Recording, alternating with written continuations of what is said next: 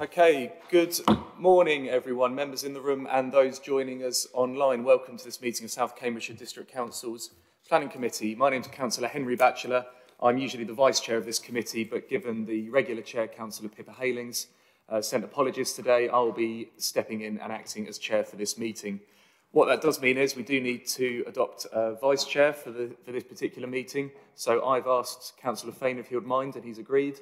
So I just wanted to get committee's agreement that it was okay for Councillor Fane to act as Vice Chair. Agreed. Councillor Fane, congratulations on the promotion. if you'd like to make your way up to the top table. Uh, whilst Councillor Fane's getting ready, I'm going to run through a few brief housekeeping uh, announcements. Firstly, can everyone in the room note that everything on your desk, including your laptop screen, is likely to be broadcast at some point? The camera follows the microphone um, after it is switched on, so councillors and officers are requested to wait a couple of seconds before speaking to allow the camera to catch up with the mic. If the fire alarm sounds at any point, please do leave the chamber and make your way down the stairs. Do not use the lift. The safe assembly point is next to the marketing suite, halfway along the business park. Can those participating in the meeting via the live stream indicate you wish to speak via the chat column? Please do not use the chat column for any other purpose other than registering to speak. Please make sure your device is fully charged and that you switch your microphone off unless you're invited to do so. Otherwise, please ensure you've switched off or silenced any other devices you have so that they do not interrupt proceedings. Uh, as requested yesterday by email, please use a headset if possible when speaking and hold the microphone close to your mouth. When you're invited to address the meeting, please make sure your microphone is switched on, and after you've finished addressing the meeting, please make sure your microphone is switched off. Uh, members in the room, please note that if we do need to vote on any item, we should, we should do so via the microphones in front of us. Only those members present in the chamber can vote or propose or second motions. Uh, committee members present in the chamber, we're now going to do a roll call, so I'll, I will invite each of you to introduce yourselves. After I call your name, please switch on your mic, wait a couple of seconds and introduce yourselves. Uh, so as mentioned earlier, my name is Councillor Henry Batchelor. I'm one of the members for Linton and I am the regular Vice Chair of this committee. I would now ask Councillor Peter Fane to introduce himself. Peter Fane, Shelford Ward. Thank you very much. Councillor Dr Martin Cahn.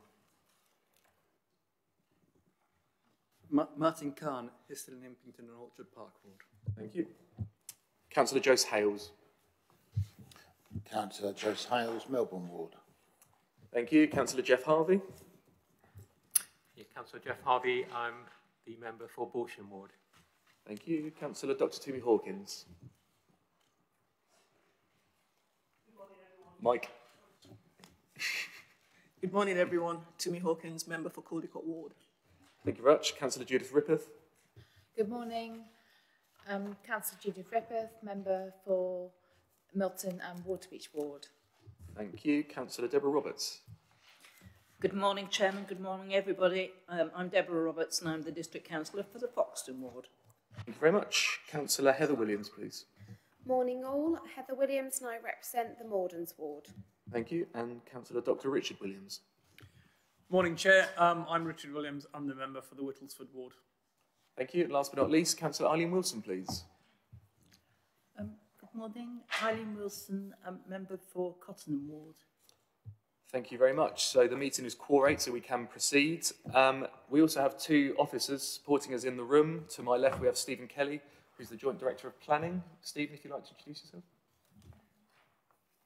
Good morning, everyone. Yes, uh, um, Director of Planning, I have a team of um, officers online.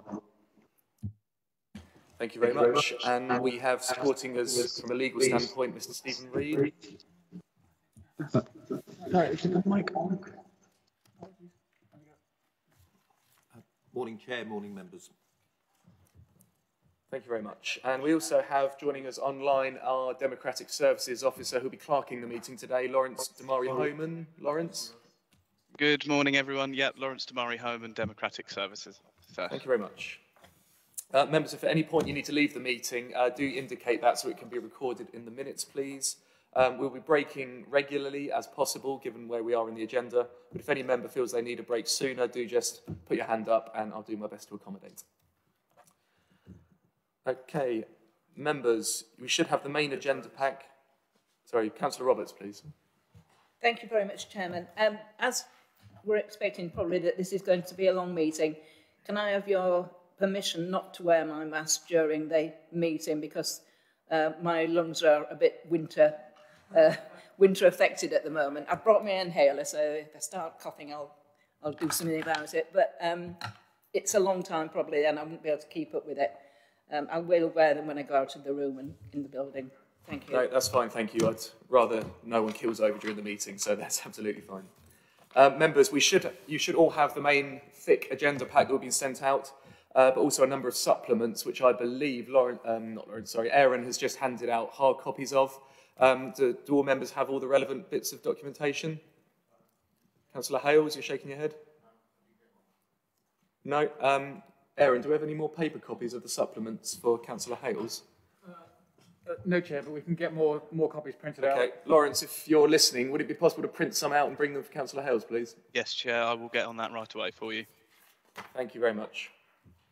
Um, members, before we start the meeting, um, given the extraordinary nature of this, uh, the two applications we're looking at today, um, I would like to um, essentially formalise the structure of the meeting.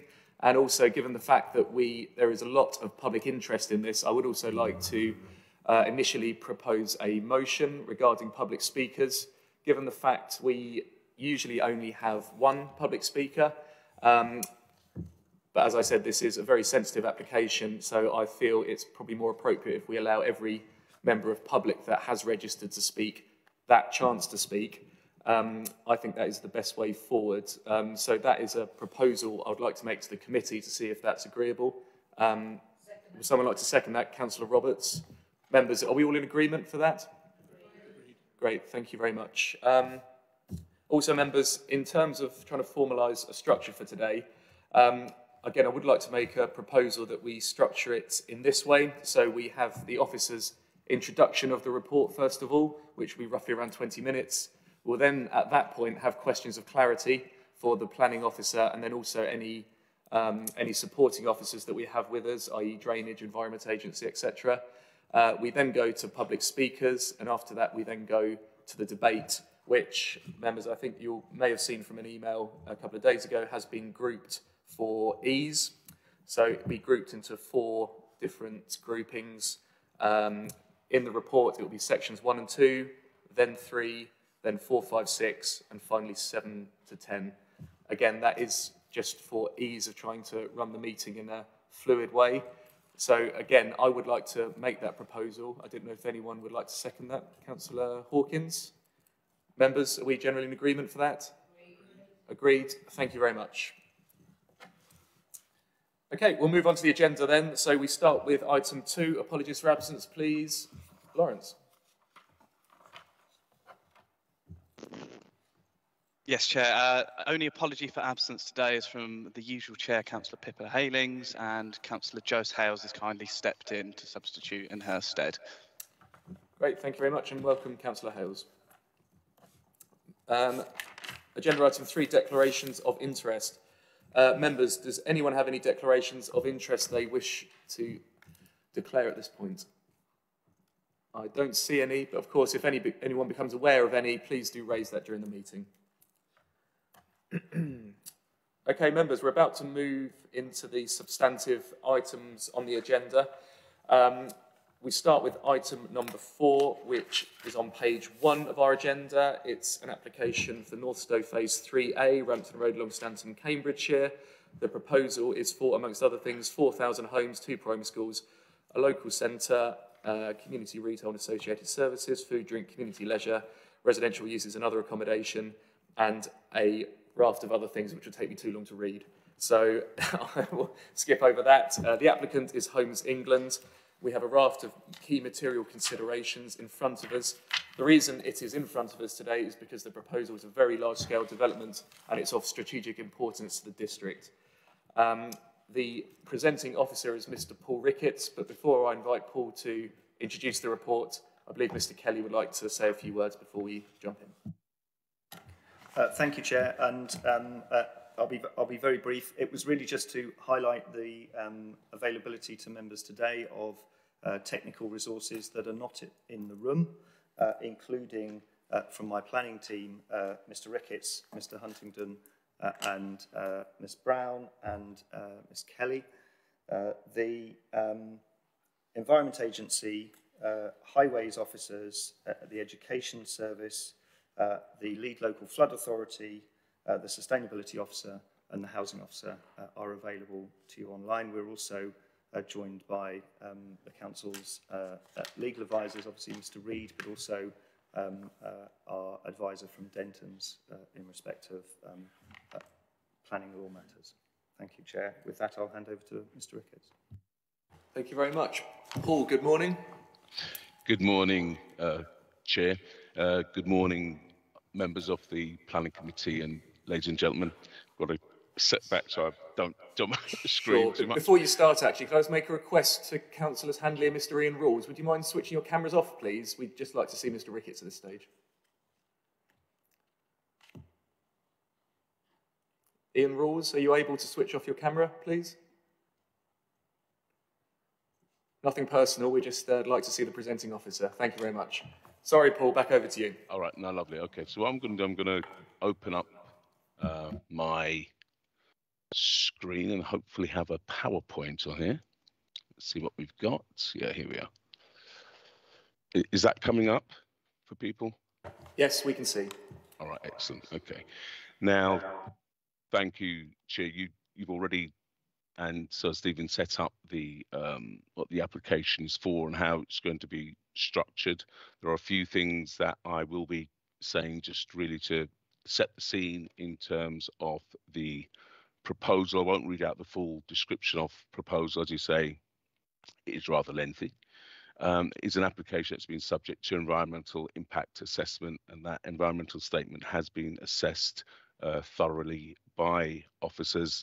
We've involved with third party and statutory consultees regarding these matters.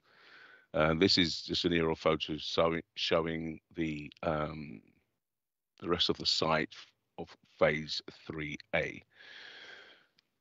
Phase 3A, I'm just going to go through some of the, the site description and, and surroundings. I won't read the entire thing, but um, nonetheless, it's a site that comprises 210 hectares of land that mostly consists of the southern part of the former Oakington airfield and barracks and the proposed access routes.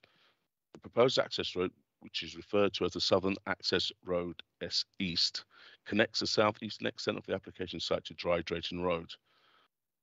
The Phase 3A application site is largely bounded to the north by Northstowe Phase 2, to the east by the Cambridgeshire Guided Busway, and to the south by the village of Oakington, and to the west by Arable Farmland. Sorry, The Paul, just a second. Sorry Can to you hear me interrupt. okay? Yeah. Uh, sorry, Chair, it's just, um, is it possible for the uh, cursor to be changed and indicate exactly what it is it's referring to, please? Yeah, I think if you can activate the laser pointer feature, that would be handy for us. Right.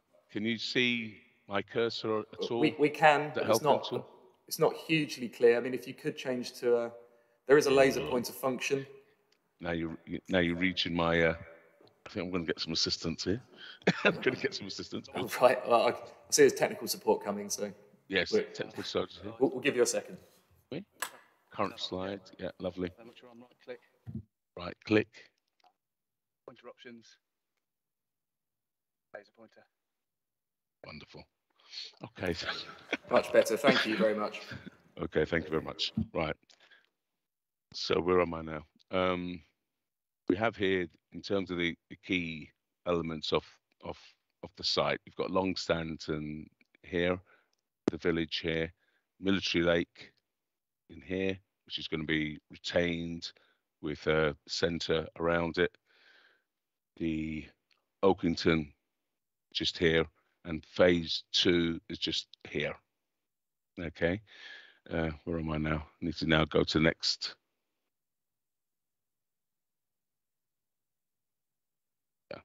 Next slide. Sorry.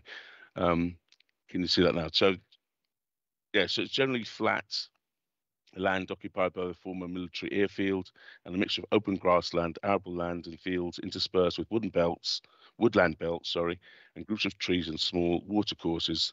The lake known as the Military Pond is located in the southwest part of the site. The North phase two access road, known as Southern Access Road, traverses approximately north-south across the southwestern part of phase 3A. Okay, that's the East Road, or the West Road, sorry. Um,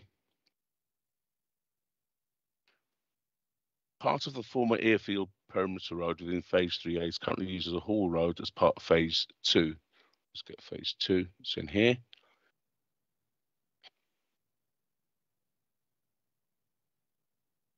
What I want to do now is just go to the description of the proposal. Can I get the uh,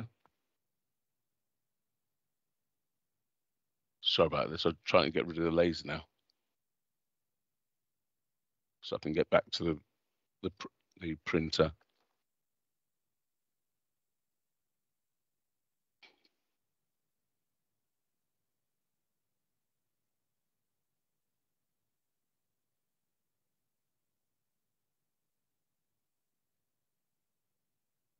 Sorry about this. I'm just trying to navigate through these different screens.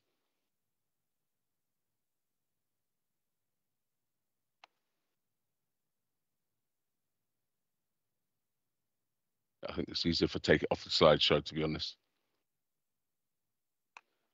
Yeah, if you could please, yeah. Okay. Um, so we've gone through just a, a brief description of the of the application site. This uh, application completes the main site of, so I'm going to go now to the description of proposal. The planning application for Northstowe completes the main site of Oakington Barracks, which was originally identified in the North Stowe Area Action Plan and Early Development Plan documents. The application proposes a further 4,000 dwellings, which would total 9,000 dwellings being delivered on the main former barracks site. A further one, sorry, the applicant is, in housing master developer on phase three. 3B, which is subject to a later report uh, in this same agenda. It is considered that proposal comprises sustainable development having regard to paragraph 11 of the National Planning Policy Framework and is therefore recommended subject to necessary safeguarding conditions and the prior signing of the Section 106 agreement. The application proposes up to 4,000 homes in a mix to be agreed with the range of additional works and facilities being proposed to support the creation of a new town. The additional works include the creation of a local centre and mixed-use employment zones which support the town centre in phase two. These secondary mixed-use zones are located around the perimeter of the local centre along the central boulevard up to the military lake and other anticipated key activity nodes. The total potential capacity for these uses at ground floor in the secondary zones is approximately 13,000 square meters. Two primary schools are proposed, both with three forms of entry and with the appropriate level of sports pitches. The approximate locations of the proposed schools are shown on the parameter plans. I just go to the parameter plans as long as I can navigate to this other screen.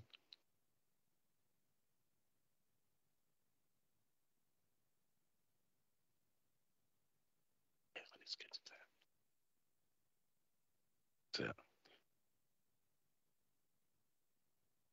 That's the thing. Yeah, there is. Yeah.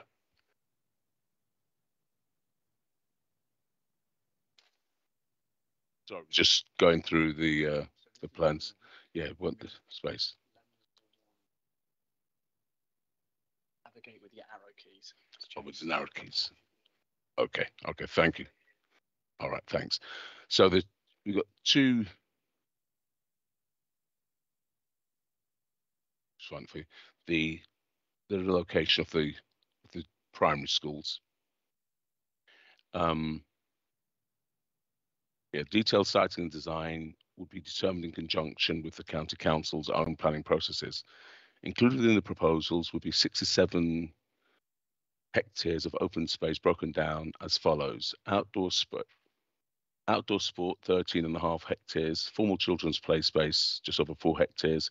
Other children's play space, just under four and a half hectares. Allotments and community orchards, just over four hectares. And informal open space, 41 hectares. Included within the normal, sorry, included in the informal open space are proposals to retain the military lake.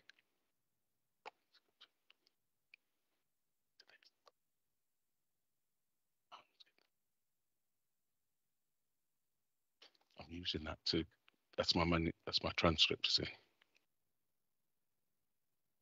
Oh, here we go, yeah. Yeah, sorry. Um, included in the formal, informal open space, a proposal to retain the military lake and lake and include a new lake capable of supporting outdoor swimming on the position of the former runway, initially named as the Runway Lake.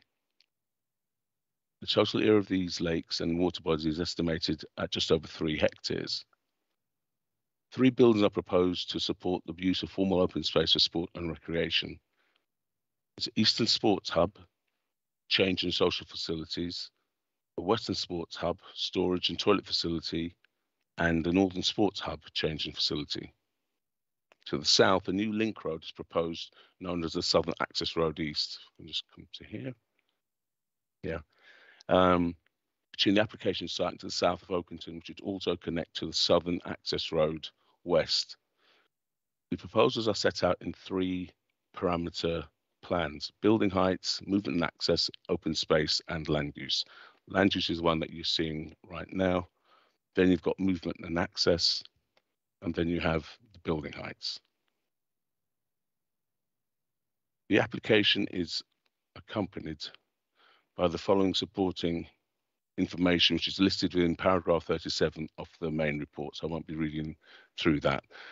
The parameter plans set alongside the design access statement and development principles seek to establish the overall principles underpinning the proposed development whilst allowing sufficient flexibility to enable the subsequent reserved matters application to respond to the detailed considerations associated with each element of the proposals. This allows for the general disposition of land uses across the site, layout of routes and infrastructure, and key development parameters such as building heights to be assessed and determined at the outline application stage.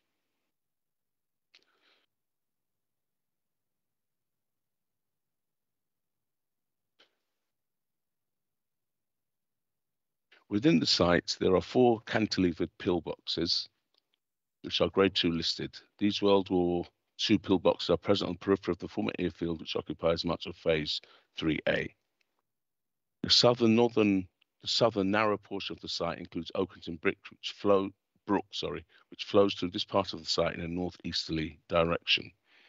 The village of Oakington is located to the south of phase 3A and is separated from the site by tree cover and hedgerows around the site periphery. Beyond this, towards the southwest, lies farmland and the A14. The A14 is a key strategic road and joins the M11 motorway two kilometres further to the south. Oakland Business Park is adjacent to the southeastern site boundary. Land to the east and northeast of Phase 3A is bounded by the Cambridge guided busway, beyond which lies farmland. Beckbrook is located to the east of the guided busway. Phase 2 is located to the north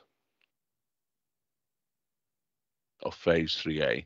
And this area includes a number of vacant buildings associated with the former Oakland Barracks, together with grazed land and fallow land awaiting redevelopment, a water tower, and arable farmland further to the northeast. Land to the west of 3A is bordered by the B1050, so B1050, yeah, which runs in north-south direction and connects with the A14 approximately 500 meters south of the site.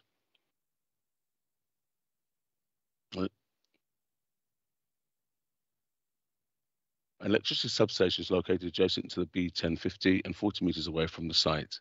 Bar Farm and, and cottages are located approximately 400 meters to the north of the site boundary and adjacent to the B1050. The village of Longstanton borders the northern section of Phase 3A as well as Phase 2. Other heritage assets in the area include the village pump, All Saints Church and St Michael's Church and the manor, together with the important village setting between Longstanton, All Saints and Longstanton St Michael's. In Oakington, parkland setting of Westwick Hall is an important heritage asset Longstanton also contain conservation areas. There are a number of public rights of way within the site, which include links between Rampton Drift and Longstanton to the southwest to Rampton in the northeast. The right of way, this right of way crosses the Cambridgeshire Guide Busway via Nat Grades crossing and also links Rampton to Histon and a footpath running adjacent to Cottenham Lode. The byway routes through this phase two site and is currently closed due to construction of the primary road and secondary school, but is due to reopen in spring 2022. A shared footway cycleway crosses over the, the guided bus route to the south at Westwick. This cycleway forms part of the National Cycle Network Route 51, which leads to Cambridge to the south and Huntingdon via Over and Swavesey, Swavesey sorry, to the north. There's a public byway which routes south of Longstanton and runs south towards Bar Hill. This, not, this does not provide a crossing over the A14. The byway links byway link to the northwest via Bridleway, routing along Over Road and Ramper Road, accesses Swavesey and the Ouse, and the Ouse Valley Way to the northwest. The eastern section of Ramper Road from the Over Road junction towards Uttonstrove is marked as part of a long distance footpath, but there is no provision for pedestrians. Section 1. The principle of development is established through paragraph 11 of the National Planning Policy Framework, which addresses the issue of the presumption in favour of sustainable development in decision making. It seeks to ensure the promotion and delivery of sustainable development, which covers economic, social, and environmental objectives. The application proposal is required to meet the up to date development plan policies of the era, which in this instance is the SCDC local plan and the, and the NAAP. Relevant policies for the local plan is S6, the Development Strategy 2031, which states that major site allocations from the South Cambridgeshire Local Development Framework 2007 to 2010, together with the Area Action Plan for Northstowe, except as amended by Policy SS5, are carried forward as part of the development plan to 2031 or until such time as the developments are complete. Policy SS5 is a Northstowe extension which states that the reserve land identified in the North, Ear, North Stowe Area Action Plan is allocated as an extension to the site of the new town of Northstowe. It will help provide the 10,000 homes allocated in the Area Action Plan at an appropriate density and design and will not increase the overall number of homes.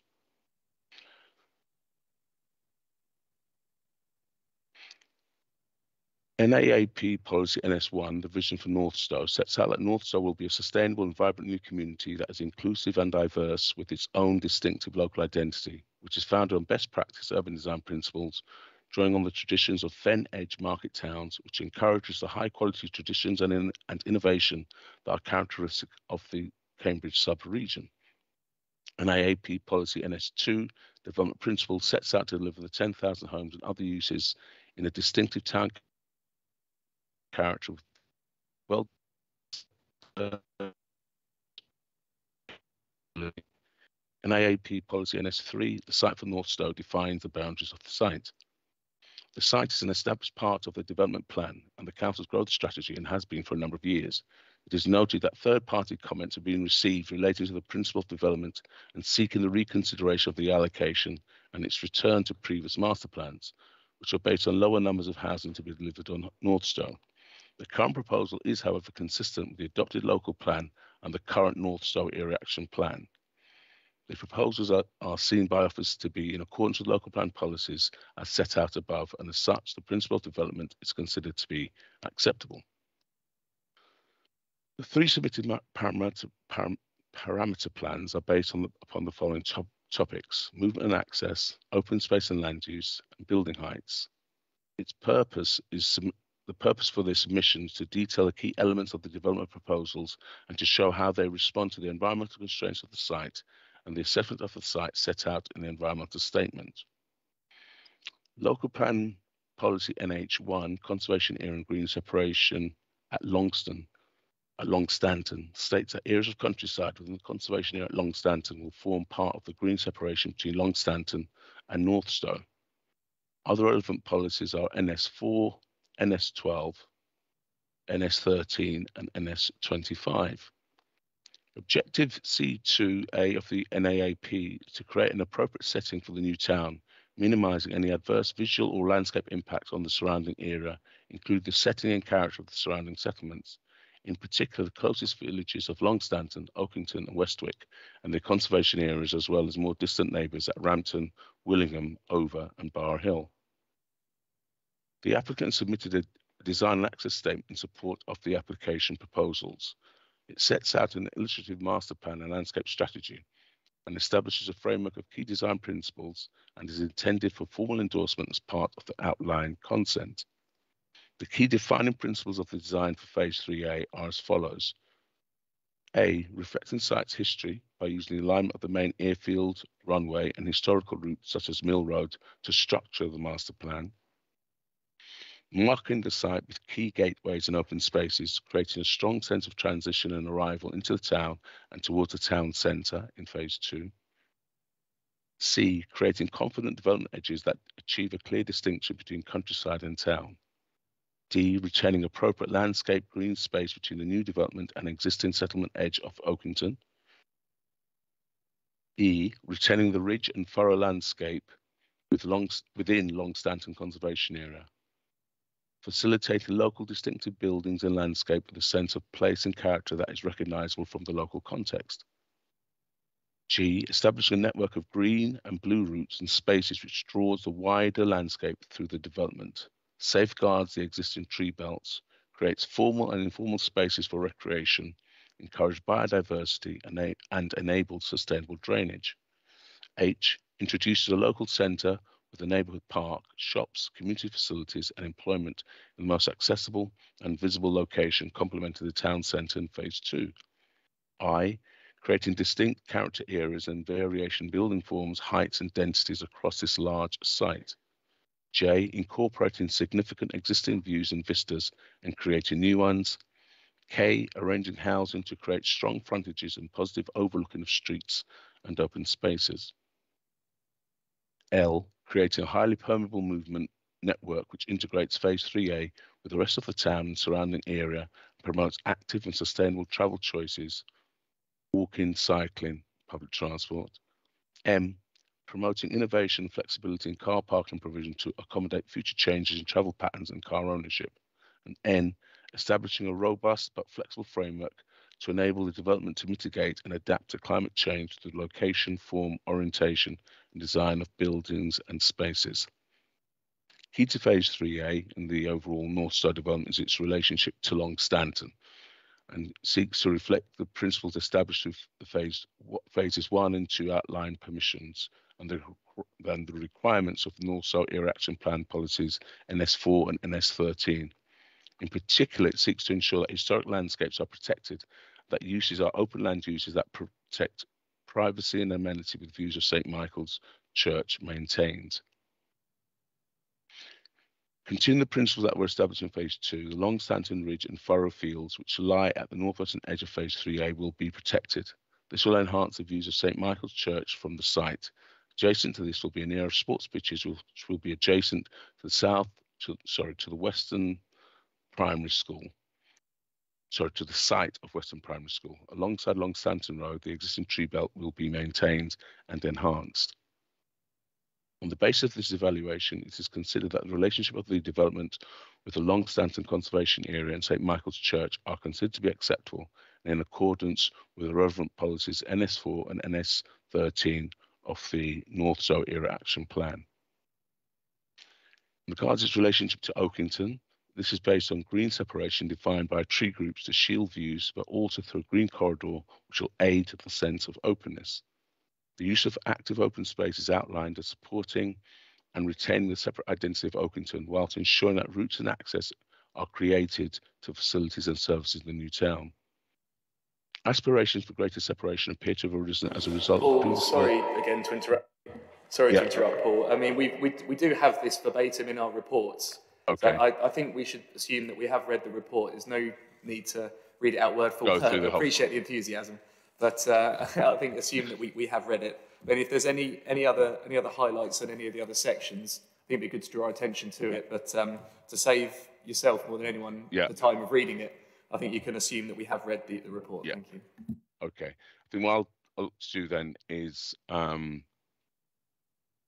moving away in the sense in terms of the section that we were talking about as as, as key is going through that that first section then. I don't think there's if we've read it and we've accepted it key things in terms of transport is that we've had a look at the detailed transport assessment and seen that in terms of its impact they are acceptable. There there's been concern i think in terms of the um, I think there's a trigger in Southern Access Road East in terms of and the junction with Dry Drayton, sorry, Dry Drayton Road. Let's go through this. Yes, and it's the concern that Oakington Parish Council had regarding the previous scheme, which had a priority junction to the southern access to Southern Access Road the detailed design of this junction is still underway and opportunities to optimise routine choices of motorists so as to avoid local roads is still to be explored. In either event, properties of popular villas on Drayton Road, on Dry Drayton Road to south of Oakington would be affected by a new road layout. Girton Parish Council has also commented on nomenclature of the SAR. The name relates to the geographical relationship to the application site with the approved southern access road west, further to the west. The SAR will be smaller in scale, likely to be a single carriageway with cycling infrastructure and other associated works. It is considered that this would create an easier and more convenient route to Cambridge than travelling through the villages of Oakington and Girton. The TA sets out, sorry, the transport assessment sets out measures to discourage traffic travelling through Oakington. There's also a trigger in terms of occupation for dwellings prior to this road being looked at and designed some like 3,000, I think some like 3,000 dwellings. And that could be some like 10, 15 years. So it could be that when we review this matter, it's something that may not be necessary in the in the long run. And this is what we're hoping for in terms of modal shifts. The delivery of the SAR will be secured by planning condition 17, Southern Access Road East. Just gonna just go through yeah, based upon an assessment of the of the submitted environmental statement, and transport assessment, and associated proposed mitigation measures, and taking all other comments into account, it is considered that the developments provided appropriate provision to encourage future residents to use modes of transport other than the car, and subject to monitoring, will satisfactorily mitigate the impact of the development on the surrounding villages and roads in accordance with the NPPF and policy T1 2 of the local plan. I'm going to fly through the employment assessment. As we said, we, it's something that the members have had a chance to read through. Key thing on the employment is that this is about job numbers rather than just a land provision. We're talking about 20 hectares of employment land, but really this is about how many jobs that we can create and deliver. That's through NAP, NAP policy NS8 and D4. The affordable housing and there's a local centre that will be will be provided, which will identify the number and scale of local centres across Northstowe and the role these play in the wider town. That's policy NAAP, policy NS6. The proposals for local centre are considered to contribute towards meeting the aims and objectives of NAAP policy NS6 by delivering a local centre close to local busway within reasonable walking distance for local residents. Which will meet day-to-day needs of local residents for convenient shopping and service provision, will also act as a focus for small-scale local employment, complemented by the provision of outdoor space and appropriate design principles. The local centre should also assist in supporting community development activities across 3A. As regard housing delivery, the scheme will deliver a mix of units and provide 40% affordable housing. The mix is to be agreed. Will be at a density of 40 dwellings per hectare overall and meets the policy requirements of housing mix and the different kinds of housing that we will require. Policy H9 requires at least 30% of the dwellings to be one to two bedrooms, 30% at least to be three bedrooms, and at least 30% to be four, over four bedrooms. That's market. That's the market housing mix for for market homes. There's a 10% flexibility allowance included in any of these categories, taking account of local circumstances.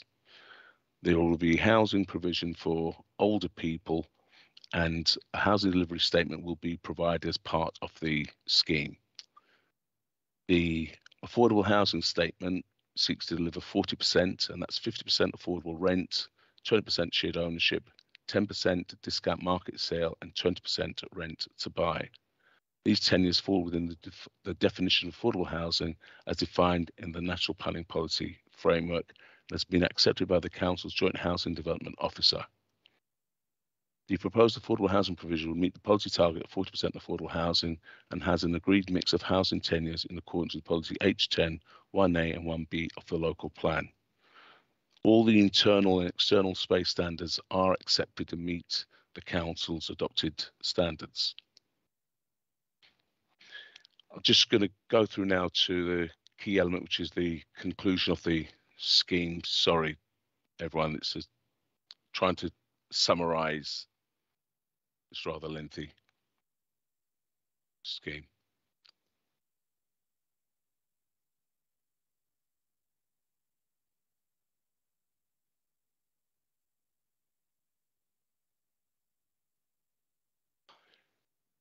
Thanks, Julia. Just to reiterate, we do have a lot of the information you're reading out in front of us, uh, okay. word for word. So if there's any, any highlights of any particular sections you want to draw our attention to, I think that will be a lot more time saving. So, sorry. Okay. Yeah, sorry. So I'll just say, yeah, so um, okay, sorry, recommending... sorry again, Paul. I think Mr. Kelly wants to come in. Okay, beg your pardon. Thank you, Chair. Um, I think to, to assist the to assist the committee, um, really, and uh, I'm conscious that we've we've got public speakers here who also will want, will want to comment. Um, perhaps if I could just uh, helpfully um, uh, move move things on uh, for for your benefit. Um, clearly, what Mr. Ricketts has done is outlined the principles of the development, um, the guiding design principles that are set out uh, in the report, uh, which he has referred to uh, and um, reinforce the point around the 40% uh, affordable housing and the, and the housing mix. I think the, um, the report, uh, we, we've walked through the three parameter plans that form the cornerstone of the, of the Planning Commission. Uh, and what the report um, uh, does is highlight uh, the, the key elements in those plans around uh, the current one that you can see on the screen surrounding building height and scale, um, but the movement framework, uh, and uh, Mr. Ricketts has referred to uh, the relationship with um, uh, the Southern Access Relief, uh, Southern Access Road East, but also the existing and indeed nearing completion um, Access Road West, which is currently the main uh, and considered to be likely the main source of access into the site. It's also highlighted the interplay with the um, phase two development immediately adjacent uh, and started to summarise some of the um, infrastructure facilities that are associated with it. I think where the report obviously goes to, and members will be familiar with this, uh, is um, uh, on top of what the proposal is, there are a number of substantive material considerations which are summarised at the beginning, uh, which Mr Ricketts hasn't had a chance yet to cover, but which in the interests of brevity, perhaps I can, I can just walk you through uh, um, uh, for your benefit. And clearly, um, you can see clarifications through the questions if asked. What the report does draw your attention to uh, is um, uh, the environmental assessment uh, and the associated technical appraisals that have been done. And we have today the transport um, uh, team from the County Council who've been closely involved in that.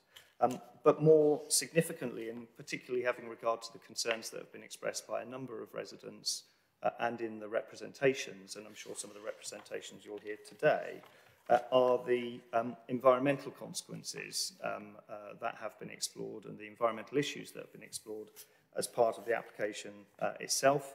Um, those elements are covered, uh, and forgive me a second, I'll just refer you to the, they start being um, uh, addressed uh, in the um, assessments on page uh, section 7. Um, Uh, although uh, uh, and boil down towards concerns that are highlighted not only about conventional, this is page 69, sorry, not only the conventional concerns associated with construction and the impacts on um, that you will all be familiar with, around uh, the construction activity and the impact upon local residents through noise, dust uh, and odour, uh, etc. Um, but more specifically, uh, and, and uh, the heritage, but more specifically the concerns around um, the sensitivities to drainage, uh, the management of water, including the implications uh, for groundwater, uh, which um, the late uh, and late representations, but also the representations that you have received in the packs refer to, and concerns about the wider um, demands that the development will make uh, on, for example, uh, water abstraction across Greater Cambridge uh, and uh, water, water quality. Now, um, what we have sought to try and do, uh, and, um, uh, and to assist you, I'm just trying to find the page reference number, forgive me, but what we've sought to try and do is to draw those threads together for you in the assessment of the planning balance, which takes place uh, on page 114. Uh, and um, simply uh, your role having considered, and I'm sure uh, you're familiar with the report, but having considered the um, uh, elements of compliance with the development plan that Mr Ricketts and the report have highlighted, um, but also the uh, environmental and physical consequences of the development, what the report seeks to, to do on page 114 uh, onwards is start to play in the balancing exercise, uh, which is an important part of uh, the pros and cons, one could say, but important part of weighing up the overall merits uh, of this application having regard to the development plan uh, and uh, the wide range of material considerations that the report highlights. Chair, I think that's probably, um, I'm conscious of uh, wanting to hear from uh, public speakers and from members uh, in terms of clarification, but I hope that's helpful to you. That's very helpful. Thank you for that, Stephen. Um, members, as we agreed at the start, we now have an opportunity to ask any questions of clarification for either the case officers or equally any of the um, of the consultees that we have uh, online joining us today. So members, obviously, you know, if something does come to us later on in the in the debate, obviously we can ask it then. But if there's any questions of clarification at this point now, um, it'll be a good chance to ask. So I have one straight away from Councillor Heather Williams, please. Thank you, Chair. Um, a, a few questions uh, initially. Just about the affordable housing, what contribution this gives us on the whole of Northstowe, um, because it's obviously come in parcels, so just want to know where our, our figures are there. Um, the other thing, and looking at the consultation, um, paragraph 95 um, issues been raised about housing heights. Is there anything in, in what's been put forward that would be considered um, out, of, out of policy?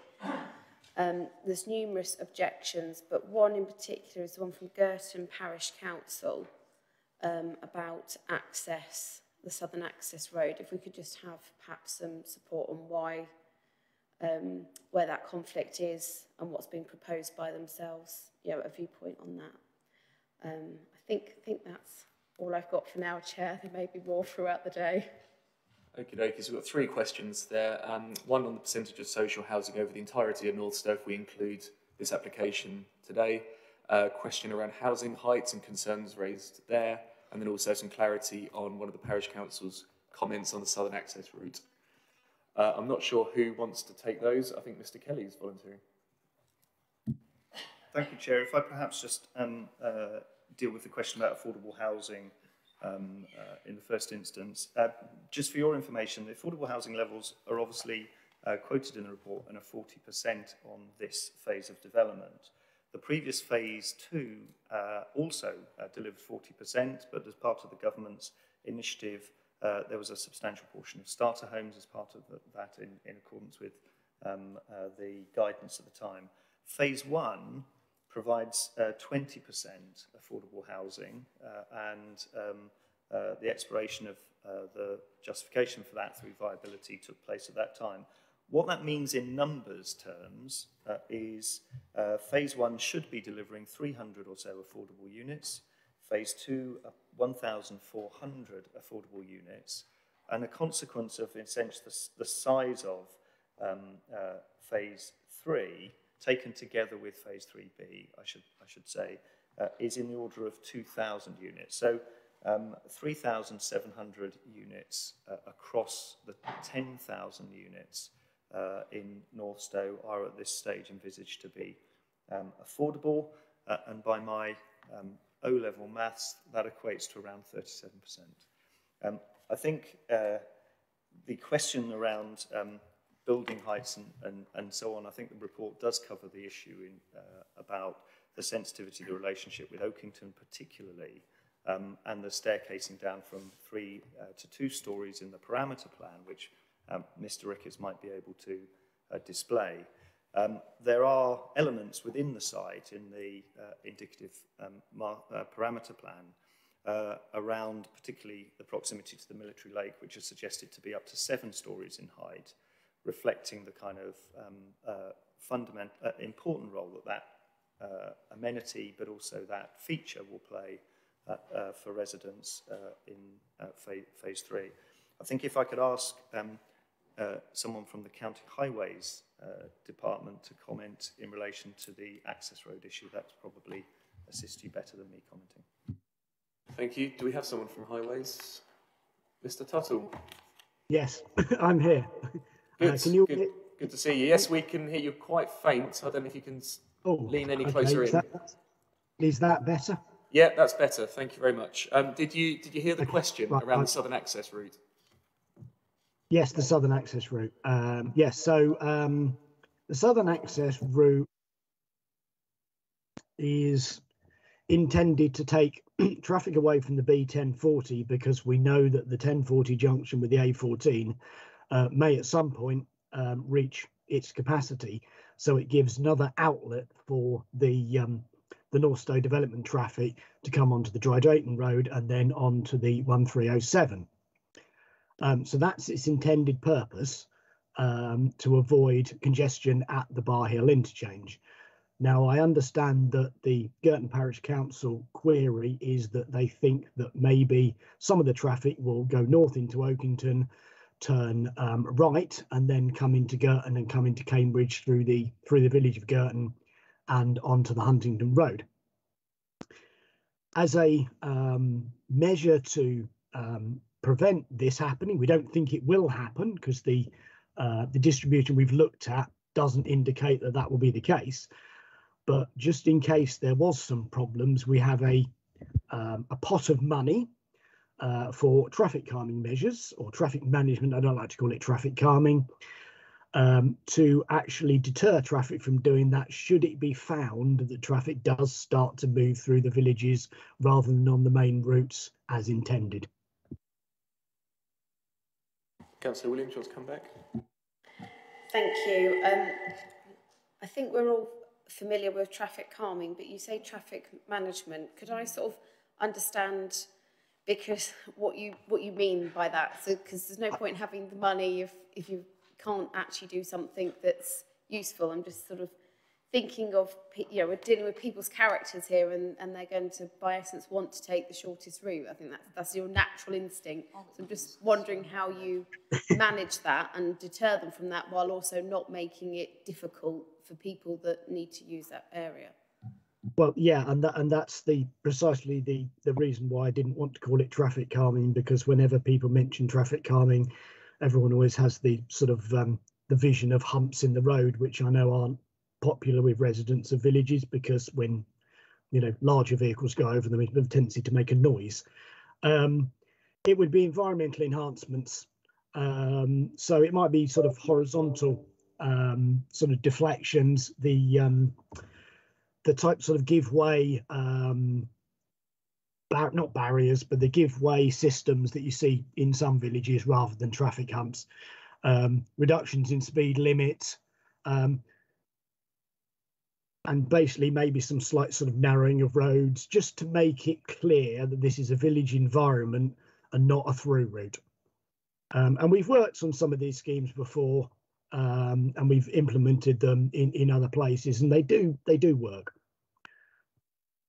but I didn't want anyone to get the impression we were just going to bolt humps to the road. It's going to be something more holistic than that, something a bit with a bit more thought.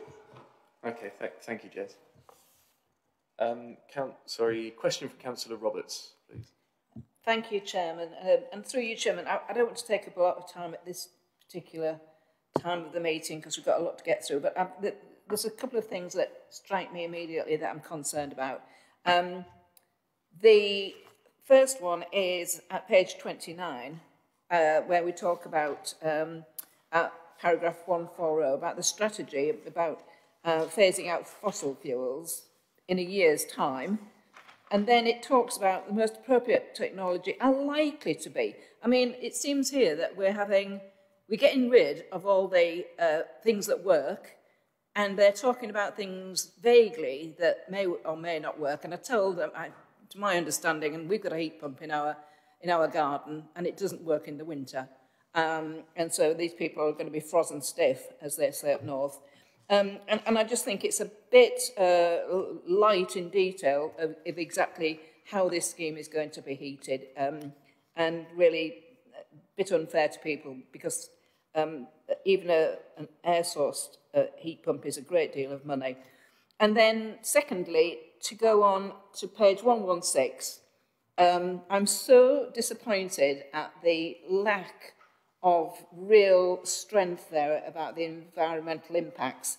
It doesn't seem to focus at all on the concerns that we've all been getting over the last few days um, from um, either parish councils or individuals or, or, or groups. Um, and it just seems to say, yeah, well, everything in the garden is going to be rosy. And there's no, there's no identification here of the things that people have been sending us about their concerns, about the, the impact. Just talks about how it will look, basically. Well, I want to know how it's going to function. Um, you know, the information we've been receiving basically says that there are, since Northstowe, since 2015, there's been a marked decline uh, in the chalk stream systems and the ponds there, and people are very concerned, and yet there's not, not that I can see, there's nothing here that gives me any um, information or satisfaction that um, it's actually even been thought about. Okay, so I think two questions of clarity there. The first was a bit more detail on how the scheme will be heated, which relates to page 29, and a second question of clarity around the functionality of some of the environmental impact suggestions. I'm not sure who would like to take that, Mr. Kelly?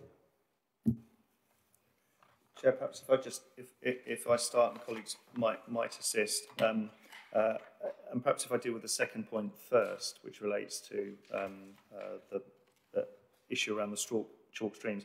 I, I should refer, obviously, members will have seen in the, in the update sheet uh, an additional seven representations uh, that highlight concerns about that. We've also received, uh, since that, representations from uh, Mr Colin Hayes, Claire Driver, Helen Alder and Mary Cooper that make fundamentally the same concerns as Councillor Roberts has drawn attention to. Um, I'm sorry if you feel that the report doesn't properly cover that point. The, the um, uh, text uh, should highlight, uh, I, I think, but perhaps um, draw out further the way in which the planning authority has approached this issue. We have, as um, I think Councillor Roberts has, has acknowledged, consulted the statutory agencies about this. Uh, and um, uh, because the uh, site is within the development plan, so it's a long-standing site allocation, um, the Environment Agency and others have recognised that the um, have not objected on the basis of the issue about groundwater supplies. Now, the, the, some of the comments have questioned whether or not the local planning authority should have gone further, and in fact, the planning authority have. Uh, and um, you will be aware of the work that we have been doing. Uh, we employed Stantec to look at water supply issues associated with the new local plan, but that work also included both substantial engagement with the Water Authority, with Cambridge Water, Anglian Water, and Water Resources East, uh, and um, uh, the feedback from the water companies, and indeed uh, from Anglian Water and others, uh, was that um, the future growth uh, of Cambridge, or Greater Cambridge, uh, can be uh, appropriately accommodated.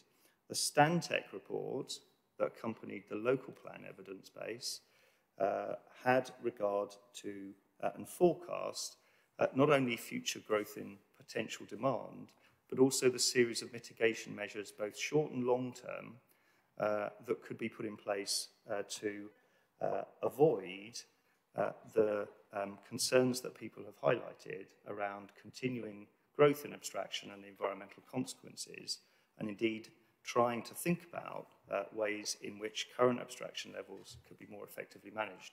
Now, some of those measures that they saw in the long term, uh, you may have heard about in terms of uh, future new water supplies in Fens Reservoir uh, uh, that Anglian Water are currently promoting. Some of the shorter term measures included the effects of, for example, increased water metering. Currently, Greater Cambridge only has about 70%, uh, which has been shown to reduce levels of consumption, but also management and leakage control, uh, behaviour change, some of the things such as the policies that we uh, have, but also the conditions that we've put into this uh, planning permission to reduce from 140 or so litres per day per person down to 110, um, and a strategy to try and deliver that. But also uh, what is termed bulk water transfer, uh, which is about connections to, for example, new trunk water transfer systems that will currently go past Cambridge, heading south, uh, to uh, on the east and west sides of, of South Cambridgeshire, uh, but which are deemed to be capable of providing something to fill in between, for example, a new reservoir coming forward in the mid to late 2030s uh, and uh, the growing demands that are associated with growth. So um, I I'm sorry that the report perhaps didn't go into as much detail as the work that has been going on uh, by uh, the councils uh, with uh, the water providers. But um, I want people to be assured that certainly the concerns that residents have expressed about abstraction are most definitely not being treated flippantly, but they are uh, being dealt with at an appropriate strategic level rather than a site-by-site -site basis.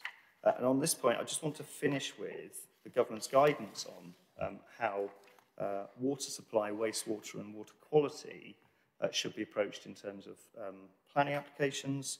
Uh, that guidance from the Department of Levelling Up and Housing and Communities uh, from the 22nd of July 2019 makes clear um, that planning for necessary water supply would normally be addressed through uh, strategic policies uh, which can be reflected in water companies' water resources management plans. And we've been pushing into those water resource management work um, to try and exact that.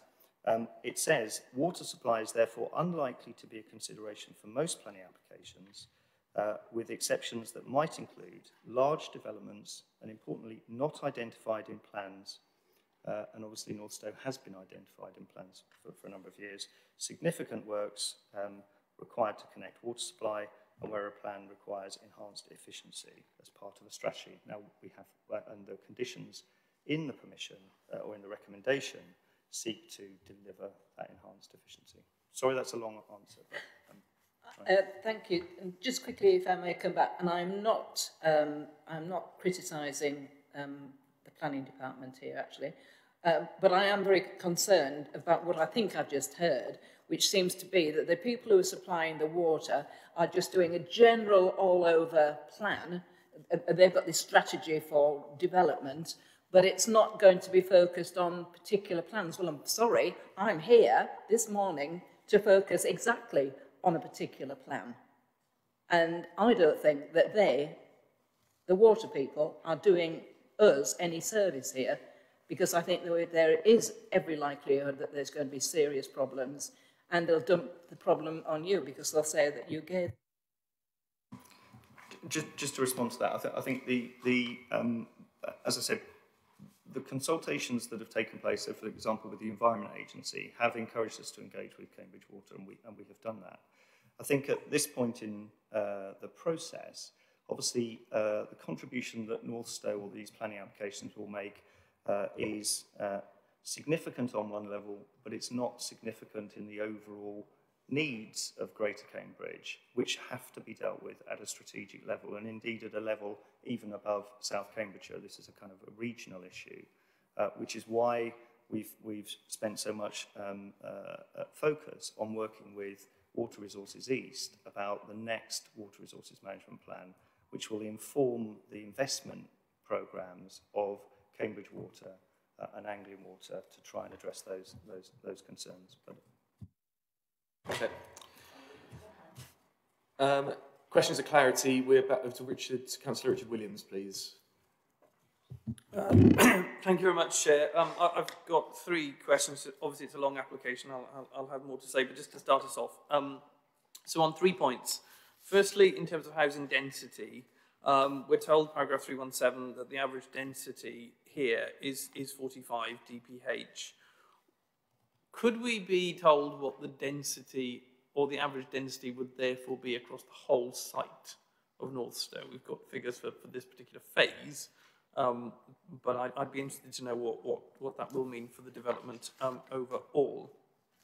One very specific question on foul water, um, and here I'm on paragraph 484. Paragraph 484 references the Drainage Board's continuing concerns and then goes on to talk about Utton's Drove.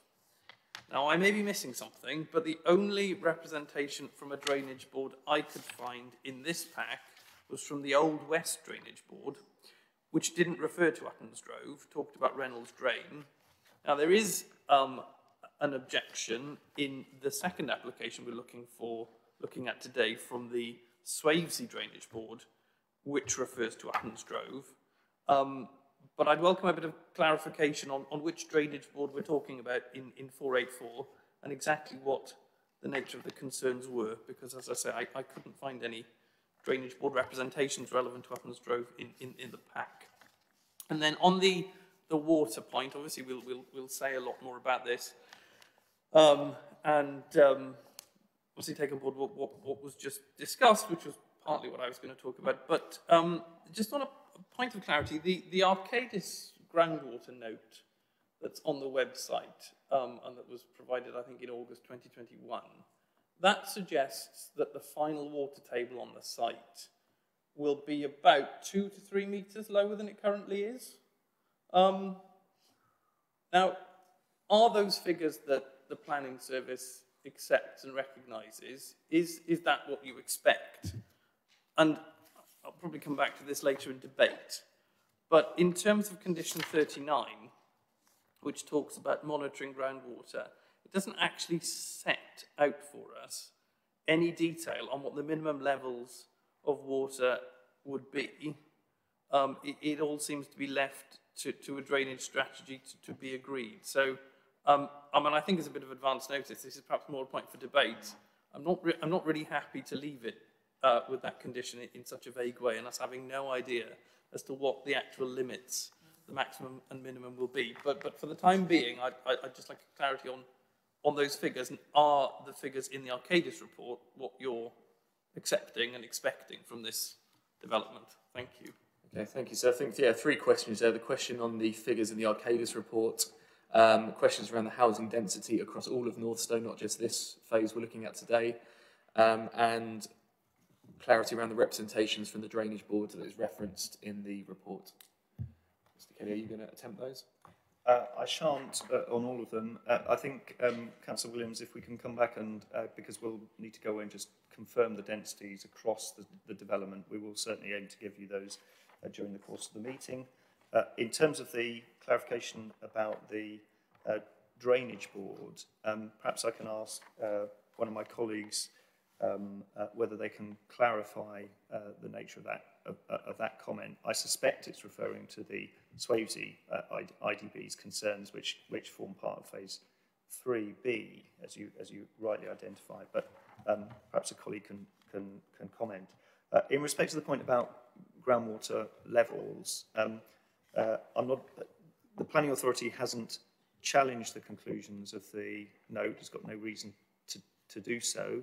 Um, but uh, uh, I'm sure we'll discuss that as you've highlighted further in the course of the meeting, and I'm very conscious that I suspect some of um, other comments will be made about that. So is it sensible, Chair, to perhaps defer that to the discussion at that time, sure.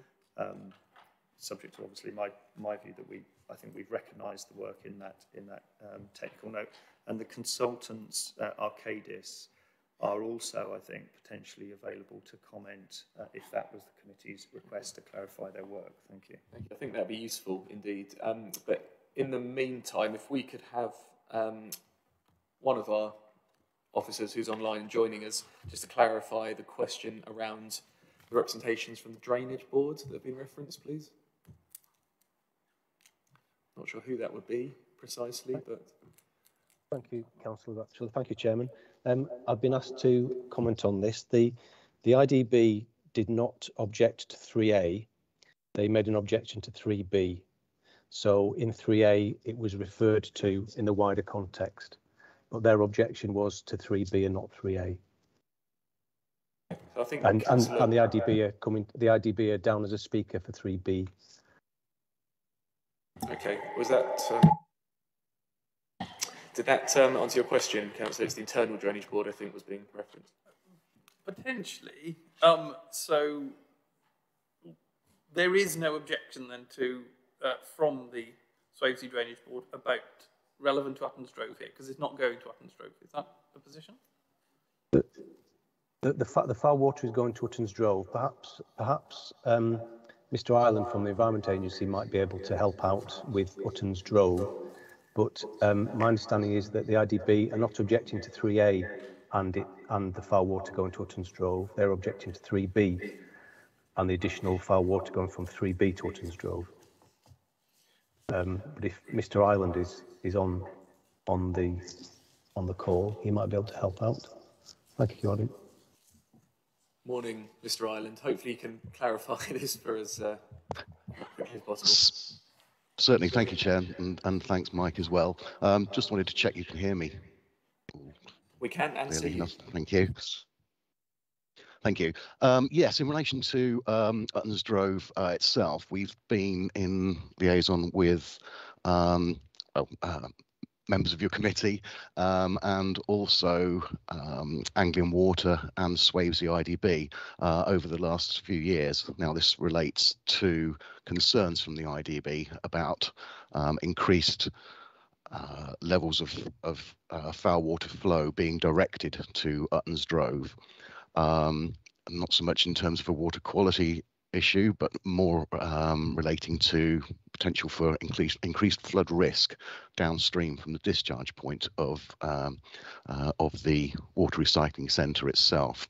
Um, so it is something that we are um, aware of, and as I say, we are in negotiations and, and liaising with uh, with Anglian Water about the, the future use of it. Um, it currently it Drove, the water recycling centre, currently has a um, a permit to to discharge. Um, however, Anglian Water are seeking to do improvements to the works itself to increase the uh, increase the capacity.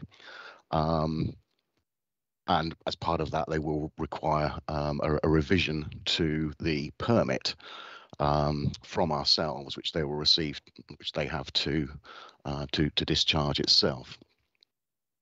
As part of a, a previous uh, land drainage solution, uh, which some members may be uh, familiar with, uh, there was modelling uh, carried out, which identified a um, a, a specific flow rate which the the downstream receiving watercourse would be capable to uh, to accommodate without risk of flooding. Um, and it's our understanding that the initial pre-application uh, for the change in the permit for the discharge from the water recycling centre, um, there's there's two scenarios being investigated. One which will be looking at that maximum discharge which is possible to accommodate within the watercourse itself, and then a slightly lower one as well. They're still at the pre-application stage. Um, in terms of the discussion about the permit for uh, for those changes. So we are in liaison with them, but um, in, initially it's uh, still anticipated that the water would be able to be accommodated in terms of the discharge of the treated water would be able to be accommodated within the watercourse um, based upon the previous land drainage solution. Now, as part of the revision of the permit itself, um, we will also be requiring uh, Anglian Water to undertake uh, an updated flood risk assessment. So we have, uh, we're, we're, reassured um, that that will be the case, i.e. that there will be no increase in flood risk from Utton's Drove itself. Adam, thank you for that. That's um, I hope that's partially at least answered the question. And as you said, we can come back in the debate if we if we need to touch on this topic again. Yeah, yes, thank, thank, thank you, Chair. I, I, I am grateful for. I'm a bit perplexed as to why there would be an objection to an application for thousand houses, but not an application to, to an objection for four thousand houses. But maybe we'll come back to that. Thank you. Thank you. Point noted. Uh, Councillor Hawkins, please. Thank you, Chair.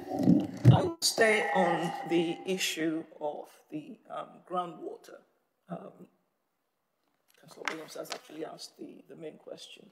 But my concern is, again, paragraph 485, where it is acknowledged that the, the watering um, needs careful management given the potential for disruption to existing water movement patterns. How is this going to be managed? And what happens if the water movement underground is disrupted?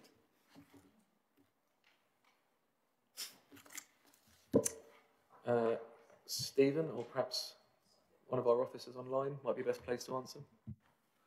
If I, if I can just uh, just touch upon that, obviously the, the um, uh, I think someone has already referred to it. There are um, proposed conditions uh, and indeed the addendum um, report seeks a slight modification to condition 39 around groundwater management, um, recognising the there has been some work done already, which has been referred to in terms of the technical note, uh, but recognising the need for monitoring um, of uh, the development through uh, the construction phase and through those dewatering um, activities that may be required as part of uh, the, the development.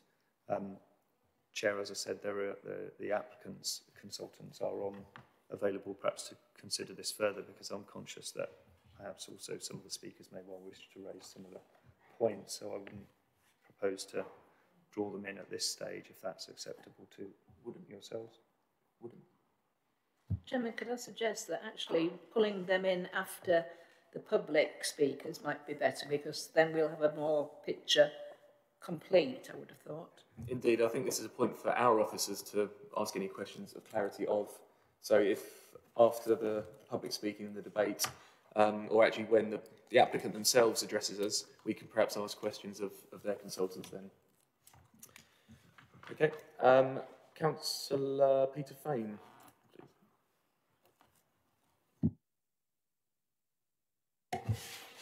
Thank you, Chair. Um, yes, my question rather follows up the, the question from Councillor Roberts earlier on. Um, we have, I suspect it may be a question for the Environment Agency. Uh, very helpful to have Mr. Uh, Ireland on available to us. The Environment Agency response is at paragraphs 158 and 159.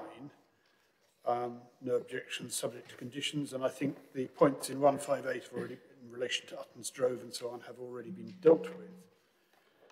In respect of water supply, um, the response deals mainly with the question of who will be responsible for that. Um, whereas, of course, the key question that may emerge is, is there enough, and is that on a sustainable basis? Now, that is dealt with in more detail at um, paragraph 610, uh, which is on page 105. Um, so we understand that Cambridge Water has confirmed it has adequate water resources to serve the proposed development, uh, but it does go on to say there is insufficient capacity in the current infrastructure, and therefore we are rather dependent on reinforcement um, to that.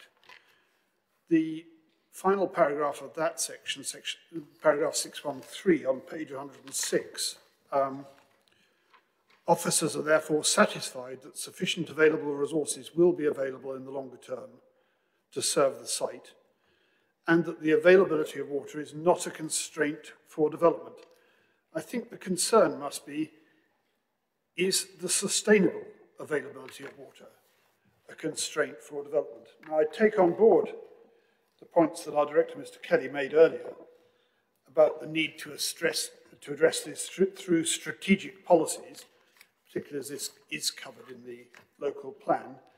But I think I follow Councillor Roberts in saying that when we are faced with an application for 5,000 houses, even one approved in the local plan, uh, we need to seek reassurances on these points, whether from the Environment Agency or from officers. I think it's probably a question for the Environment Agency, I'd imagine. And I see Mr. Ireland's jumping back in. Sorry, yes. Sorry, I should have waited the invitation first. But uh, um, no, I think uh, Mr. Kelly was uh, was correct in terms of um, yes, his, his, his initial summary, uh, as, as just referred to um, as well. Um, it is correct that the uh, the water resource management plans that are prepared by uh, water companies are, are, much more strategic as opposed to a, a, a singular site, uh, and also long term, i.e., they relate to the uh, and are based upon the the housing numbers as a whole um, within uh, within the local plans, within the, uh, I, would, I would have said water catchment area, but it is uh, much further afield uh, as strategic uh, water supplies are being um, are being developed. Uh, again, as alluded to earlier, with the um, with the the the trunk networks for uh, for for wider water transfer, and that's across um, East Anglia as a whole. Um, so in terms of the sustainability, uh, based upon the water resource management plans and the current uh, scales of development across East uh, East Anglia, um, then yes, that is still considered to be sustainable. Um, and part of that is um, relates to the required condition or the proposed condition 31, uh, which related to the uh, the 110 litres per head per day design um, from uh, design of uh, of properties for the for the water usage. So with that, um, yes, with that that management of the of the design, we we know we can't change people's habits in terms of their own personal uh, use of it. Um, but that is, um, yes, with the design code, we're confident that that current um, current water supply is uh, is able to to yeah to be met to uh, for the needs of the development itself. Um, and I'll just allude also um, that was that was mentioned towards um, also demand management, which is led through Anglian Water themselves. Um, a lot of that will be relating to uh, to metering um, and efficiency measures and promotion of that to their their actual customers. Um, I can't speak too much for, in fact, I can't speak for Anglian Water themselves. Um, but no, in terms of the sustainable supply, then then yes, that is considered um, appropriate at this moment in time. Um, uh, and as I say, with more strategic um, solutions also being um, yeah being planned across across East Anglia as a whole. That's that's fine. Thank you for that. Uh, we have two more speakers, Councillors Cahn and then Williams again. Martin, please. Um, I, am there's two, two concerns. First of all, uh, uh, I'd like to know some information about the um, actual ground conditions of the site. Um, it's lying on Gault clay, and yet we're talking about groundwater. Gault clay is basically very impermeable. So I presume there must be superficial deposits. Uh, and I'd be interested to know what sort of what the superficial deposits are and what sort of capacity for groundwater, how deep they are. Um, because obviously if they're very uh, thin, it's going, the site is going to be very susceptible for all the groundwater to be building up and to be after a long period of time and, uh, and uh, excessive uh, uh, discharge of water onto the ground outside. Now, I, I, I'm not aware of what that situation is. Um, I just would like to know if somebody's got information on that and so we know what what the actual likely risk is. Um, secondly, in terms of the, I, I, I, accept that you can supply water uh, in the current situation, uh, perhaps in the current situation, but it appears to me that the long-term water supply of, uh, of potable water to the site depends upon the achievement of the strategic water plan, not just the fact that there's water, a strategic plan in place. And we know that this, this will clearly involve quite major investments for the region.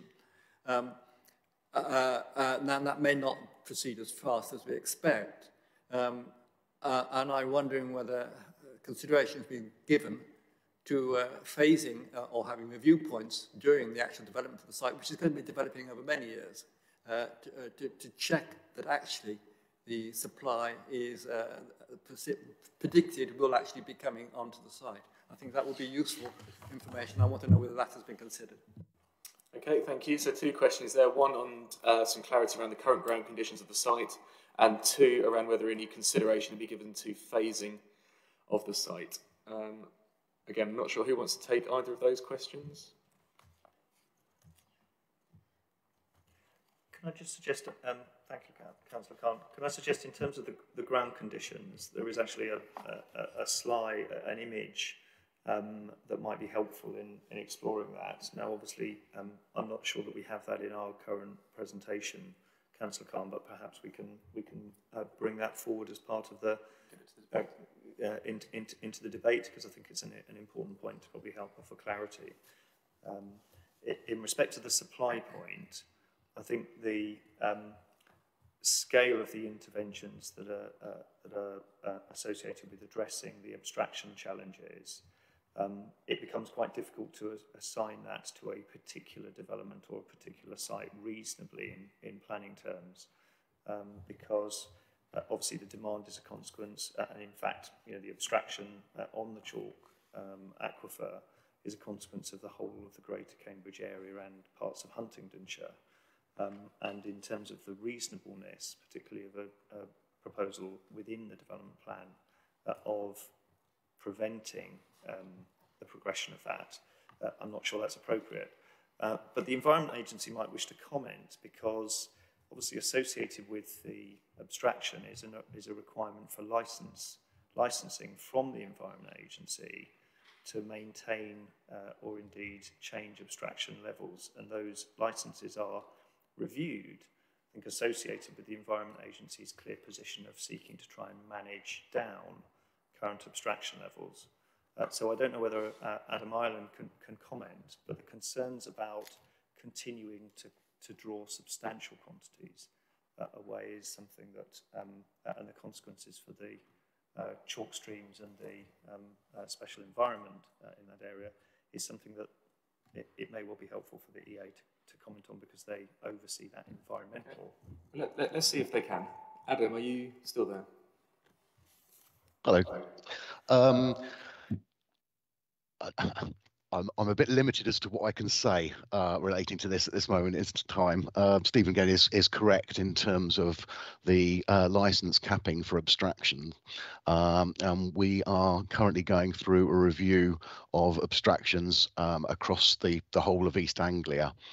Um, and as part of that, um, we have indicated uh, to the abstractors, uh, both uh, private abstractors, also water companies as well, um, of uh, the intention for uh, a certain capping levels. Now, these will be specific to each individual abstraction. The reason I can't go into that a lot further is it's going to be it's part of a judicial review at this moment in time in terms of our process, uh, what we've undertaken. Um, so there is a legal process being um, being carried out at this moment in time. Uh, but yes, that is it, it's our it's it's our um, obviously our our role and duty to um, ensure those abstractions are managed. So uh, both for the, the the use and supply of water to commercial, residential, and also obviously ensuring that there's no detriment to the environment. But I'm quite limited, unfortunately, as to what I'm allowed to say at this moment in time. That's fine. It's understandable, Adam. But I think you've answered as best you can. So thank you for that. Martin, wanted to come back? I just wanted to comment that um, I understand why you feel that uh, one particular development is difficult to uh, regard the, the, need for a review. But the problem is here that we have a number of large developments uh, over the next few years, Waterbeach, uh, Cambourne, Northstowe, and other developments up at Alconbury, which cumulatively will have a big effect. Uh, and each of, for each of them, the same situation will apply individually. it's difficult to justify. Uh, uh, and I want to know if there's any solution to this problem, because obviously it, it's going to be a, a concern. I think Mr. Kelly. We give permission to all of these uh, when they were stuck, unless we have some means of, of review during the process. I think Mr. Kelly wants to come back on that. One of the things that um, uh, in the wider study, indeed it's referenced even in the recent publication from Water Resources East, um, and I, refer, I touched upon it, is this um, effectively short, medium and long-term responses to the challenges that the area faces. What the um, Water Resources East uh, work highlights is that in fact they're uh, recognising there is a right to be provided with water enshrined in the legislation for developers. Um, there are nevertheless, and, and Adam has referred to issues about further abstraction, the Water Resources East work and the conversations that we've had with um, uh, uh, Cambridge Water, Anglian Water and Water Resources East suggest that in the medium term there are potential interim bulk transfer options that exist both from uh, in planned infrastructure to the west uh, of South Cambridgeshire and indeed from the east of South Cambridgeshire that can deliver uh, between two and three million litres, I think, um, of additional capacity per day. Um, uh, now, obviously, uh, in a dispersed um, pattern, so if you're trying to service individual villages, that might be difficult. For sites like North Northstowe, those bulk water transfer and potential options may be uh, options that form part of an interim strategy. But they're not part of, uh, we won't know for sure about that uh, until the Water Resources East final Water Resource Management Plan is published late in 2023. Um, but the programme and the delivery of Northstowe is, as you're fully aware, a kind of long-term programme of, of delivery and implementation.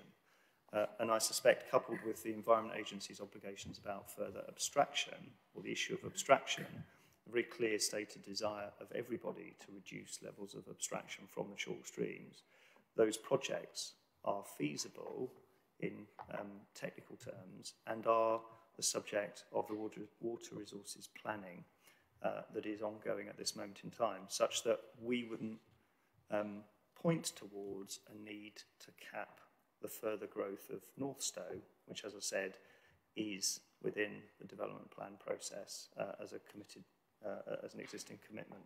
Um, but as we go forward with the local plan, you, um, I don't need to remind members of the statements that we've already been quite clear about in terms of further additional growth beyond the development plan um, framework at the moment.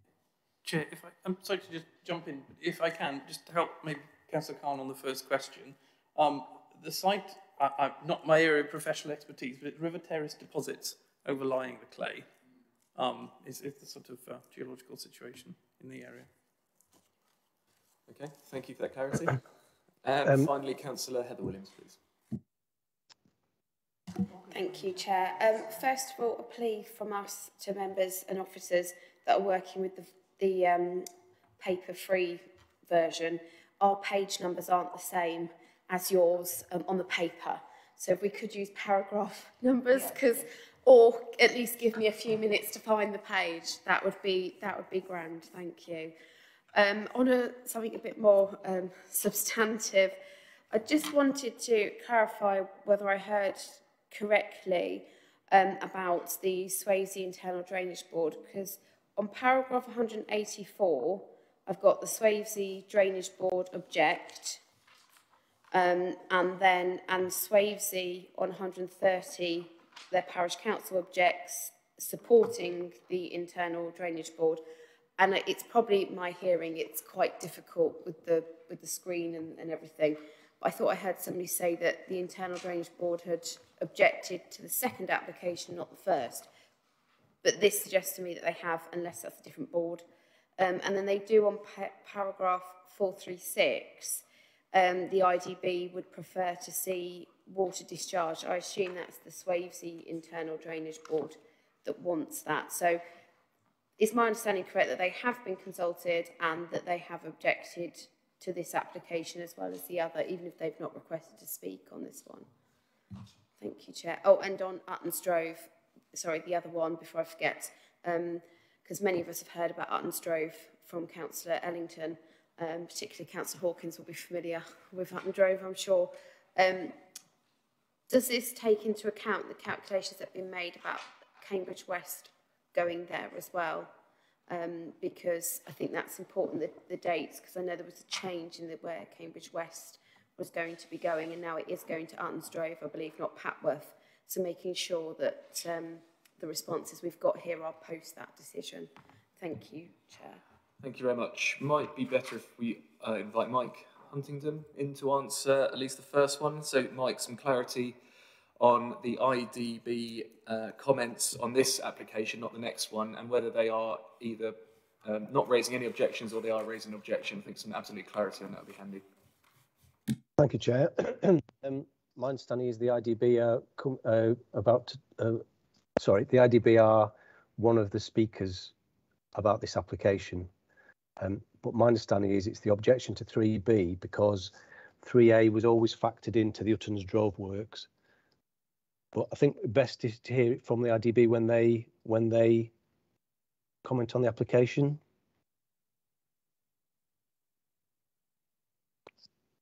I've I've also got um, a plan that you asked earlier on that Councillor Richard Williams asked for, or no, Councillor Martin Cahn asked for in relation to the the uh, River Terrace deposits. Should I share this on the screen?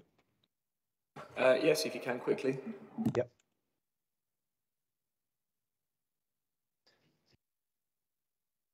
Um, I'm not a geologist, um, but this plan is the area, red line is the area of, of phase 3A, and you can see in faint. Hang on, we can't faint, see your, you're not sharing your screen. Oh, so I've got a red line around it. Okay. We can't see it in the room. Oh, okay. Um, that's strange. Chair, this actually seems to be an issue on our end as opposed to on Mike's end. Can I just try to quickly resolve this for us?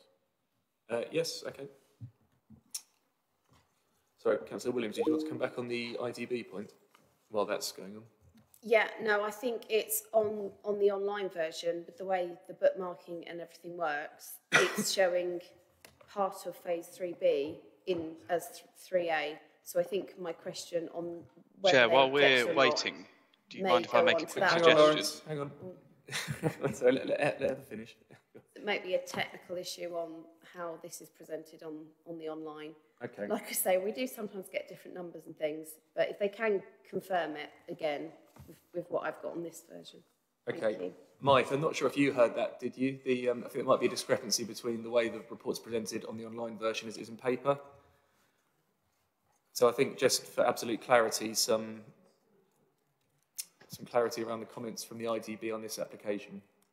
I appreciate they are speak, down to speak as well, but if we could, if you could, for absolute clarity, help us with that, that would be useful.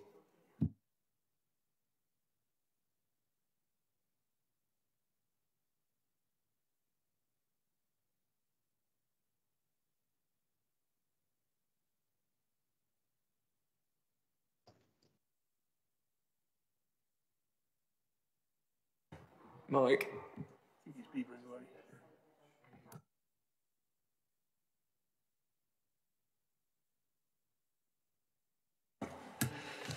Lots of people jumping in. Lawrence, did, sorry, did you want to say something earlier? Oh, here he is. He's run into the room.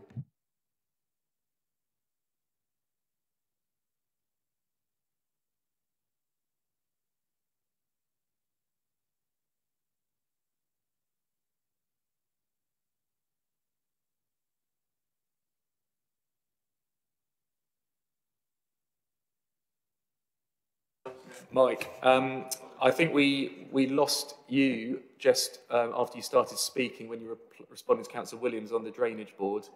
So again, sorry to rehash all this. If you wouldn't mind very briefly going over uh, for, for clarity, and I think actually whilst we, um, in the interim, there was a concern raised from Councillor Williams that the online version of the agenda doesn't marry up necessarily with the paper version. So um, if you could just give us a couple of sentences saying if the IDB has commented in one way or the other in support or not. So the IDB have not objected to 3A, but they have objected to 3B. Okay, that's fine. Thank you, Mike. Um, okay, one final speaker, Councillor Wilson, please. Thank you, Chair. Um, I'm going to ask something not about water or drainage. Um, on page 71, paragraphs um, for 402 and 403 um, refer to the um, it's the um, the strategic environmental management plan, which includes arrangements for construction vehicles. Now, this refers to um, requiring the construction vehicles to use the A14 and the B1050. But I was, I'd like to know whether any um, further research has been done or whether there's any further intelligence about the provenance or the destinations of these construction vehicles and what happens after they've got onto the A14. Um, in particular, um, what concerns me, there's a, a, gravel pit at Waterbeach um, where gravel is extracted and spoil and soil from construction sites is returned to backfill the land that's where the gravel's been dug out. And, and I would like to know whether any thought has been given to requiring those construction vehicles to actually use the A10 and not go through the intervening villages because they could quite easily get on the A14 and then um, cut a corner to get to instead of using the A10. So, uh, and, and I'm sure there are other places that these construction vehicles are are going to and coming from and, and whether the routes that they could be taking should be um, set out so that they avoid the small villages in between. Thank you. That's fine, thank you. Probably best to direct that one to our colleague from the Highways Department, if he's still with us. Hi, good morning. Good morning, welcome. Hi, Hi. can you hear me okay? Yes, we can hear and see you fine. Uh, did you manage to pick up that question in full there? I, I did, yes. Very interesting question raised. Um, not considered that before, but definitely can consider that as part of the camp. So the construction environment management plan, when that comes in as a condition, then I'll look at that in some more detail and make sure that they uh, they they definitely specify the A14 around Cambridge and not um, joining the A14 at the very last moment, having gone through all the villages. So thank you. Appreciate the brevity. Does that, do you want to come back, Councillor Wilson? I'd like to come back on that. It, it was, it was, I was thinking more, uh, this is just an example, that um, the construction vehicle would join the A14 at um, around Dry Drayton and go along the A14, but then cut back through Oakington and Cottenham to have a quick route through to Waterbeach. And what I would, what I was suggesting is that they should be required to go along to the A10 at Milton and then use the A10 to go to Waterbeach. And this is just an example. I don't know what other destinations or um, provenances the, the construction vehicles will be using other routes. Uh, I think Mr. Kelly might be coming back on that, but I just see a thumbs up from Tam there. Uh, sorry, it's just to say that um, uh, actually the, the technology and the kind of solutions that are being looked at, not just for this site, but for other major sites about vehicle routing um, uh, are, it's fair to say, evolving. So historically, uh, we've just had published routes and so on, but um, certainly vehicle monitoring and the ability to monitor individual vehicles and their not only their origin, but how they get to their destination is something that I suspect working with the county highways team on a number of similar projects of this scale uh, is something that we will evolve. Um, uh, we recognise the problem uh, of it's not just where they come into the site, but uh, the, the distance in between. Uh, and it's something that, as Tam's highlighted, I think is going to be um, an important part of the construction environmental management plan process, um, recognising that technology, for example, GPS tracking of individual vehicles and so on, is something that is now available uh, let alone by the time construction starts on a, on a project like phase uh, 3A and event the permissions granted. Okay, thank you for the response there. Members, no more questions of clarification for, um, for officers. Uh, members, I'm going to break us there before we go into the public speaking element of the of the application. Um, the time now is quarter to 12. We come back in 10 minutes, so 5 to 12, in our seats, ready to start, and then we'll go straight into the public speaking. Thank you very much.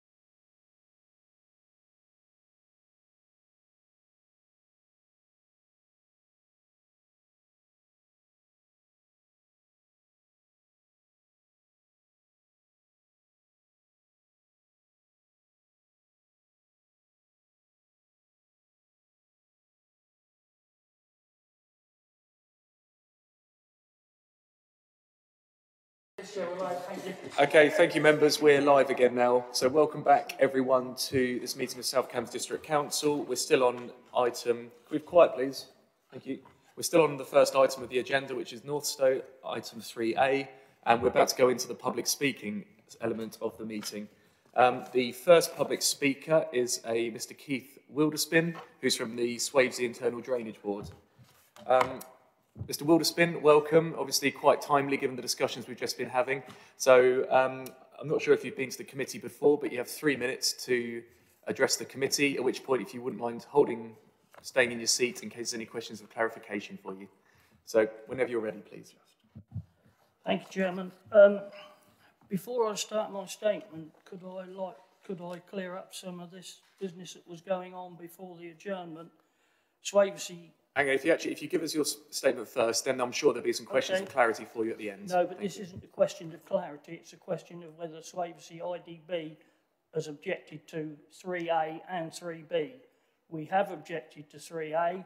I have the letter here and I have Andrew Thompson, Thompson's letter back to our drainage engineer with his comments on, on our comments. So That's- we that's have helpful. an Thank objection in. Okay, whenever you're ready, please. Um, my statement then. North Northstowe 3A treated water is to be discharged to the Swavesey drain system.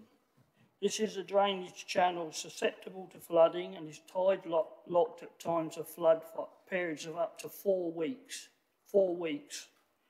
To cater for the increased foul water flows from Cambourne 950 and Northstowe phases 1, 2 and 3A's 10,000 houses, a total of approximately 11,000 houses, a scheme called the LDS has been installed over the last 10 years. This has a design capacity to receive the 239 litres a second flow modelled that was needed. Subsequent to this, and without agreement from the EA, Anglian Water have more than taken up this capacity with plans to add approximately the 6,000 houses from Cambourne West and Bourne Airfield. This all was originally planned and stated in their statements at the time to go to Papworth Water Recycling Centre. In a letter from the EA to Anglian Water, 19th of April 2021, copied to Chris Carter and myself, among others, states, quote, we share the concerns of Swavesey Parish Council and the IDB relating to discharge being directed to Uttons Drove from additional development other than those previously agreed through the LDS. This leaves big questions beyond 2027 with seemingly no strategic plan or urgency to establish what infrastructure options there may be that do not increase flood risk or cause environmental harm to Swavesey. Please note that we will not be delivering any future LDS or similar. The flooding experience in this part of the Great Ouse catchment this winter just demonstrates how important an issue this is.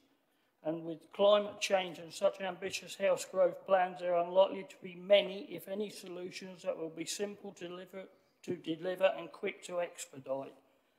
We will be sharing this letter with other interested parties, unquote. This obviously will increase the problems of flooding to Swavesey catchment, therefore the IDB objects to North Northstowe 3A and 3B until such time as the overcapacity discharges to Swavesey drain with its serious consequences to Swavesey are addressed. Thank you, Chairman. Thank you very much for that. Uh, members, do you have any questions of clarity for Mr. Wilderspin? Councillor Heather Williams, please.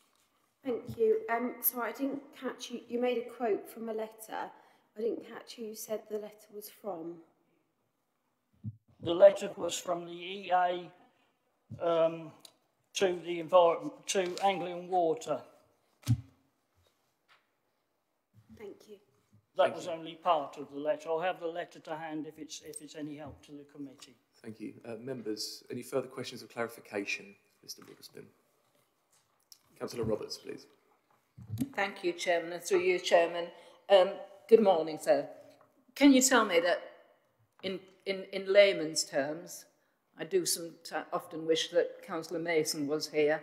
Um, can you tell me in layman's terms, what do you feel would be the effect if this application was to go through with things as they stand? Currently, the consent that the LDS was designed for, as Adam Ireland said, was 239 litres a second. This was designed to cater for the, the, the things I've mentioned. If, well, because the Cambourne West and Bourne Airfield are now going to be discharged into that system, it, it, it will be it will seriously impact on the pump that we have installed at Webb's Hole Sluice to pump sewage water out. It will seriously impact on that's ability to cope and keep the drains down to a reasonable level. That they, they would, the, the level that they would have been at if, if this extra sewage charge hadn't been discharged. It's a bit like Armageddon coming, isn't it? Honestly, um, the situation ongoing with what is going to happen, we have Northstowe and Campbell, and we, as I understand it, we now have Northstowe, um, Cambourne is the likely place for any further expansion still. If this all goes to the Uttons Drove sewage treatment works, we are in big, big trouble. And believe me, um, what's happening at Swavesey or likely to happen at Swavesey keeps me awake a lot more times than my business or my private life does. Thank you very much. Councillor Richard Williams, please. Uh, thank, thank you very much. I, I actually had a, a, similar question to, to Councillor Roberts, so I won't go over that again. But could you just, I think it would be helpful if you could just tell us or give us a bit more clarity on the situation um, at Uttons Drove now. I mean, is, is, is your case that it, it's, it's now basically at or over capacity without anything additional? At the moment, it's not over capacity. At the moment, they, the Anglian Water have a, a, a license to discharge 122 litres a second. Um, they have, on their own admission this spring, exceeded that already. Um, this 122 litres is has been an increase from the 40 litres a second that was that they had before the building that's taken place at the moment. So that extra 80 litres a second has just come from the 950 at Cambourne, which has been finished, and the, I don't know if the 1500 have been finished at, on phase one of Northstowe, but that has put that extra capacity into that system, and they only have another 100 or so litres to go. 120 litres, sorry.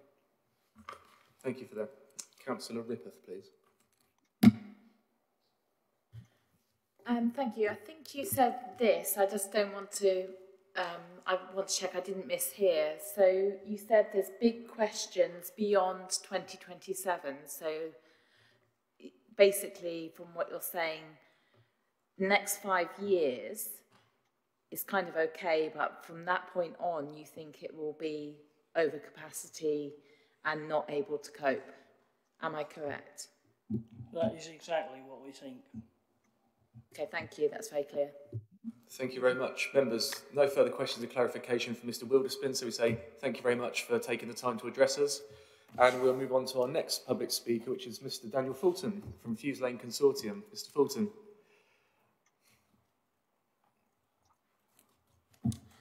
Uh, thank you, Chair. Um, I think the committee has sort of lost track of what's happening here today. Um, there were 34 pages of updates sent um, at 8 o'clock yesterday evening. Um, in one of those pages on Annex D, it indicates that there have been further conditions proposed and have been accepted by the applicant. These conditions have not been provided to this committee.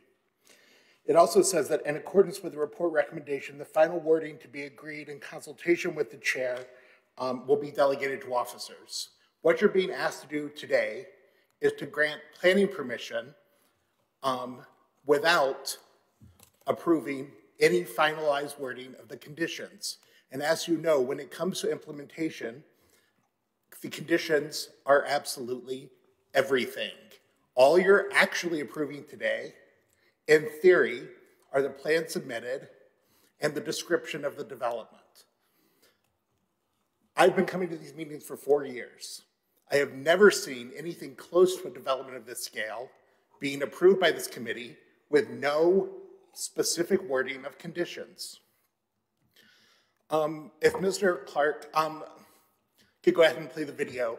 There's a, a Councillor Cahn just a moment ago hit on one of the key issues, and this is the actual geology of the site and the fact that we have localized groundwater impacts that have not been addressed in the officer's report. And I, I've submitted a brief video. This is from the national charity, the Aquifer Alliance, a talk given by nationally recognized sustainable drainage expert Joe Bradley on the 19th of December. And if we could go ahead and, and play this, this one minute video, uh, it summarizes uh, the concerns in Longstanton. Lawrence, do we have a video? Yes, the video is ready and waiting. Do I have your permission to share it? Go ahead. Very much. Bear with me one second. Can you see this on the screen now? We can. Hopefully the sound works as well.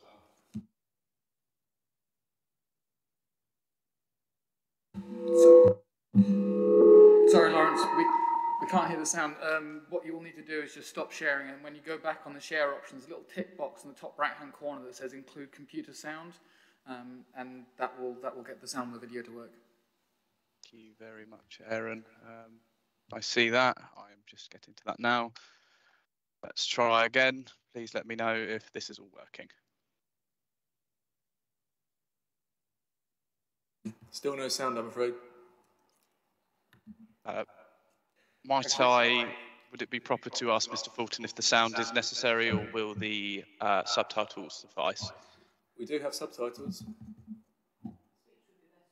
The sound is necessary, gentlemen.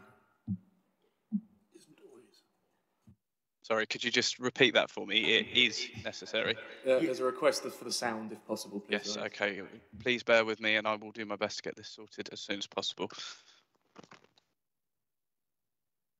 Actually, Lawrence, my friend, I can actually uh, get that in. It's, uh, it's a slight issue with the headphones that we have as well. Um, I will just pop that in now. Funds dried up in Longstanton. Um, and I picked this up in the, in the press. It was on Twitter. I think we're there. If you want to start the video again, Lawrence. Or Aaron, whoever's got control. So this is a development called Northstowe, um, and they did masses, uh, masses of dewatering for the residential development, big residential development, and all the ponds dried up in Longstanton. Um, and I picked this up in the in the press. It was on Twitter and it was on on Facebook and LinkedIn, um, and something like that is, is, so easy to do by mistake. I, I can't imagine they did it on purpose, but the impact of that for Longstanton is enormous not only is it is it aesthetically not very nice to have rivers and ponds that got no water in them. This was in the summer, and you imagine you're a, a terrestrial mammal living in that local area. There is nothing for you to drink anywhere because all the springs and all the rivers and all the streams have dried up. So that's it.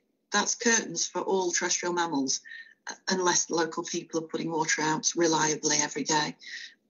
And we should be ashamed of ourselves as, as a species um, I don't mean you personally, um, because that's just it's it's awful that we allow things like that to happen. That, and that was that was an accident. It wasn't nature that did that. That was a, an accident of, of us of ours. So on the 30th of November, a group, um, I, um, together with a group of pond owners in Longstanton, met with Stephen Kelly to discuss our concerns about the loss of groundwater from the River Terrace deposit aquifer. We asked Mr. Kelly to give us data on what the, has happened to the groundwater level since March of last year. We also asked for borehole data that we know for a fact is in the possession of Homes England that they have refused to turn over to the local planning authority, and Mr. Kelly refused to ask for it. We want to see the data. We have ponds, our ponds in Longstanton have no water, and Mr. Kelly did nothing to address that. This is ecocide. I'm not sure that you appreciate this. This is not something that will be fixed. If it is not fixed, when planning permission is granted for 3A and 3B. This is what our ponds look like in the summers in Longstanton. Consortium has an entire library of these images. They're available for free, for free public use for any candidate for council. Do you want your picture on a flyer next to the picture of one of our destroyed ponds? This is what this council is doing. Please, this doesn't need to turn into a political knife fight. We're all good people here. The council is not ready to grant planning permission on this. You have to defer it. There's no question about it. You have to defer this application. You're not ready to approve it. Thank you. Thank you, Mr. Fulton. Um, members, do you have any questions of clarification? Hold on, Mr. If any questions of clarification for Mr. Fulton? I don't think so. So thank you very much for your time this morning. Okay, next speaker we have, I think we saw him earlier online, Mr. Ian Rules, Cambridge Friends of the Earth. Are you with us, Mr. Rules? Hello, hello everybody, hello councillors and officers. Hello, you're very, you're very quiet, Mr. Rules. Am I? Good grief, there's not many people say that to me. Is that better? Am I? Yes, that's better. Ah, great, thank you. Well, we okay. So, um, yeah, as with the other speakers, three minutes to address the committee, then they may have some questions for you at the end, so if you stay on the line for us. Thanks a lot. So, with regards to both phases of the development, um, Cambridge Friends of the Earth would like to raise a few issues. I mean, to start with, um, we'd, we'd question which members of the electorate decided that the thousands of new houses for sale are needed or wanted in the region. How many of these will be available for genuine social rent, as opposed to the more, rather more nebulous affordable housing category? How likely is it that the proposed development will significantly reduce South Cambs District Council's council housing waiting list? Moving on to slightly more environmental issues, if you like, we also strongly question the blithe overall assumptions suggested in the National Policy Planning Framework and given form by the region's growth agenda that growth, in quotes, is inevitably a good thing for the region and question who benefits from this. Rising tide may well lift all boats, but that assumes everyone can afford a boat. On a more practical level, there's no mention in the local plan of realistic ways to provide the necessary water for the planned quantities of new housing development such as this development. On the 1st of July 2021, DEFRA announced that chalk streams will be given enhanced environmental protection and published the Environment Agency document titled Water Stressed Areas Final Classification 2021, which included on page six the fact that the supply areas of Cambridge Water and Anglian Water are areas of serious water stress. Additionally, according to Appendix 3 of this report, Cambridge Water needs to reduce abstraction by 22 million litres of water per day from current levels or from levels current at the 1st of July 2021. And Anglian Water needs to reduce abstraction by 189 million litres per day from levels current at the 1st of July 2021. Surely given these facts, water stress and shortage in itself should halt any further development. And yet we see that whilst consideration of this application is taking place now, the consultation for the regional water plan is not due until the summer of this year. Perhaps councils in Greater Cambridge region are hoping that no one notices small detail, or the sound of cans being kicked down the road, which has the potential to slow down the development juggernaut. After all, Greater Cambridge Planning seem to have chosen to exclude any mention of environmental harm from the office's report for North Northstowe Development. Greater Cambridge Planning has not sought the water company's assurance that it can meet the needs of growth without causing deterioration it seems said to have gone out of its way to obfuscate fundamental water supply issues. Assuming that this glaring water shortage can be solved by proposals such as pumping water from also water-stressed North Lincolnshire or building reservoirs in the fens where they'll be vulnerable to saltwater intrusion and flooding as climate change advances is fantasy greenwash of the highest order. And that these plans are big enough and bold enough to distract you, the decision makers, from having to address the fundamental issues surrounding this development for further months and perhaps years. Approaching this issue literally from the other end, there appears to be precious little attention of how the resulting sewage will be dealt with. Decades of underinvestment in water treatment infrastructure by privatised utilities have left a system unable to cope with current levels of sewage, leading to far too frequent discharges of untreated sewage into the River Cam. And yet further pressure is to be put on this ramshackle system by ever increasing demand from further development. Friends of the Earth therefore ask councillors to recognise the proposed development in Northstowe will cause further unacceptable deterioration of the Cam Valley chalk streams and endanger the Cam herself. We ask you to reject this development on the grounds of unacceptable and unprecedented environmental harm. Thank you very much. Thank you very much, Mr Rawls. If you wouldn't mind holding on in case there's any questions from councillors for you. Uh, one from Councillor Roberts, please. Um, good morning.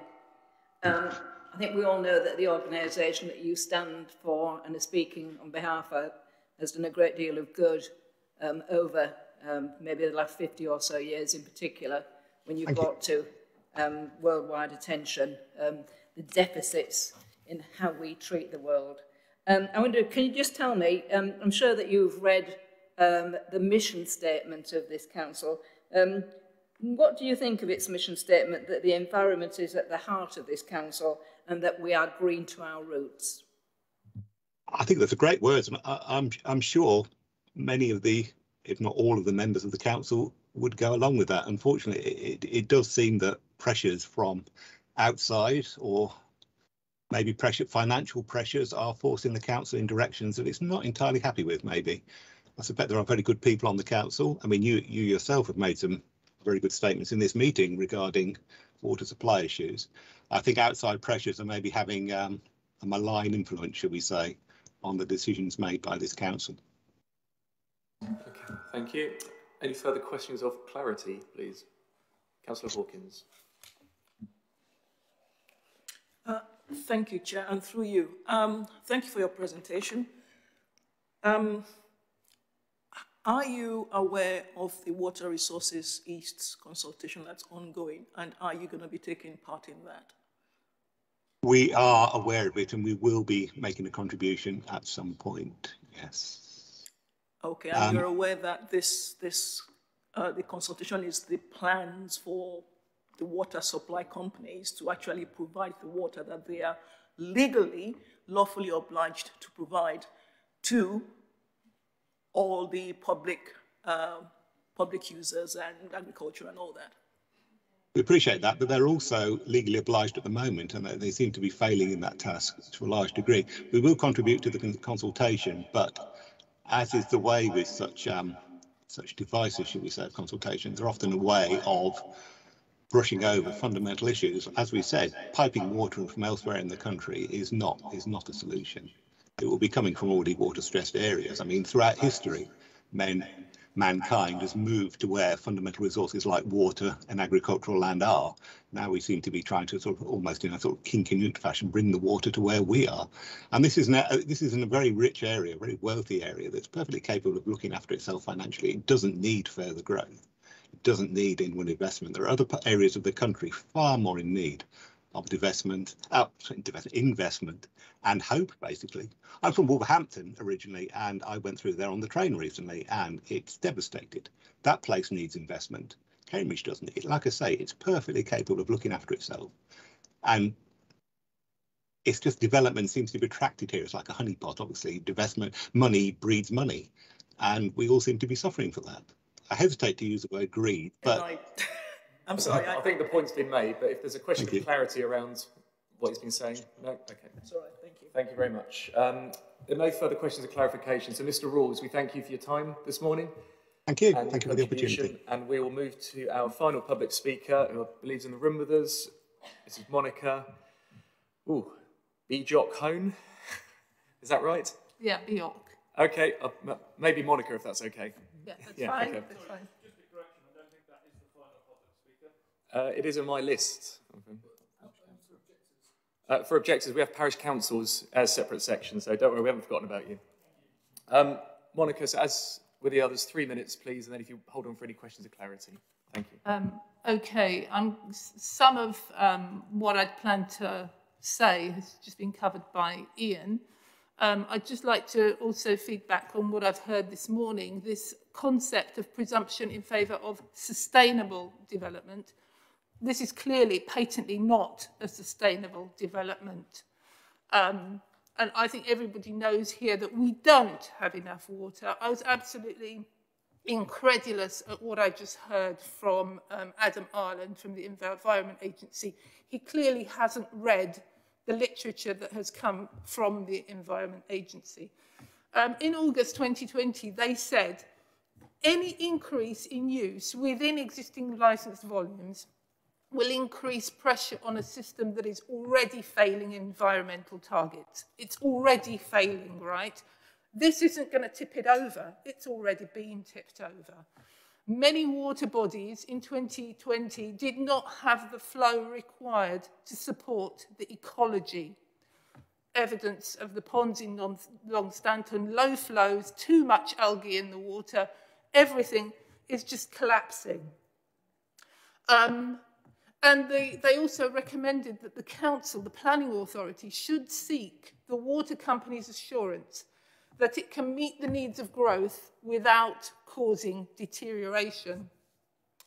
Um, I've been unable to find any evidence that the planning authority did that.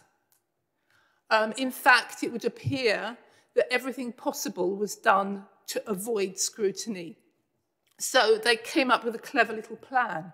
Anglian Water would supply, Cambridge Water would abstract. That way, uh, Anglian Water needs to be consulted, Cambridge Water doesn't. So, of course, Anglian Water say, oh, it's absolutely fine. We've got no problems with supply. Cambridge Water do the abstraction. Um, and it seems that they're getting away with it. But um, on the 1st of July, last, last summer, on the 1st of July, the Secretary of State for DEFRA accepted environmental agency advice and determined that both Cambridge Water and Anglian Water are now areas of serious water stress. And chalk streams on top of that were given enhanced protection.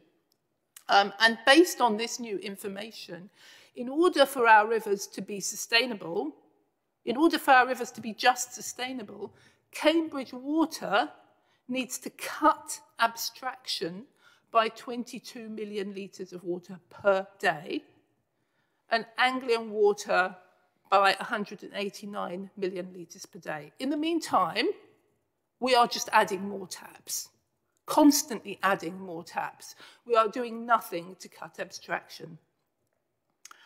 Um, and I would also argue that this new classification basically would invalidate any responses um, received prior to the 1st of July last year from environmental groups and water companies to this, um, to this, the consultation on this application.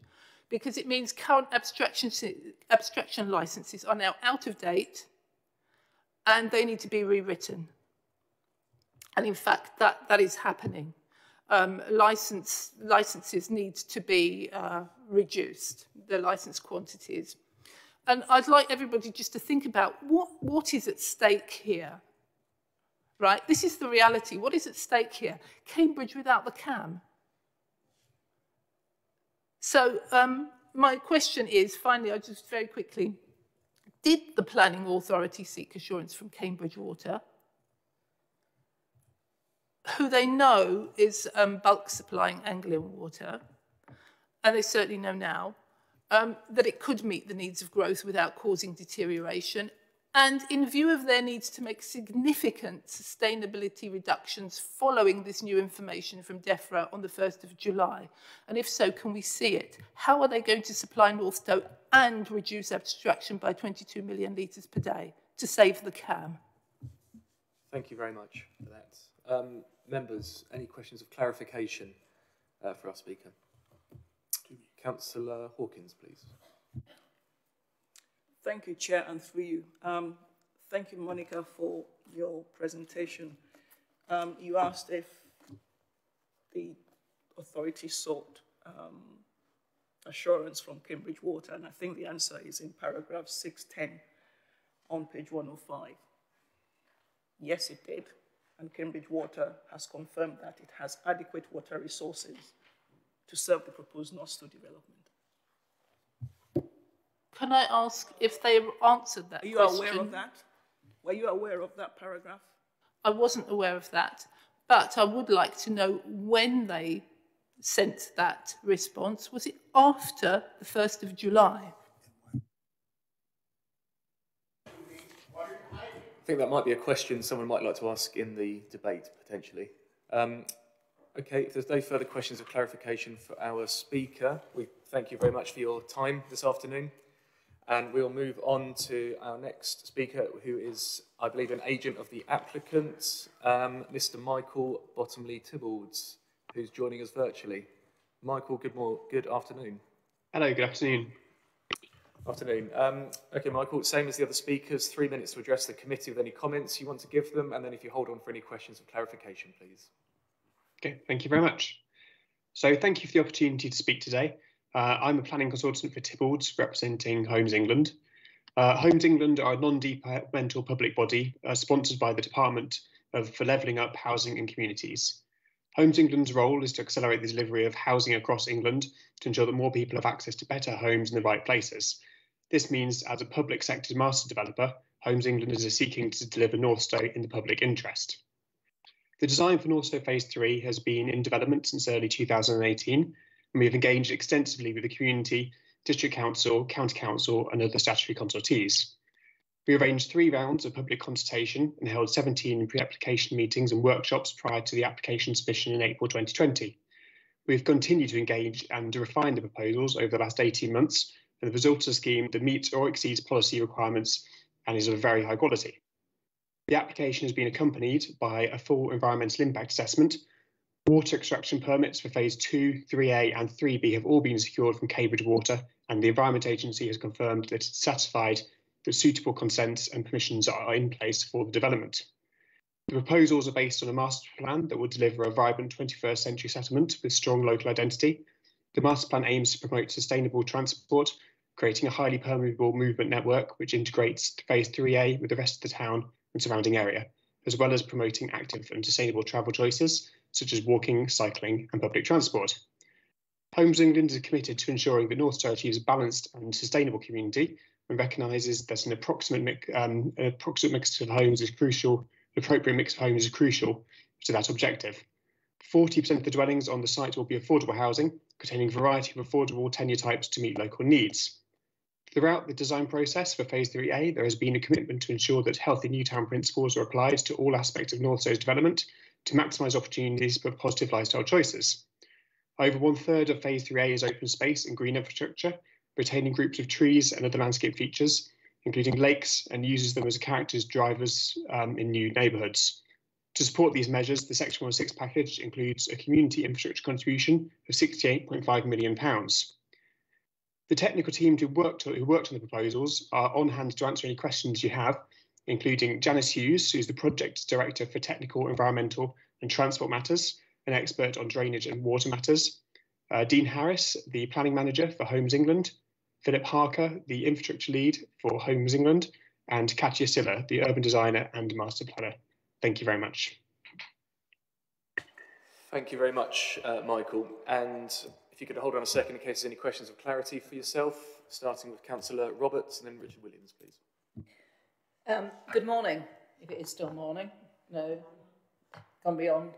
Um, gosh, it sounds like utopia, doesn't it? However, you must be aware of what the conversation has been this morning, the debate has been, and the great concerns for people at the sharp end, especially the drainage board people. Um, what have you got to say about um, the problems related to um, the chalk streams, the ponds, um, the uh, permeability of the land, etc., please? So I'll uh, pass that question over to Janice Hughes. Thank you, Mike. So I want to speak on behalf of our technical teams and draw your attention, first of all, in terms of the groundwater issues um, and the concerns over the ponds in Longstanton. So we submitted a technical note in August 2021, which explained further what the drainage strategy um, includes and what the impacts are likely to be on groundwater. So firstly, to explain that, the um, the reason why we are predicting a, a, reduction in groundwater levels is because once developed, the site will um, allow less infiltration. So we've taken a very much worst case assumption that in the surface water drainage strategy that there will be limited infiltration and that will um, go into the um, surface drainage network. However, as the development builds out, we'll be um, under condition and looking for all opportunities to enable that infiltration. So the assessment is first of all very much a worst case. That was set out in the EIA chapter as well on ground conditions and hydrogeology. Um, and summarised in that groundwater note. Um, there was a question earlier about the nature of the ground conditions and um, do I have the chair's permission to share um, a, a, a, diagram from the groundwater note? Would that be acceptable? Sorry, which, which question is this in response to? Um, so this is regarding the issues around groundwater and our response to that. Is that is that acceptable to yeah, if it's, explain? If is helpful, please do. Yeah. Okay.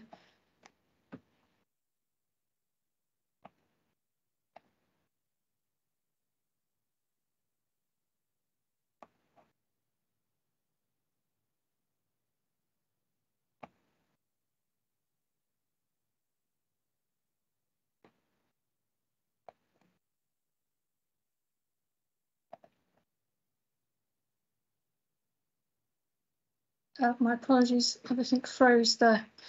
So in terms of the groundwater conditions, um, we have um, provided diagrams which show a cross section of how the site drains. And within those figures, um, we, we give you an indication of what the clay and the river terrace deposits are. So in various cross sections, you can see that the site is Kimmeridge clay overlain with river terrace deposits in locations. The section which um, goes between phase two and phase one and the um, Oakington end of the site, what you can actually see is that the river terrace deposits are in the middle and affected by groundwater changes, but actually because the clay is on either side, there is no actual flow between what's going on on phase 3A and phase phases two and one. So just to draw your attention that the um, the, the note that we prepared explains that the um, direction of flows of groundwater are such that there isn't really an interaction with what's going on in Longstanton and the flow actually goes um, two thirds towards the northeast side and into the Beck Brook um, through the attenuation ponds that have been constructed and the other third towards the Oakington area. So just, first, just, first, sorry, can I just quickly interrupt, Chairman? Can I ask? It's just been noted um, or stated that um, the note, what, what note are we talking about here? And also, I'd like to ask as well, you're not answering my question about, I think you said at the start of your uh, presentation, you were talking uh, very quickly about you'd been uh, doing a survey following on the problem of Longstanton ponds being empty, but you haven't actually told us uh, why they are empty. Um, just, sorry, um, in terms of why they're empty, there's been an HR Wallingford report that's looked separately at that. That's related to what's gone on in Northstowe phase one. That report does not make reference to phase two or three. Um, the phase 3A site conditions are different. No, nonetheless, um, Homes England will be committed to monitoring the situation, so the construction management will enable that situation to be monitored as it, it goes on. In, and, also since the time of, of that work, um, the EA now require an, a, a license for, for dewatering. So there are many, there are controls in place to ensure that that can be controlled going forward and the site conditions are different. Okay, thank you. I think that's answered the question as best as can be. Um, question of clarity, please, from Heather Williams. Thank you. Um, so my question was about on the affordable housing. So we've heard that there's 40% on this application, but over the whole site, when you factor in all the phases, um, we're not at 40% overall. I'm just wondering whether it's something that would be considered by yourselves. I know we can't ask for more than 40%, but whether, if balance sheet allowed, you would actually release more houses to make it 40% overall as you're in a different position to, to many developers and have that flexibility. Thank you. Um, I'll pass that on over to Dean Harris. Hi, I'm Dean Harris. Hello, councillors. Just a point of clarification on phase two, we're providing 50% affordable housing. So across Northstowe, the affordable housing provision is in excess of 40%. It's 41% of Northstowe as a whole. So we're meeting policy in relation to phase three, and half the affordable housing is to be affordable rent which meets policy requirements. So that's the proposal. Thank you. Thank you, Chair. I, I think uh, members may know why I asked the question, and um, yeah, thank you. Thank you very much. And Councillor Richard Williams, please. Thank, thank you very much, Chair. Um, uh, it was useful actually to share um, that, that, that, one of our um, that one of the speakers shared that report because that's exactly what I'm I'm looking at here. So, so I'll assume from that that, that, that the applicants do accept that we're looking at um, a reduction in the water table of two, two to three metres, because that, that's what those figures or those diagrams that we were just shown um, indicate. Um, I, I, would also seek a, a question of clarity or, or, or, make the point that this report does not say that these indicated final water tables are the worst case scenario. It, it says these figures show the anticipated reduction in, in groundwater um, in, in the area of the site, which is a very different thing. Um, so um, I don't think it shows worst case scenarios. That, that's not the way that it's phrased. Um, it talks about anticipated. Um, and then a, a final point.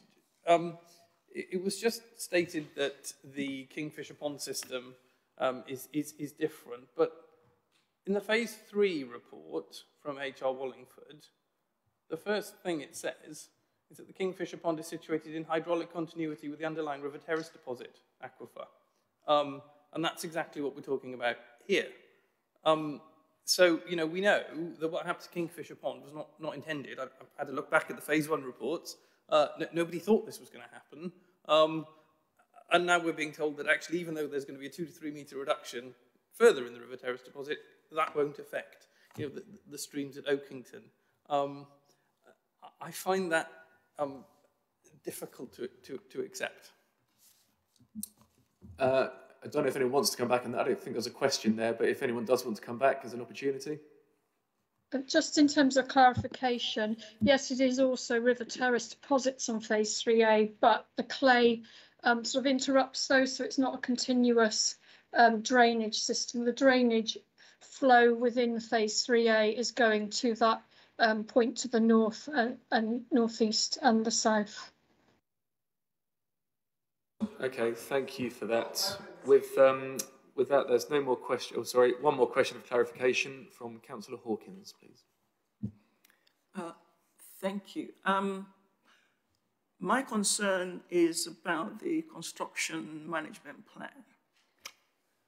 And having had to convene uh, meetings with those who were building out phase one to resolve issues of um, construction lorries going through over Willingham on routes that they were not supposed to, according to the management plan that was in place.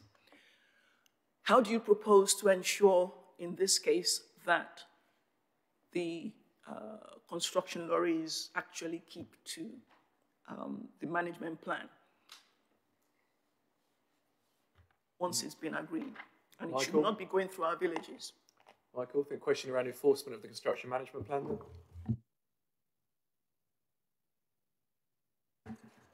Anyone? Can, can they hear us? Someone, someone respond if you can hear. Uh, apologies, Chair. I'll um, just make one quick point, just um, uh, a statement of fact, which is phase one um, isn't a Homes England development. I suspect a number of um, members know that. Uh, in terms of the um, the routing, we're happy to look at this um, by condition and work with um, county councils, district council uh, to get this right uh, going forward as part of the uh, construction environmental management plan that's to be conditioned. I don't know if Janice Hughes has anything to add to that.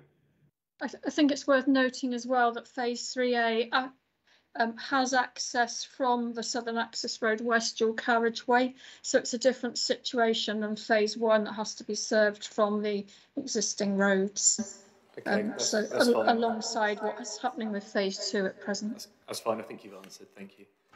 Um, there's a comeback from Councillor Hawkins. Um, I'm very concerned because it's not just your construction vehicles, it's your suppliers as well. And it was the suppliers who were actually causing serious problems uh, for phase one. So whatever it is, you would have to be responsible for that and make sure that it works. Thank you. No need to respond to that. Thank you. Okay, we thank you very much um, everyone who's contributed to that. We're going to move on to our next um, set of public speakers now, which are representatives from local parish councils. Um, first on my list I have is Councillor Dan Delamere Lyon, who's representing Longstanton Parish Council. If you'd like to take the seat, please. And you'll probably heard this a lot now, but as usual, th three minutes uh, to present to the committee, at which point there may likely be some questions for you at the end. Thank you, Chair. Before I start, I'd just like to mention that I'm joined by remotely by one of our other members of the Parish Council, Andy Wycherley. What I'll present will cover both the 3A and 3B phases. Unfortunately, I can't stay with you after this presentation. I'll have to leave. I will try and rejoin remotely uh, when I reach my, my destination, but Councillor Wycherley can fill in anything in the meanwhile if you have any questions. Okay, that's great. Thank, Thank you. you. Okay, so um, before we go too much further, I assume that everybody's familiar with this famous document. Councillor Williams, you just mentioned it. Um, I did ask for it to be circulated to you beforehand um, because it's a very important part of the decision-making process.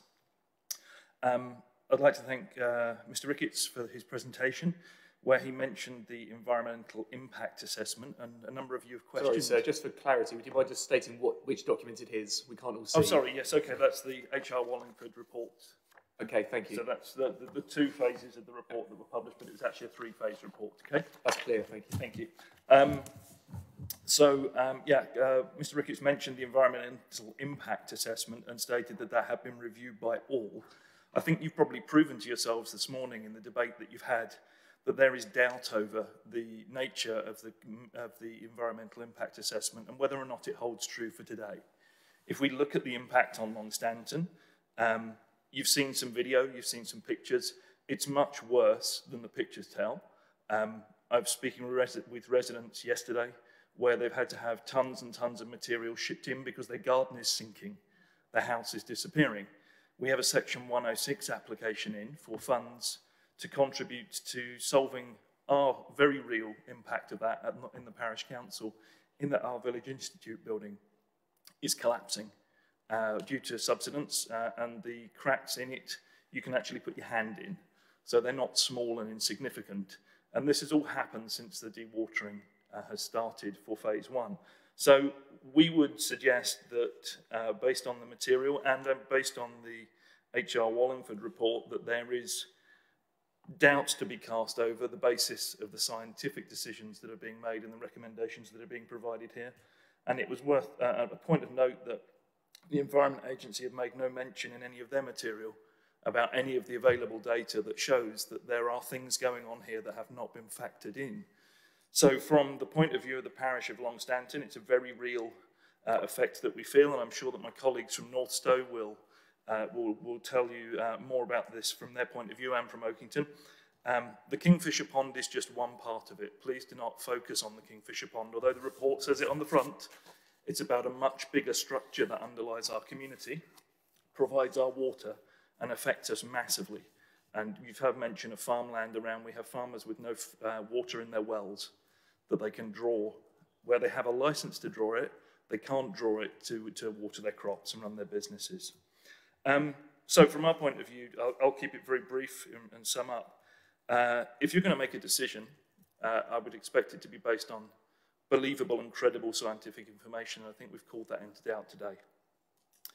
We would ask that that scientific basis is reviewed, set correctly, and decisions and plans are made on that. I know this report suggests that there should be more work done. I'm pleased to see that uh, we have some engagement going on, and I know that Stephen Kelly has uh, been involved in that as well, uh, to look at what has happened. It probably is accidental. Um, you don't design things like this to happen, um, but we need to get to the bottom of what is happening there. So if you're going to make a decision and you're going to move to approve the development, we would ask that there would be conditions put in place, that uh, there is a fully understood, costed, and importantly funded plan to remediate the damage that's been done with the work from, excuse me, from phase one, and that that is done on a basis of no impact to the further development in terms of Section 106 contribution and community facilities. Uh, it's all too easy to spend a fortune on these things and then uh, take that out of the cost of the, uh, of the development that is taking place. And in addition, Mr. Fulton mentioned uh, monitoring. We'd ask that you know, in the spirit of transparency, that monitoring is installed to keep tabs on what's going on with the water levels as this development progresses. We're very focused on today. We've heard about you know 2027 and beyond where water becomes a challenge. It's obviously a point of such contention that we need to have data available and transparency of that data to allow us all to see what's happening as the development on Northstowe continues. Thank you. Thank you very much for that. Um, before we go to questions of clarity, one thing I should have asked at the beginning was, can I just confirm you got permission from Longstanton Parish Council to represent their views here today? Correct, I do. Good. Thank you very much. Have to cover that off. Of course. Uh, Councillor Roberts, please. Thank you, Chairman. Through you, Chairman. Good afternoon, sir. Um, can you just remind me again, you were talking about some properties and including your own um, uh, parish building, I think. Can you just explain again to me uh, what people are uh, now um, having to, to deal with um, and have more people got concerns about their properties and when did this really start showing its face? Thank you. Um, certainly. So um, the ponds are obviously a very obvious visual indicator and that's been present for uh, well, pretty much months after the, the, the, the, the dewatering first started and it's been a constantly deteriorating situation. It obviously takes time for uh, things like the drying of the land to take effect and subsidence to take effect, but um, certainly we've had notable subsidence in the Village Institute for well over two years. It may even be three. COVID makes things a little bit hazy as to exactly when we were there and when we weren't. Um, but certainly talking to residents uh, in and around the village, um, they have seen the effects building ever since the development work started on Northstowe. So it's, it's, it's not something that's happened recently, it's been a progressive thing. You're welcome. Thank you very much. I don't think there's any, oh, sorry, Councillor Wilson, please. Thank you, Chair. Um, have there been any engineering reports um, done on these buildings to um, connect the, the problems people are experiencing with the dewatering? I'm not aware of those at this point, no. However, the buildings do all sit on top of the structure. Okay, thank you. Thank you. Thank you very much. I don't think there's any further questions for yourself, so thank you very much for your time Thank you very today. much for your time, everyone. And we will move members to our next public speaker, who's a representative of Northstowe Town Council, Councillor Richard Owen, who I believe is joining us online. Councillor Owen. Yes, hello. Hi, can you hear me okay? Yes, we can hear and see you fine. Great, thank you. Good afternoon. Great. Thank you for joining us today. Um, as with other speakers, as close to the three-minute mark as you can, um, and then if you would hold on for any questions of clarity at the end. And before you kick off, Yeah. do you have the permission of, of your town council to represent them today? I do. Good. Thank you very much. So whenever you're ready, please. Thank you very much. Thank, thank you, Chair. I'm uh, Richard Owen, Town Mayor of Northstowe, and thanks very much for the opportunity to speak today. Uh, the Northstowe Town Council broadly supports the application for Phase 3A.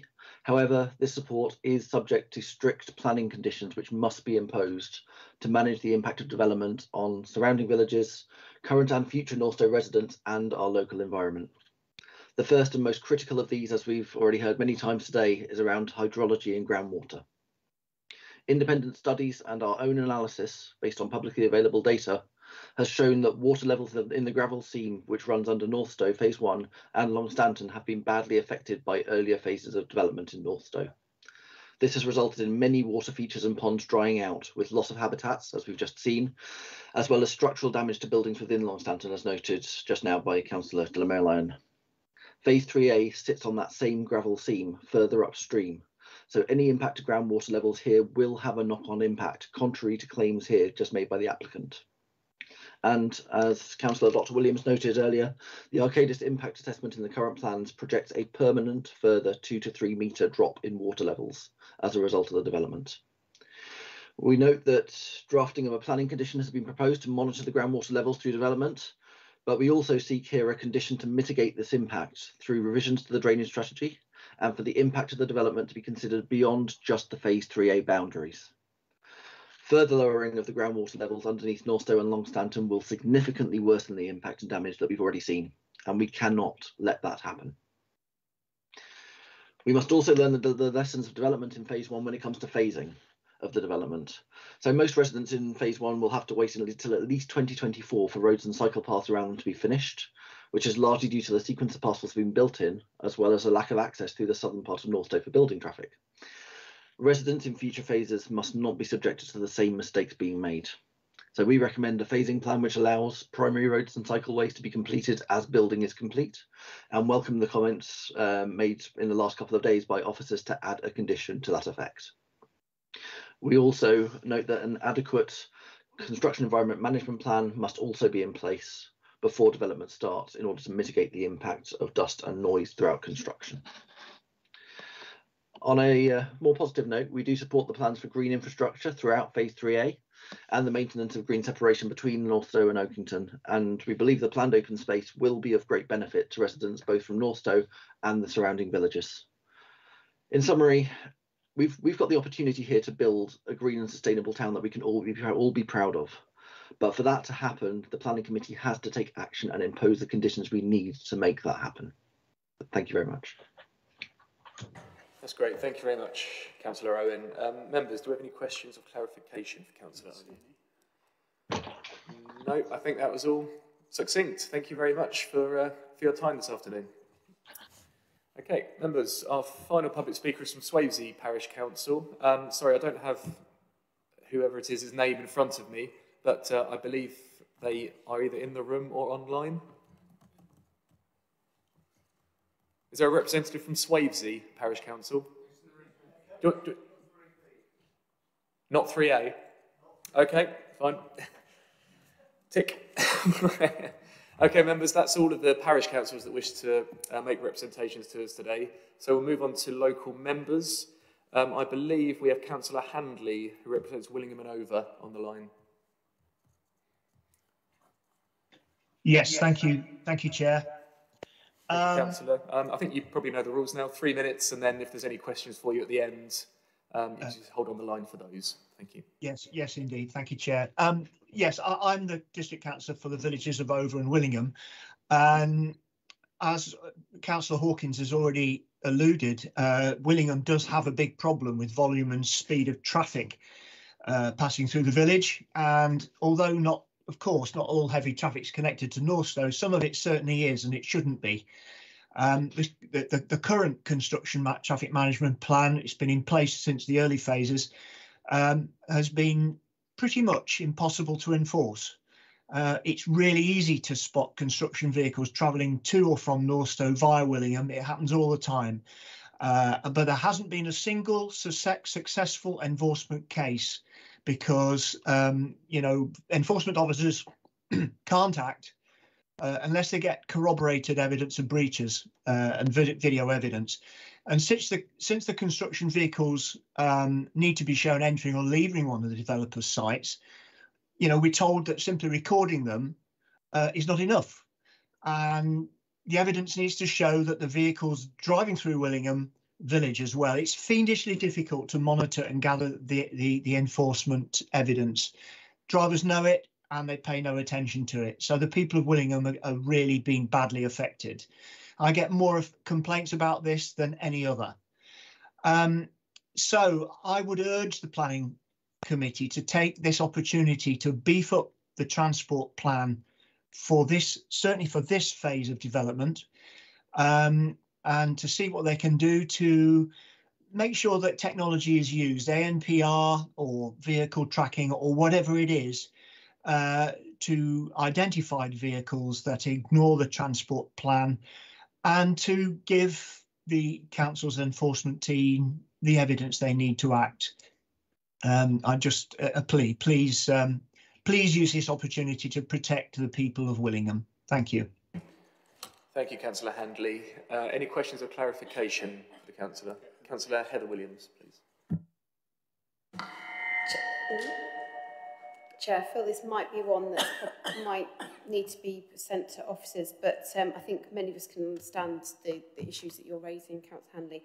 Um, but when it comes to the evidence and, and what have you, um, do you do you think that there is actually ways that would meet the reasonable test for conditioning for the, the suggestions that you're making, or that might be? I appreciate you might need officers' support to answer that. Well, all I can say is we we discussed this um, at great detail about three years ago um, with the various developers, and it was agreed that an ANPR system would work. Uh, and L&Q estates have been, uh, well, all kinds of, there are all kinds of reasons why it hasn't happened, um, COVID being one. Um, but, you know, uh, I think the people of the, village, of, of, of, the village of Willingham are really exasperated that it's taken, you know, three years and still nothing's been done. And they fear that this next phase will just add to their woes. Um, I, I, and that's um, that's the reason for me speaking today. I'm sorry, I probably haven't answered your question, and if I haven't, yes, I agree. It probably needs uh, officer in, uh, input. Chair, thank you. And like I say, we, we can appreciate the the issues. So you've had, if I can clarify, you've had a meeting where an ANPR system could work. Maybe if officers could advise if that would meet the reasonable test, because it doesn't seem unreasonable to to ask for it to be conditioned. I think Mr Kelly's going to come in. Uh, um, uh, it would be appropriate, absolutely, in terms of uh, the planning condition. As I said, in fact, some of the conversations in our lessons on things like uh, Brooks um, Road in Cambridge and ANPR suggest that there might be slightly better ways even than ANPR to be able to deal with it, and I referred to that earlier. Um, so uh, it's, it's an option. Um, if it's helpful, we'll perhaps review the condition to make sure that it's dealt with. I'm sure that Homes England um, are also conscious of practice across the country in terms of this, but it's a very serious point, and, and you know, we will be exploring the most effective means possible within within reason, as you say, uh, against the planning test, but it would be reasonable to attribute um, on a development of this scale that type of obligation. That's great. Thank Chair, you. can I ask then, because it's we we could um, easily forget things throughout the day. Can um, we add that to a, a, list if you're making one of potential conditions? It's, it's on the list. Thank you very much. Thank you. Uh, Councillor Wilson, then Cahn, then Hales. Thank you. Hello, um, Councillor Handley. Um, earlier on, I asked a very similar question, and I was told that there are all sorts of technologies coming online, one of which is GPS. Was that ever discussed with you? No, the ANPR was presented to us as the, the best solution. Um, and this was in discussion with our uh, enforcement officers. Um, I, you know, technology moves very fast. This was three years ago, and, and it could well be that GPS tracking devices are now a better solution. And uh, I don't think, to be honest, uh, I or the people of Willingham would mind how how it's done, um, as long as you know enforcement can take place and and that we stop the large large number of vehicles that pass through the village. Can I ask the officers again whether that could be part of the conditions that if the GPS technology is available, that um, destination and provenance is included in the condition for all the construction vehicles, just to make sure that they're not rat running through yep. villages. Sure. I mean, Kelly, I'm sure your response would be similar to the last one, but um, yeah, I mean, go on if you want to. Uh, uh absolutely. Obviously, um, and technology may well evolve even e, even further. But um, you know, we, I think we're I'm confirming we're committed to do the, the very best um, technology solution now and in the future, and we'll we'll just uh, review the recommendation that we had in respect of conditions on this subject um, to, to see if, if there's anything further that could be added to pick up that concern. Thank you. Councillor Khan, please. Sorry. Um, Councillor Handy, uh, the, I, wondered if you could uh, elaborate on what are the main um, lorries passing through the village. Are they mainly gravel lorries? Are they builders merchants lorries with timber? Uh, I suspect the gravel coming from the Needingworth uh, pits, but I don't know. And I just wondered if you could confirm that. Yeah, yes, I, I gather, well, yes, it's it's mainly gravel gravel vehicles, but not not not uh, just that. Um, also builder supplies as well. But I think the the gravel extraction vehicles, because of the the, the location, as you say, of gravel uh, supplies, um, are it's there's quite a detour for vehicles to go via you know St Ives or wherever onto the A14 the way they should go it's a it's quite a there's there's quite an incentive to cut through the village of Willingham and uh, boy do they take it. Okay. Uh, I just wanted to pose the question whether there might be some means also of therefore uh, um, coordinating with the suppliers to ensure that uh, perhaps that uh, it's impossible for them to to go in the other dire your direction. No maybe the officers can uh, ask, yeah, answer pro Probably a question for the officers, I think. it's okay, Councillor, you don't have to answer. Um, Councillor Hales, please. Thank you, Chair. Through you to Councillor Henley. Just, um, Councillor Henley, can you just confirm, you said it, the uh, conditions are already in place for vehicle tracking of some description or another for the, the current uh, not not vehicle tracking. No, uh, the transport plan uh, forbid you know forbids um, construction traffic uh, travelling through Willingham. But the, the the problem is that enforcement of that is very very difficult, uh, and simply because if you if you if you follow them from North Northstowe um, you've got to know exactly where the lorry has come from. You, you, know, there may be four or five developers on site, and you've got to know where it's come from. Otherwise, the enforcement officers can't act. So that makes it difficult from one end. And if you want to plot the, the, the, the route for construction vehicles coming through Willingham towards Northstowe, um, you, you know, you, you, you've got such a lot of, of vehicles coming through um, you may not actually get on the tail of um, one that is going to Northstowe. It's really difficult to provide the uh, the, the, the evidence we've found, um, and we've all tried um, in the last three years to do that. Uh, as I say, the lorry drivers know it and um, thumb their noses, really. Through you to uh, Mr. Kelly, I suppose, really, this ultimately sits with conditions and what have you that have previously uh, have been uh, applied to the current build. I mean, is there anything that can be learned from that now and then perhaps enforced in a better way so that we can learn so that any any additional phases and traffic management um, processes can then be severely beefed up?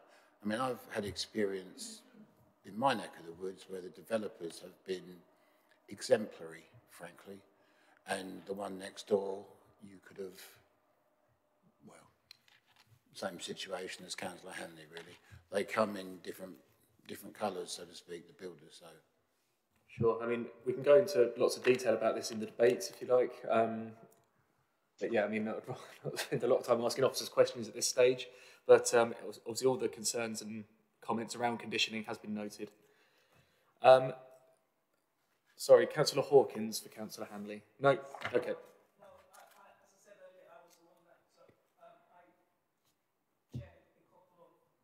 I checked the meetings that was trying to find solutions um, to the problem. And yes, we can learn from that. I don't know why L&Q, who had undertaken to actually put this system in place, didn't do it. Um, but we can learn from that. But definitely in this case, we need to do some, which is why I um, asked the question of the applicants earlier on. Thank you. Okay, Councillor Hanley, I think that concludes all the questions to yourself, so thank you very much for holding on so you. long. Chair, just one very quick question. Councillor Gough, who's the county councillor for Willingham, has also asked to speak, but he can't be here. He's given me some words. Um, is he is it down to for me to present those words, or is that? I do. I do have that note. Um, how long will it take you to read them? Uh, it would take it would take three minutes. To be honest, a lot of the points that um, Councillor Gough makes are very similar to the ones I've made. Okay, if uh, you could, uh, if you could edit. Uh, well, at the, risk, at the risk of uh, the risk of um, annoying Councillor Gough, perhaps I could just say I, I won't I won't take the opportunity. But um, I'm not going to stop you. But if you... What, it would reinforce what I've just said. Okay, appreciate that. I'll, we'll, we'll let Neil know. Thank you. Yeah, all right. Um, Thank you, Councillor. So we have now the two local members for Longstanton, um, Councillors Cheung Johnson and Malyon, starting with Councillor Cheung Johnson, please. Hi, just to clarify, it's just uh, myself today, but I am speaking on behalf of Councillor Malyon, so this statement is from the both of us. Okay. Um, so first of all, we'd like to begin by thanking Homes England for all the consultations, work and engagement they've given us and local residents for phase three and 3B. They have been very comprehensive. As district councillors, however, we wish to object to the overall development based on the following specific issues. I'm actually summarising here our comments in general. We made more detailed ones and they are available on the council website for those who want to read them.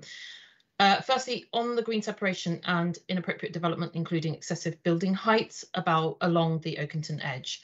Uh, we like to thank uh, Homes England for the modified uh, uh, changes they made um, but we still feel that the proposed green separation is not sufficient to provide a buffer between the development of no Northstowe and the village of Oakington. It places, it's estimated that this, in places, sorry, it's estimated this green separation narrows to 40 metres.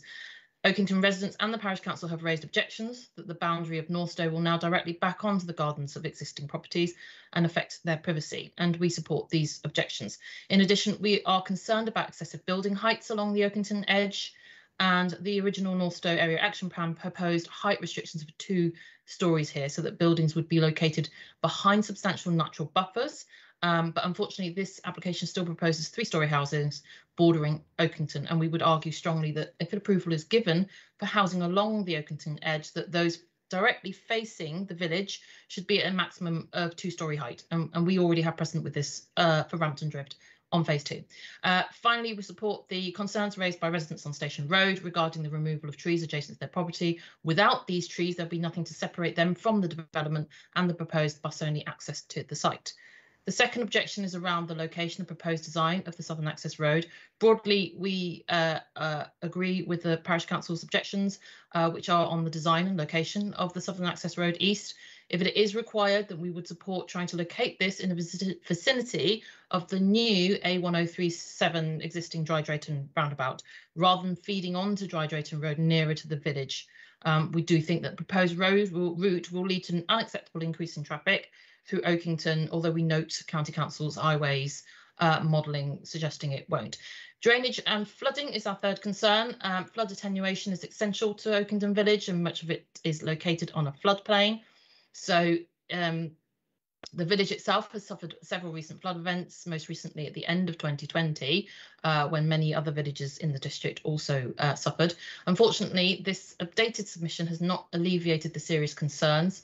Um, so we are asking that should permission be granted, that firm conditions and commitments are sought uh, to sufficiently mitigate the flood risk to Oakington to at least a one in a 200 year event standard, plus a 40% climate change allowance and we would further committee to the comments made by the Parish Council and the Oakington Flood Mitigation Group and the proposed conditions which they have asked to be attached. Fourth, ecology. We note with concern the cons comments from the ecology officer on a number of issues remain, uh, and we would ask that these important ecological considerations are also addressed prior to any approval. On the CEMP, we agree with many of the comments already been made, so I, I won't go into them in detail, but specifically, we want uh, work on development and timing, strict limits on times of construction, specific requirements on noise and dust monitoring specifically. Um, we have had problems currently with residents on phase two and phase one. Uh, mitigations and routes to resolve issues and limits of construction vehicle movement with no construction vehicle access via Oakington Village. We also support uh, Northstowe Town Council comments on phasing uh, that works for residents, uh, unlike uh, in phase one. Um, in our original comments on this application, we had not raised the issue of dewatering as we did not have the findings of the independent hydrology report that Longstanton Parish Council mentioned. Um, and this report links dewatering in the early phases as we are aware. We acknowledge the concerns um, raised by Longstanton Parish Council uh, and we share those concerns of those of their local residents about further development along Northstowe and the impact on groundwater levels.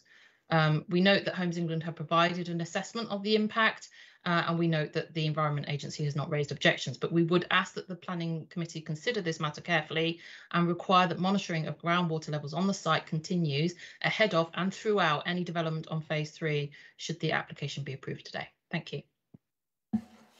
Thank you for that, Sarah. Um, members, do you have any questions or clarification for Councillor Cheung Johnson?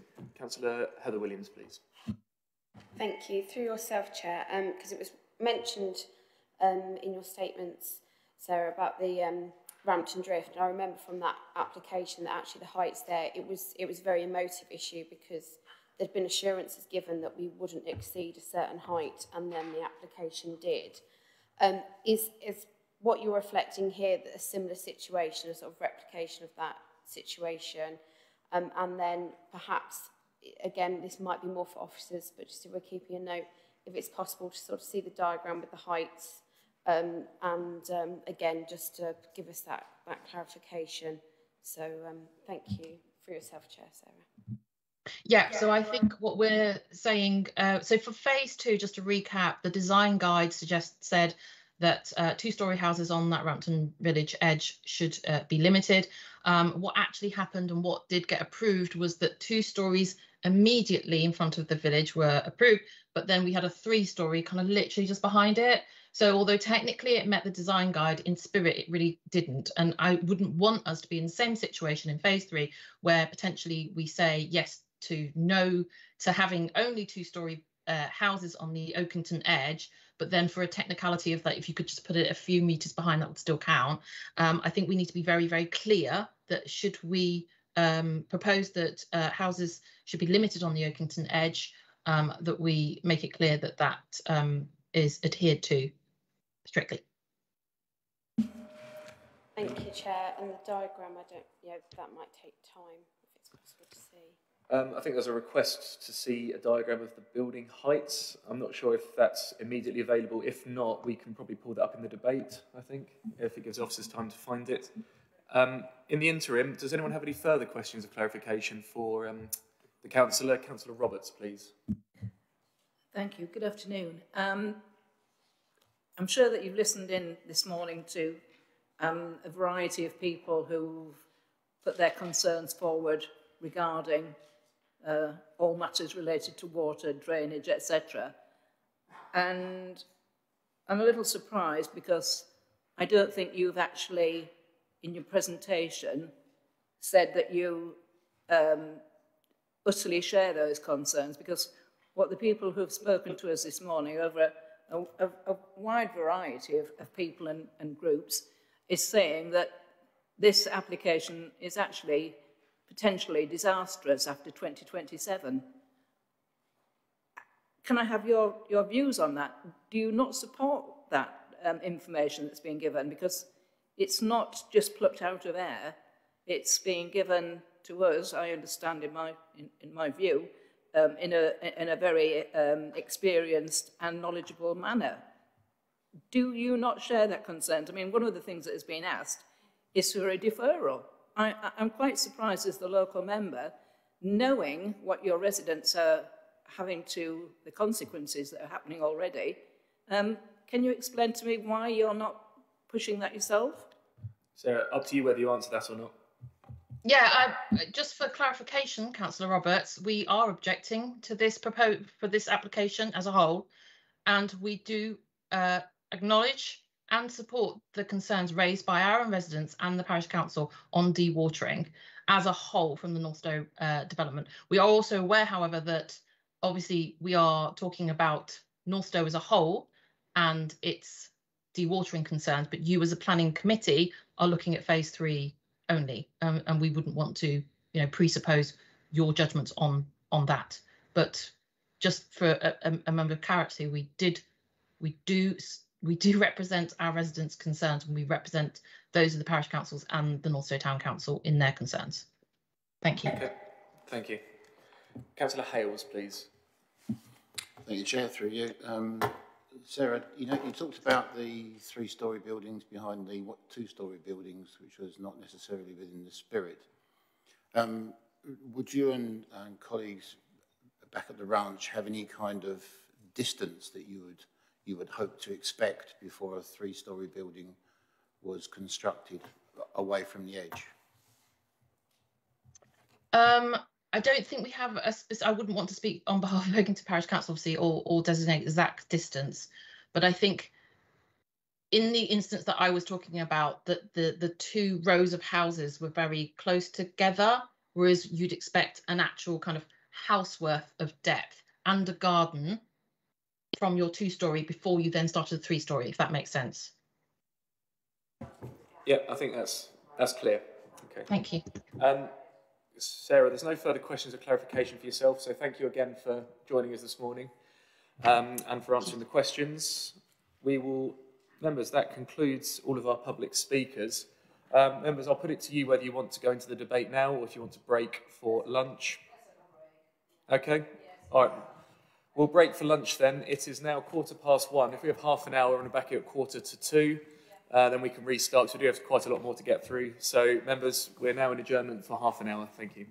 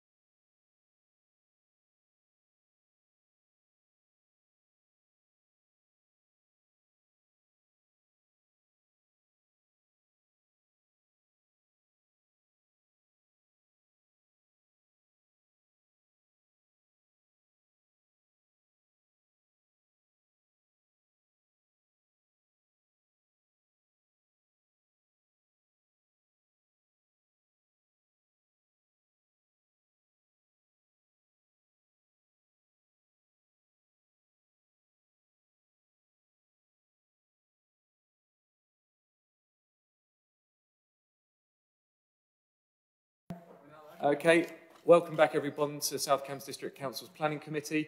We have now concluded our public speaking element, so we're moving straight into the debate. Members, as mentioned at the beginning, to try and keep some kind of um, structure to the debate, um, I think we agreed to try and keep it um, grouped. So the first group we have is sections one and two of the key issues in the planning assessment, which refer to the principle of development, land use and vision, and the parameter plans. So, members, I will throw it open to yourselves if anyone has any points they wish to make or questions of questions for officers um, around those particular sections of the report. Councillor Williams. Uh, thank you, Chair. Sorry, there was a couple of things that we asked for, for example, the heights and possibly the letter to do with the Swavesey Internal Drainage Board. I don't. I just wonder if they've been found over lunch. Mr. Kelly. Uh, in terms of the, the, the height, um, I have actually, um, uh, Mr. Huntington can produce a parameter plan that you can see, um, if that's helpful at, at the moment, because said parameter plans are part of this. Mm -hmm. um, if he could just share the screen, it shows the extent of the two-storey parameters on the edge of uh, Oakington.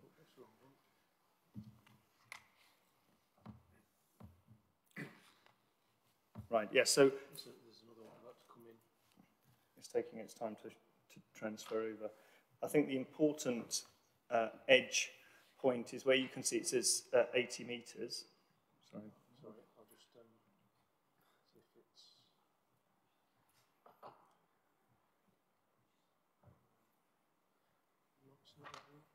There we go.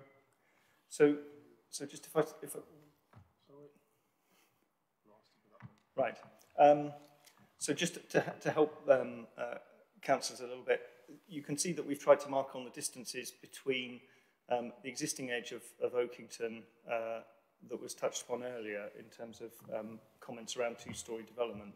So those are the separation distances effectively over a tree, over the tree belt, which is to be retained. If we can just go on to the next slide.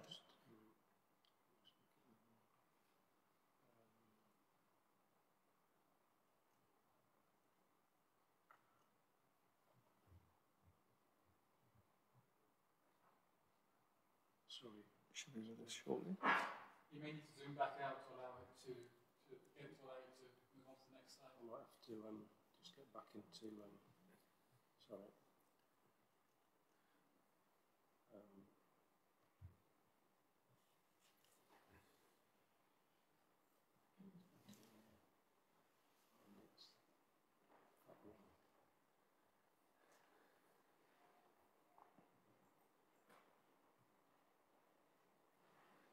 not allow me to.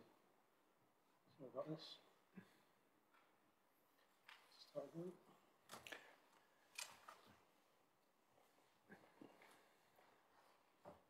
having a few technical issues. Whilst we're waiting for, whilst we're waiting for Mr. Huntington, perhaps um, uh, in respect of the, uh, I think you wanted clarification for, about the IDB's comments. Um, uh, I just let me just check with my uh, colleague whether or not we've we've been able to locate that uh, on, the, on the file. Um, I think the IDB did refer to a letter from the Environment Agency from January. I'm conscious that there was a subsequent letter which is on the file from the Environment Agency uh, that dates from 25th of August last year, in which they um, uh, indicate that they have been engaging with Anglian Water around the Uttons Drove issue, and certainly um, uh, and I'll read out to you, we're assured the operation of Uttons Drove WRC will be in compliance with land drainage solution. Um, I therefore advise you that the concerns we raised against a number of planning applications, including Northstowe phases 3A and 3B, relating to Uttons, Uttons Drove, have been addressed and that there is no material reason in terms of foul water drainage to prevent permission from being granted.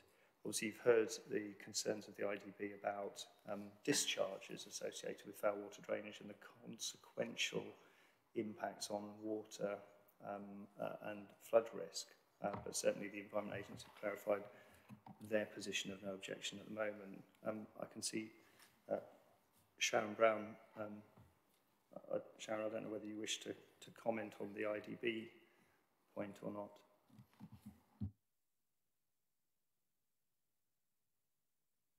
You're muted, Sorry, Chair. that, that was my understanding as well, Stephen Kelly.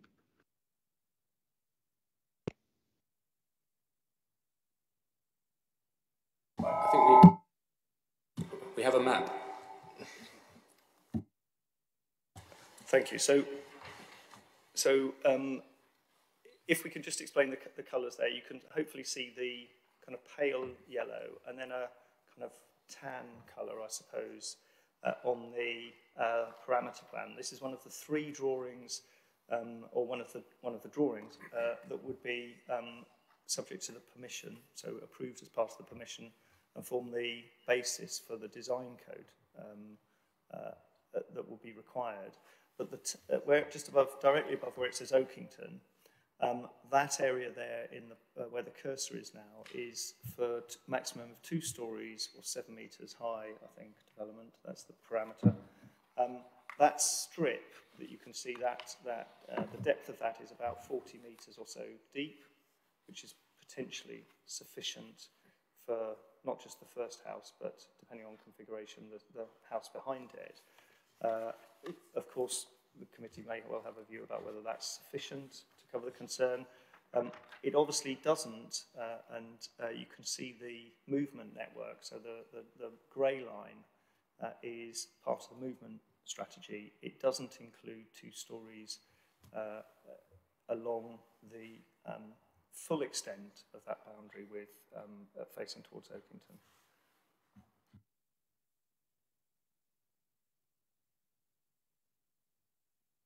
Thank you. Just, just to try and it does help to sort of visualise these things. Um, so from on that map, where would buildings above three stories begin? The the the um, yellow area. Um, so rather than the town, the, the yellow area. In fact, I've got a map in front of me. Um, sometimes best to go back to analog, isn't it? Is is for three-story development. Thank you, Mike. Um, so it says, if we can just zoom in, so up to three stories, 11 metres. So that spur is either two stories or three stories maximum, up to 11 metres. Um, the, the, the scale and the heights actually increase towards the centre of the site, so somewhere away from, um, from, from the edges. I don't know whether you can zoom out, Mike, to, to help that. So obviously the central area uh, and you can see those blobs which uh, correspond with the edge of the military lake. Those are up to seven stories, uh, and the, um, the uh, orange area is up to, or the kind of red pinky colour is up to five, five stories. The darker, or uh, the, sorry, the orange, that bit there, thanks Mike, is up to five stories, and the red or the pink area. That's up to four. Sorry, is up to four, and that's up to five. So I think I think the answer to the question was the spur that goes towards Oakington there is is two and three stories. So the yellow section is three, and the slightly greyer section is two. So that's So the depth of that is 40 metres. Um, Mike might be able to bring up an indicative layout plan that will give you a feel for what that looks like. Clearly, um, if you wanted to um, extend the depth of that two-storey um, uh, demise, um, it's a matter for the committee to do. My, my view, given that um, it wouldn't be um, increasing the environmental effects to reduce the heights in, in that area, uh, is that it's something um, that would be within the gift of the committee to seek to direct. Um, can't amend the plans at the committee meeting, Thank you. the, the application uh, conditions and the resolution could provide for an adjustment to that. In the event that Homes England were not prepared to accept it, then clearly we could bring the matter back to you. But um, there is no greater effect if it was in the committee's uh, desire to see two-storey elements uh, uh, taken forwards uh, further along the parameter edge to, the, to the development. Uh, come back, Heather. Yes, thank you. Um, can I can I sort of add that to your list, Chair? Just in in the event that it was brought forward, I think that that should sort of spur, are we calling it, um, should all be a lower story. And I have to say I'm a bit concerned of not just the bit that comes out, but towards the left as I'm looking at it. You know, anything that's close to Oakington, I think we should have sort of a, a phasing in of the stories, um, which probably be more aesthetically pleasing as, as well. Um, almost creates a sort of mountain type. We don't have many hills in South Cambs. We could, but it would look that way maybe. Okay, it's been. Uh, I, I didn't catch I think that. the uh, the request for the conditions been been noted anyway. It's on my on my list of conditions. Um, Councillor Richard Williams, please. Uh, thank you, Chair. Um, I was actually about to make a similar point about the bottom left, but I'm, I'm kind of interested in what is over the red line there, whether there is housing in, in that area, because we've got a line, a measurement line going kind of sort of south-ish. We didn't really get one going the other angle. Um, I think we might be about to see a photo. Lovely. And the other one I had was on the spur, I think, from memory. The measurement from the end of the spur was 210 metres. I think that was to the house, no, 110, but that was to the house, not to the back of the garden. So the distance to the back of the garden to the red line in the top right is actually less than 110, if I'm right, because that's going to the house, not, not the garden. You just have that clarified? Okay, so yes, I think the answer is yes. There is to the centre of the property, not to the back of the garden, so it would be less. Yeah, about Um, 50, 50 or 60, sorry. At half by the looks of things, but um, and Mike, I think Councillor Williams wanted to see what was um, in the bottom left. Wants to see what's there already, so I think there where you are now. So that's where we are. So that red line indicates the line we saw in the previous picture.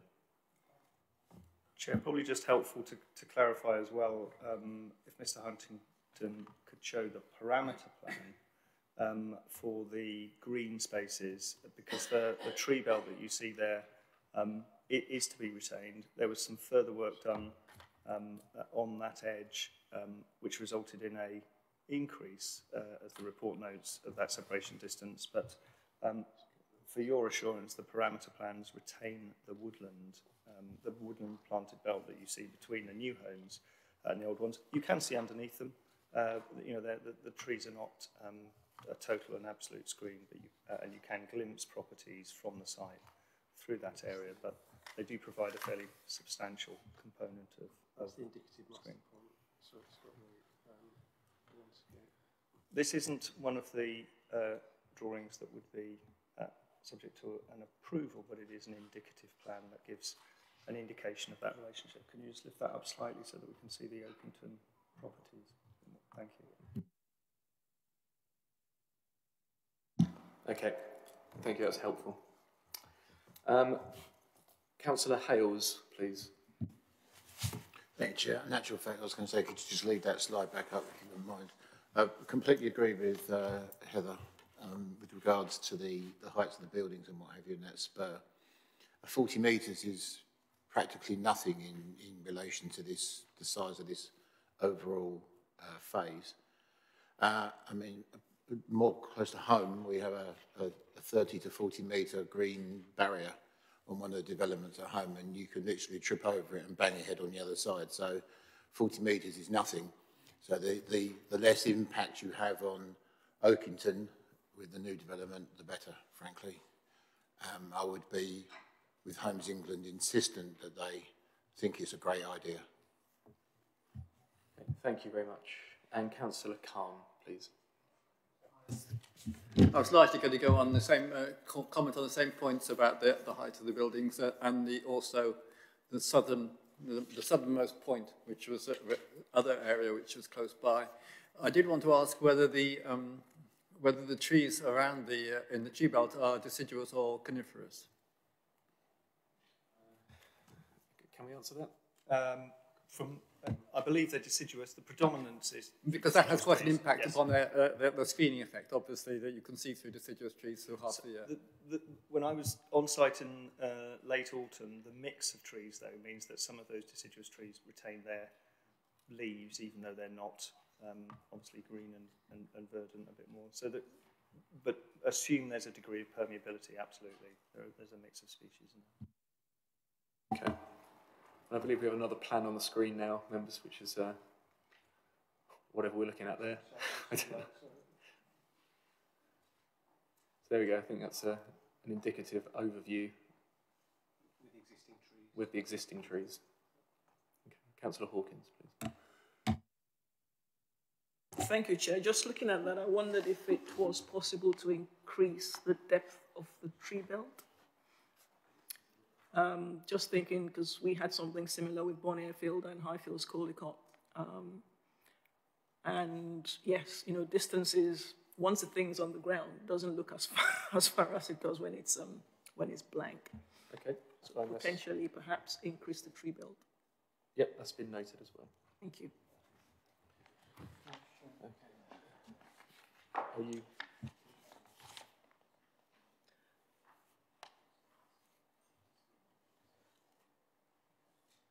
Think we're just going to get another Just- officer comment. Just to clarify, obviously that's the extent of the parameter plan around the um, green uh, infrastructure uh, and uh, the built development area. You can see then the woodland uh, and the um, extent of the, uh, some green space uh, between the woodland and the um, development area uh, or near where the near where the cursor is. The, the depth of that was increased. Um, uh, the separation was increased uh, through an amendment during the application phase.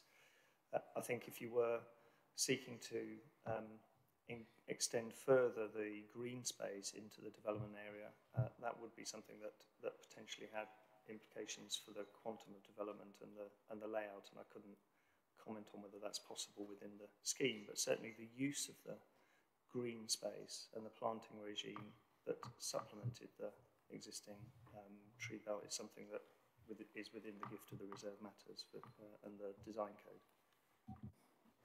Okay. Well, members, I think we've had a good debate on that particular section. Um, we'll move on to the second grouping, which is section three, uh, and that revolves around access and transport. So if um, members had any comments they wish to make or any further points they want clarifying um, around any, any elements to do with access, transportation or highways issues, please.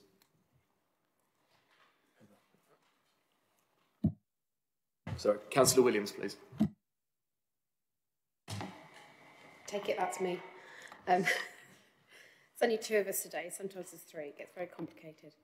Um, so just to re-emphasise after the comments from Councillor Hanley that if this is approved, I think I think we, we sort of spoke about AMPR and, and GPS, but the reality is we don't know what the technology is going to be. So if we could have conditioning that um, sort of puts in the minimum of ANPR, because we've heard that's something that's recognised, um, but that can be updated to some, if um, and modernised as it goes along. Some wording that enables for change, but I think we want to at least put a, the, the sort of backstop in rather than just saying something, because I think that's kind of what was being alluded to, that they need to be a bit more concrete. So a minimum level, um, but giving flexibility. But I see Mr Reid is waving. That doesn't always bode well for my suggestions. Mr Reid.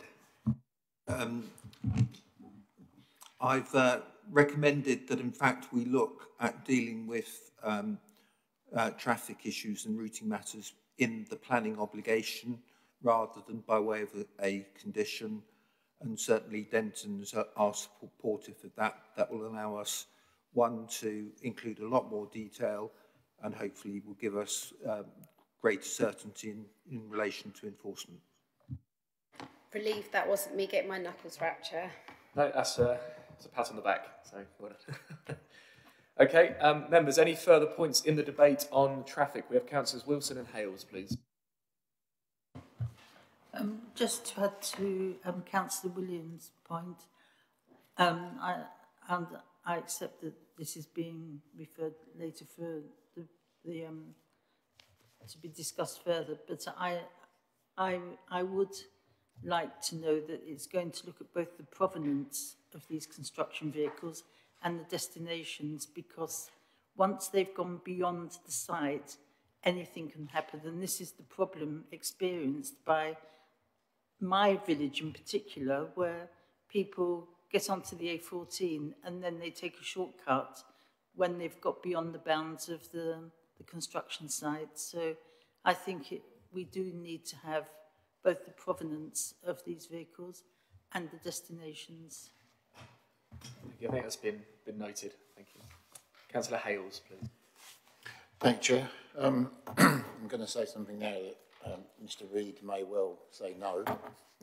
um, but is it possible to have any kind of um, encouragement to the, the main contractor that in the, the transit of the vehicles, delivery vehicles backwards and forwards and what have you, as has been discussed now, that in conjunction with any APR, ANPR uh, information and what have you, that there are essentially a penalty clause attached to the suppliers and the, and the, the transport um, carriers, if you like. This is, this is actually taking place as we speak with a big development we were talking about earlier um, in Melbourn, where they have actually dismissed contractors for not obeying what they've actually said in the thing. So if we can lay that down as a, as a if you like, a, a, I don't know how we do it, but yeah, for the lawyers. Uh, yes, Councillor. I, I think it's it's a lot easier to include that sort of provision in the planning obligation because, um, yes, you can get the main developer to confirm the action they will take if any of their subcontractors or suppliers doesn't ad adhere. And I'm assuming then that the main contractor is held responsible for not following his own diktat. The, the obligation will be entered into by Homes England as the landowner, and then they will have to covenant in the planning obligation as to what they will do to uh, provide a satisfactory solution and to enforce the obligations. Thank you very much. Councillor Rippeth, please.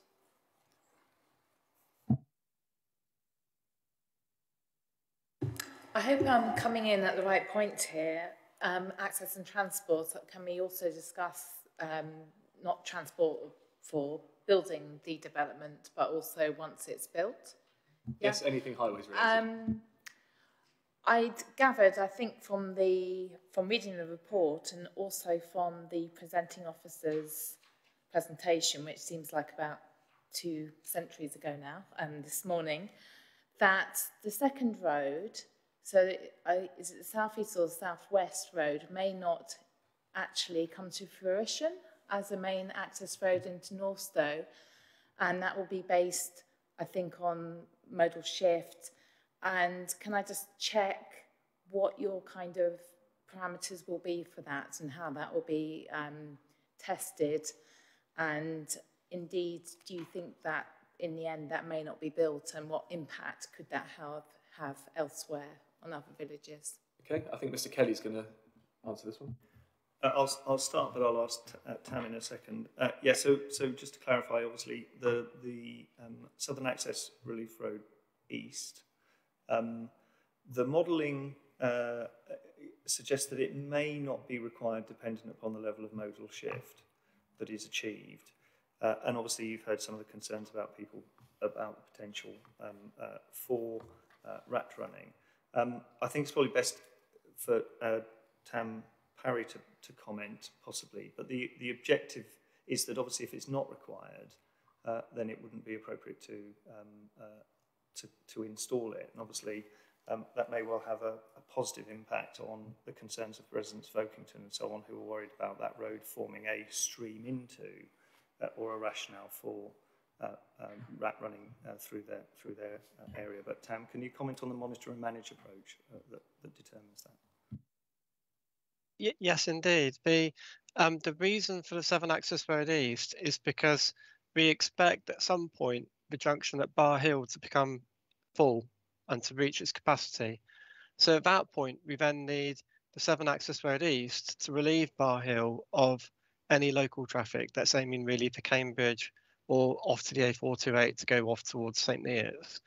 Um, so, so it's um, the, the trigger point for reviewing whether or not the Southern Access Road East is needed is 2,000 dwellings for Phase 3A and Phase 3B, or 5,500 dwellings when you include um, Phase 2 as well. So it's an aggregate of 5,500. And the trigger point for then building and completing the Southern Access Road East is is 3,000 dwellings or aggregated over phase two and phase three, 6,500 dwellings. So what we're saying is that when we do the review at 2,000 dwellings, we might actually say, well, we haven't reached that point yet where the access road is needed because there's been modal shift um, or more booking at home or not not the amount of traffic that we anticipated in the TA transport assessment to require the Southern Access Road, access road east. And at that point, we'll then continue monitoring the flows to decide whether or not it is then needed before Northstowe is completed. So the Section 106 agreement aims to keep that flexibility there if it is needed, but also to have the flexibility not to build it if it isn't needed. Thank you, Tam. Does that answer your question? I think so, and just to um, press home, maybe not the right place to do it, but the um, guided busway and the connection to Northstowe, um, that really probably can't come soon enough to then be able to encourage um, residents to use alternative forms of transport so that hopefully we don't need to build another road. Thank you. Thank you. Thank you, Tam. Uh, Councillor Hawkins, please. Um, thank you very much, Chair, and through you. Um, I know Mr. Reid was explaining the, the, the issue of um, putting in the CEMP as part of obligations, not as a condition, but I can't see how we can enforce if it's not a condition. Because the last thing I want to do is find that we can't, the enforcement officer is saying, well, there's no condition that we can enforce. so how will that work? Stephen, do you want to come back? Thank you, Chair. Um, so my experience of putting it in the planning obligation was in fact when Bourn Airfield was being used for storage of um, containers uh, and uh, we put it in the planning obligation there and I never had any feedback from the uh, from the parish or local residents to uh, express concern that the routing plan wasn't working.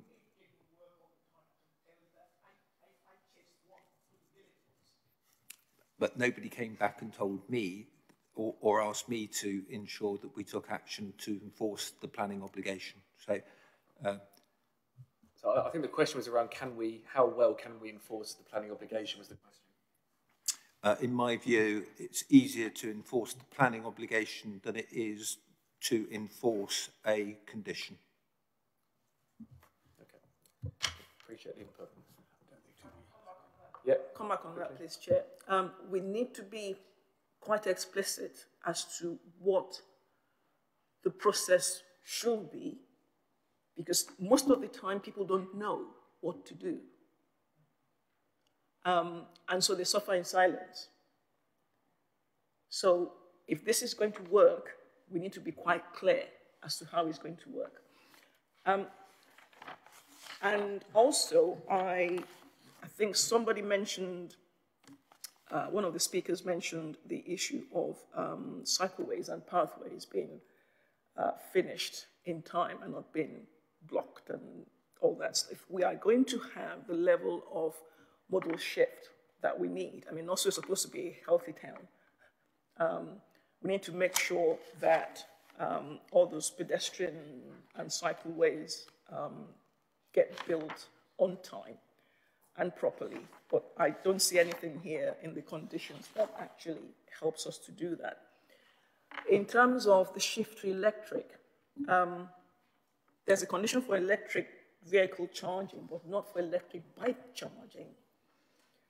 Um, and also, we're going to be having um, cycle storage for cargo bikes, which no doubt I think we will find um, will be taken up quite considerably um, in the new town.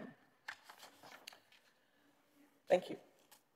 Thank you. So I think a couple of questions there. One was around the um, uh, potentially condition around building out the um, the cycle of footways. Uh, is there any way we can get them to do that on time? And then secondly, around EV charging, from what I understand.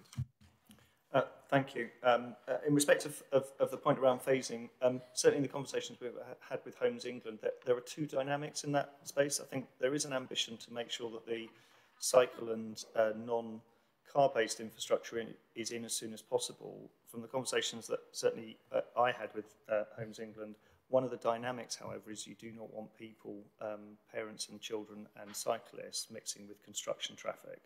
Uh, and so uh, there is an element to which that needs to be iterated as, as individual parcels come forwards.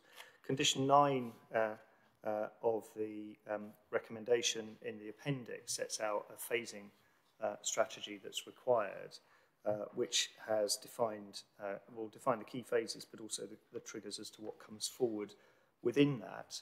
Um, and um, uh, for those with a the, the paper version, that's on page 144. Sorry, Councillor Williams, uh, um, someone will help me uh, as to which page it is in, in document. Uh, and then uh, there are also uh, provisions um, uh, within condition 10 about what happens in each of those phases, uh, including um, uh, the management of, of vehicles, public vehicles, and, and so on, um, on at, at 10D. The, the other point around um, uh, the I think the point that was made around the uh, construction uh, is obviously covered in part in um, condition 44, is it? Uh, sorry, sorry, condition 42 um, uh, in in the append in the appendices. But um, hopefully that's yeah. That's yeah, I think that, that covers it. Thank you, Councillor Heather Williams, please. Thank you. Just on this, on paragraph 187, I'm just double checking that this is the same. No, that's on the next one. It's the one previously. We'll have to get these bookmarks sorted out, Aaron. Um, I'm just going to go with the subject rather than where it is in the document. So the um, one thing to bear in mind is obviously we've got changes and updates to the highway code and things like that at the moment. So can we be assured that there's adequate for horse riding um, and provisions made in.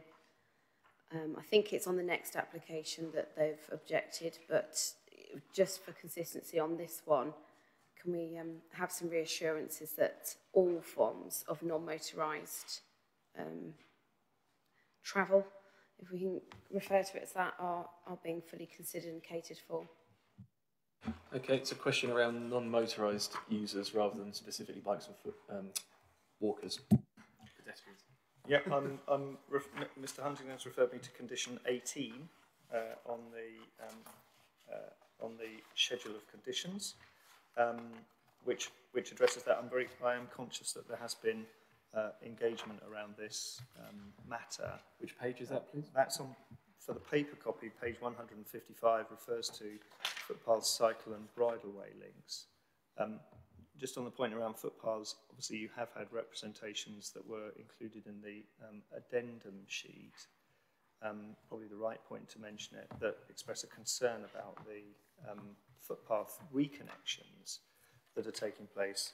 Um, but condition 18 is the uh, is uh, we think uh, appropriate to address that.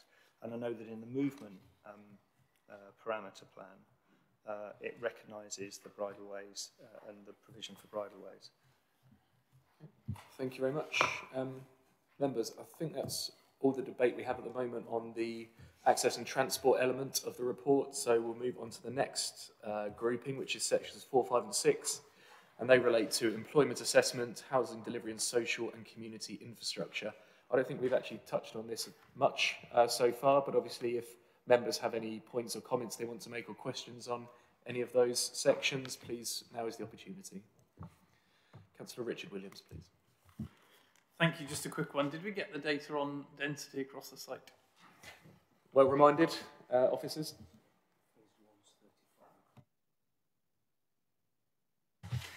Sorry, thank you, Chairman. Phase 1 is 35 dph and Phase 3B is 38 dph. Sorry? Uh, uh, phase 1 is 35 dwellings per hectare and Phase 3B is 38 dwellings per hectare.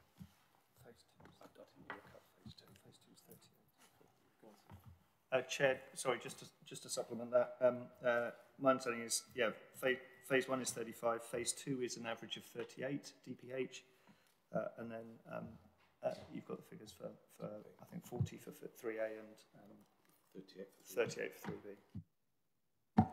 Thank you very much. Um, members, if there's no further points people wish to make on that, those sections, we'll move on to the final three sections, which are sections 7 to 10, and they encompass environmental considerations, cumulative impact, financial obligations slash S106, and the planning balance.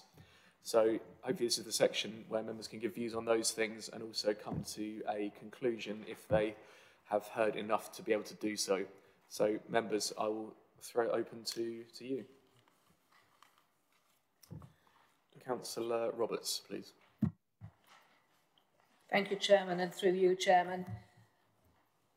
I've, I've not felt I needed to speak on the other matters. Um, I have concerns generally about density, etc. We seem to have lost the idea of garden cities anymore, don't we? Uh, but we are where we are. Uh, however, I think that when it comes to um, the presentations that we had this morning, I think alarming was the least word you could use. Um, potentially horrific.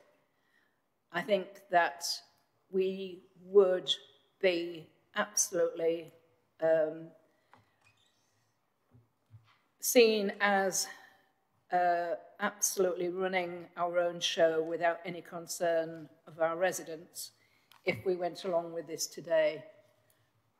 Um, to ignore the presentations, and they, they came from a variety of, of people who are coming in, in their own ways, but it was all the same message. This is not right as yet.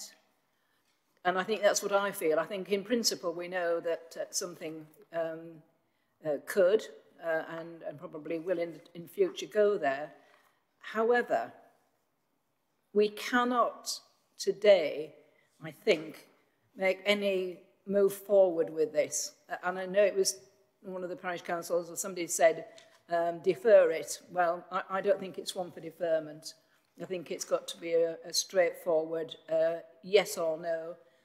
Um, the, this development looks as though it's going to, to have um, the worst of all worlds with water.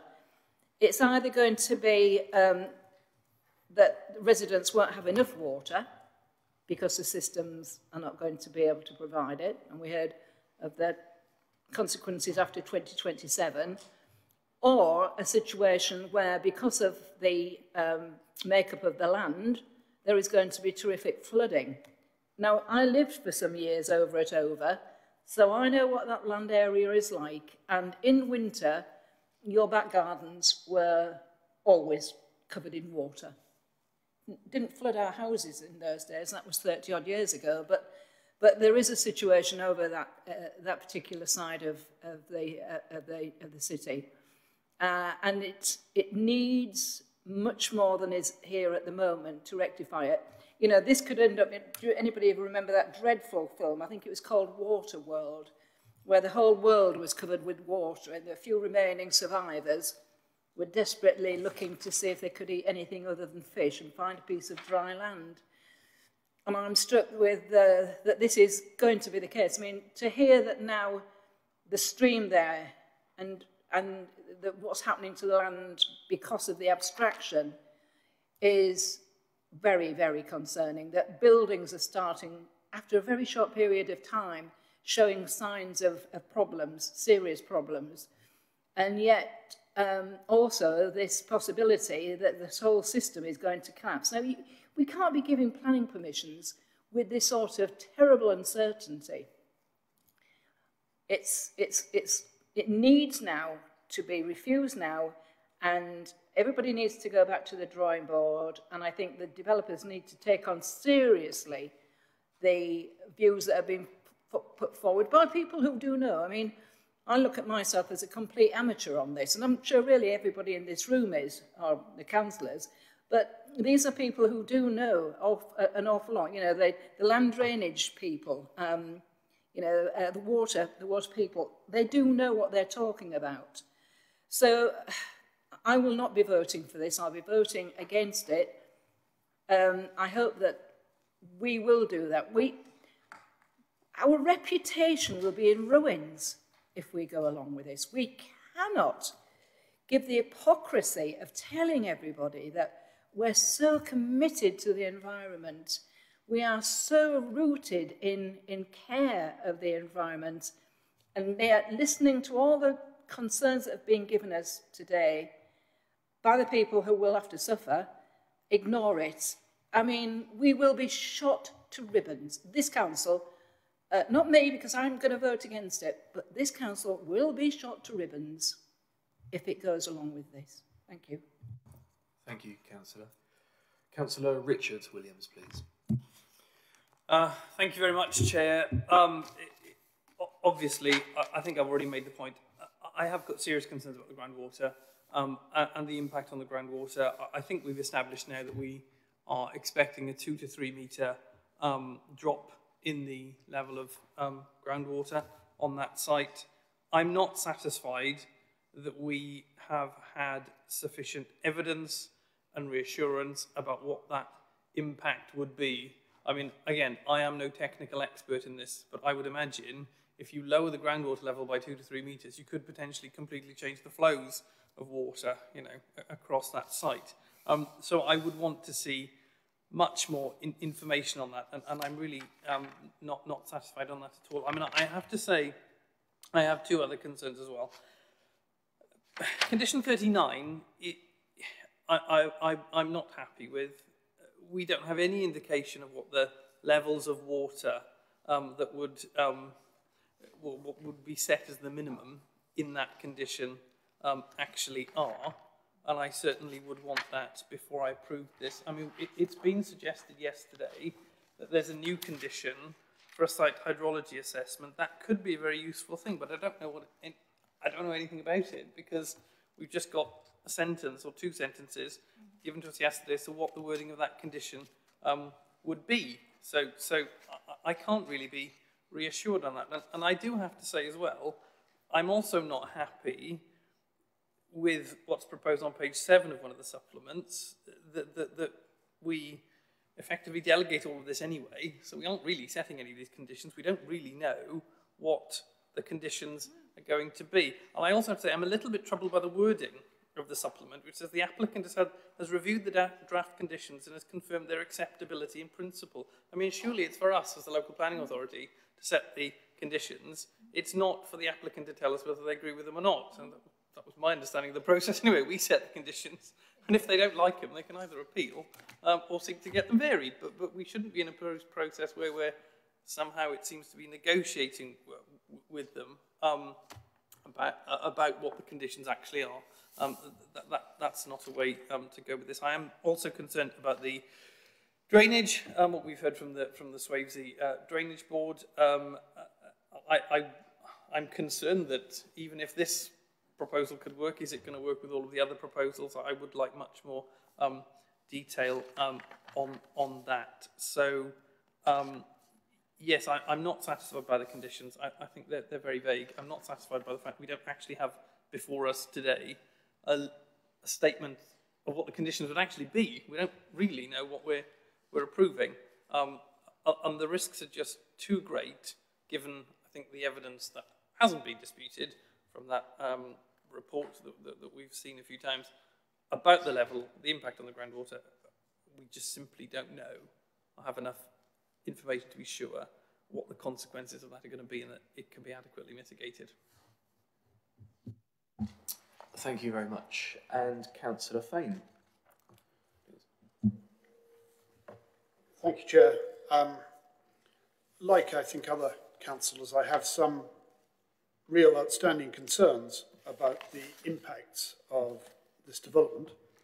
I think many of those can be met by conditions or possibly by planning management obligations, certainly on vehicle movements and so on, and I think we've largely dealt with that. The key issue for me in various forms is that of water, and I'm not quite clear from this whether they're going to be, the, the future residents are going to be um, suffering from drought or, or flooded out. Um, I think it was suggested there might be both. I find that hard to believe. But um, on the serious issue of the groundwater level, um, no, I don't see this being water world or disastrous or whatever. But I am concerned about hearing of settlement of bu buildings, particularly the Village Institute, and um, in, indeed of gardens too, because that is an indication of wider problems to come. Uh, and I wasn't entirely satisfied at the extent to which that is the impacts of that derive entirely from earlier phases of the development. Um, I think we need to be sure of what those impacts will be before we accept that assurance. Uh, I'm concerned, as Richard Williams was, on the, the question of drainage, and of course, on the question of water supply. But on these issues, whilst I have real concerns, I think we had a very informed contribution from the Environment Agency, um, obviously somebody who had read all the detail and was fully familiar with it, contrary to what might have been suggested at one stage. Um, and of course, we have to bear in mind the guidance from central government that Director Stephen Kelly referred to earlier on, that this is a development which is in accordance with our local plan. Um, and therefore, there is a limit to the extent to which we can impose new conditions. Um, I'm not entirely happy that reducing water consumption to 110 litres, that is a design factor. And the problem is one can never be quite sure uh, how that will be implemented in practice, not just by the developers, but by, of course, the future residents of the houses. Um, so I'm always reluctant to take assurance on that point. But I think the government guidance of 22nd of July that was referred to 2019 is that this, these issues have to be addressed through strategic policies, um, particularly because they're in the local plan. So whilst I am still concerned about many of these things, I can't see that I can come up with any grounds for refusal of this application. I am tempted towards deferral of it because there are some issues here that clearly have still to be resolved. Um, and I'm not quite clear which way I'm, I'm inclined to vote at the moment, and indeed nobody's put a proposal for a deferral. Um, but I, I think I might be sympathetic to that. Thank you. I think Mr. Kelly would like to come back on that. Uh, thank you. Uh, it, it's a couple of comments really in relation to the, to, to the points that, that have been made, noting the um, uh, Councillor Roberts' comments. Uh, it's probably helpful, and I might, I might call upon the Environment Agency, uh, if they're still here, just, just to clarify. Um, but uh, Councillor Williams raised, raised, raised two points um, that I thought it would be helpful. Um, on the point around water levels in the, in the aquifer, one of the things that the HR Wallingford report identifies is that actually the, the pattern of, of water levels in the aquifer changes with climate conditions. It's, not a, it's a shallow deposit and therefore it's quite sensitive to both inputs in terms of levels of rainfall and so on, uh, and obviously also um, the, the consequences for uh, dewatering and, and, and, and such. The modelling that um, you heard Arcadis explaining that they had done um, suggests uh, an impact uh, on the prevailing uh, groundwater levels. But I think the, the, the, the actual uh, and, and uh, your request for a baseline, I think, against which that um, uh, happens. I, I suppose caution against setting an absolute baseline, but one of the things that I think, uh, because the climatic conditions, regardless of any development factors, may well uh, bring matters, um, uh, may well introduce matters that impact that. I think, however, there is probably a point, and what the um, addendum sheet was trying to identify in that in condition 39, where we have set out the parameters for that monitoring regime, um, it is suggesting introducing um, a, a, an agreed baseline, as I said, not a figure, but an agreed baseline against which monitoring takes place under part I uh, of um, that uh, condition. And I think that is a reflection of the, the, the recognition about the need to track carefully um, uh, those those changes that take place rather than to define a, a particular level. You also made the point around um, uh, agreement of conditions with the developers. It, the government certainly encourages sharing uh, discussions around conditions with the developer, not least because pre-commencement conditions have to be agreed um, uh, with uh, developers. Uh, and the objective is, is not to essentially stitch up or do some form of a deal, but it's to make sure that the conditions um, are robust and, and deliverable. Um, because obviously the last thing that people want is, is, is planning appeals uh, against uh, conditions. Uh, the, uh, or indeed the need to vary conditions because they are configured in a way that's un undeliverable. And, and, you know, this committee has entertained conditions in the past that have needed changing for that effect. Uh, Councillor Williams, do you want to come back? I was, just going to comment on the, uh, the, the last point um, that I wanted to make is um, uh, absolutely to recognise all of the comments that have been made by, by third parties today and um, picking up on um, Councillor Fane's comments around uh, levels of doubt and, un and uncertainty.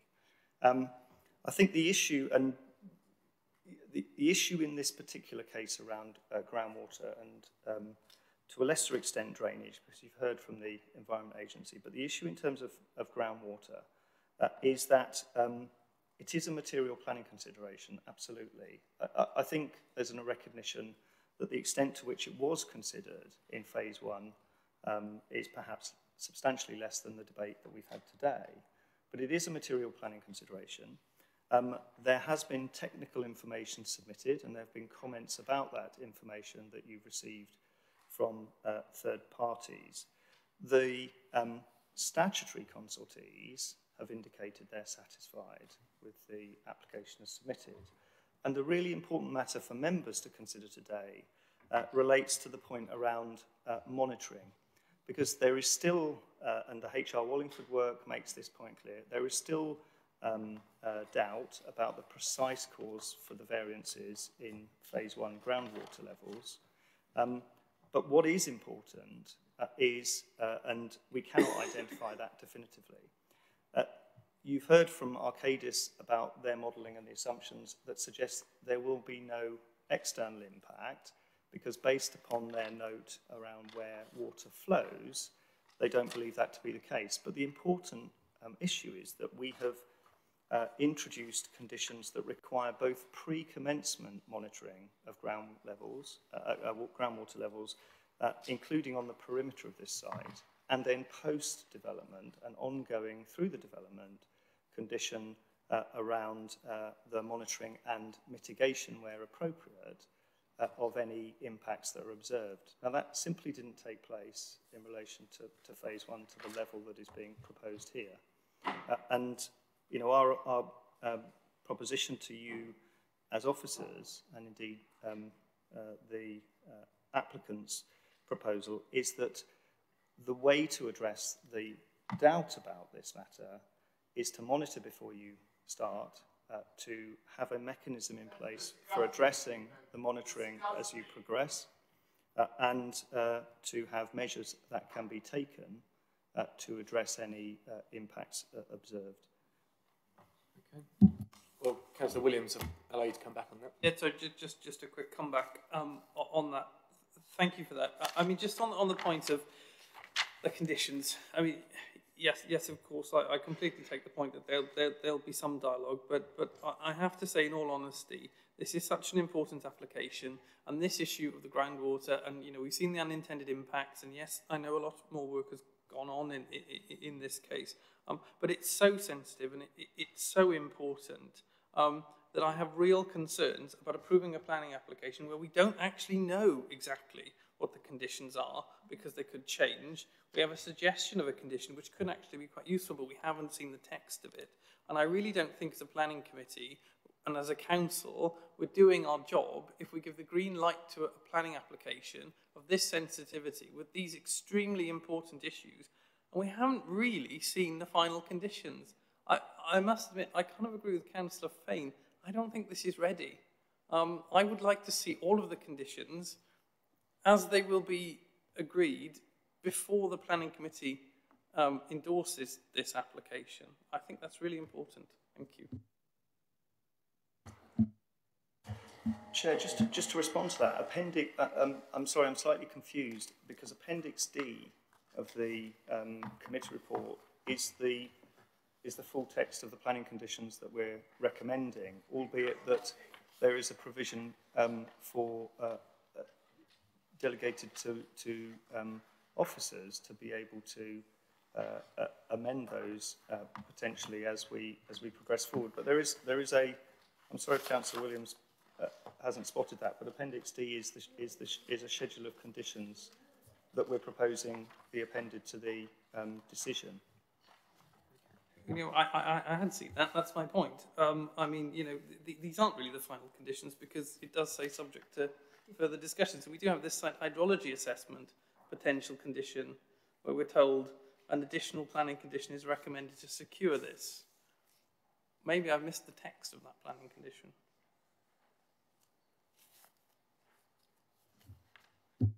Uh, I'm sorry, uh, uh, the, I think the, the reference to the uh, text that you highlighted in the addendum report is to amend uh, the condition 39, uh, which is on, on page 165. I'm sorry if that was not, not clear. Um, and uh, to insert additional wording into that condition that is in Appendix D. No, so, sorry to come back. Uh, uh, I, you know, I, I do know that. No, what I'm talking about is on page five, uh, and it says the representation from the North Northstowe Town Council received 18th of January 2022 has been further considered by officers. The following update is provided by way of response.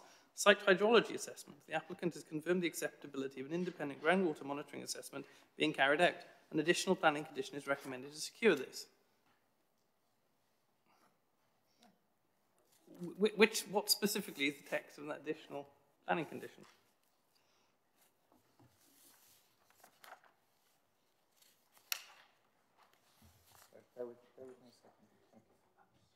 So whereabouts is that in the um, agenda, It please, is or the the addendum?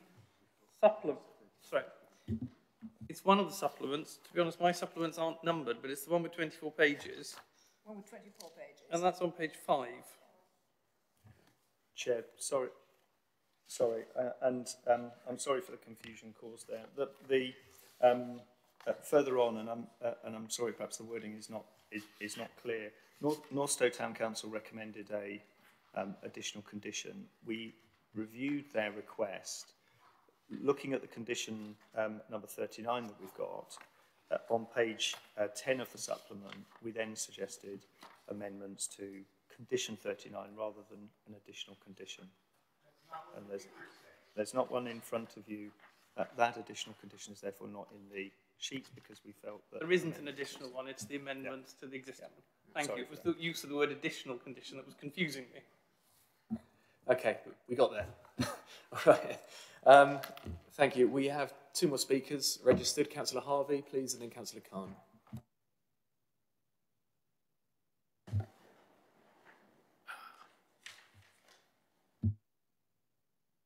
One more. Okay, thanks, uh, Chair. Um, well, I just wanted to return to, and I think um, Stephen Kelly touched on it earlier in his commentary, um, the uh, presentation we had from the IDB and the capacity of the watercourse to take the sewage outflow, which I think was a problem. And I, I just wondered if you could sort of clarify how the codependencies um, that he described between various um, large-scale developments in the area, which are at various stages of um, planning and implementation, actually work. And I mean, it's, it's a little bit similar to the situation you have with any um, sort of limited infrastructure resource, you know, for example, um, electricity supply, where if you've got, um, you know, um, say two or three developments um, contempor contemporaneously evolving, um, and then because I'm a little bit puzzled that the Environment Agency in the consultation section of this report would have no objection um, in, in light of the letter we were um, that was described um, from the Environment Agency to Anglian Water. But I mean, I, I, suppose you can see how that would arise because in the absence of um, the other developments that were described, um, there would be no basis to say that there wasn't capacity there. But, you know, is there a risk that um, because of the contemporaneous nature of these developments, one's setting up a situation in which inevitably the capacity of that watercourse will be um, exceeded at some point in the future. Okay, I think it might be good to hear from um, our officer Adam Ireland if he's still on the line. Here he is. Adam, Hello. welcome back. Hi. Yeah, did you manage Thank to pick you. up that in full? Uh, yes, yes, I did. Um, I'll pick up that issue first. I might be able to perhaps provide another suggestion relating to the previous item, which was discussed, if, if you so wish, relating to the, the conditions on, on surface water and groundwater. Um, but spe- specifically um, in relation to the um, issue around the IDB, when we uh, we met with them, uh, we met with the IDB, uh, Mr. Wilderspin, um, uh, obviously who's presented uh, earlier. Uh, Councillor Hawkins actually chaired that that meeting as well.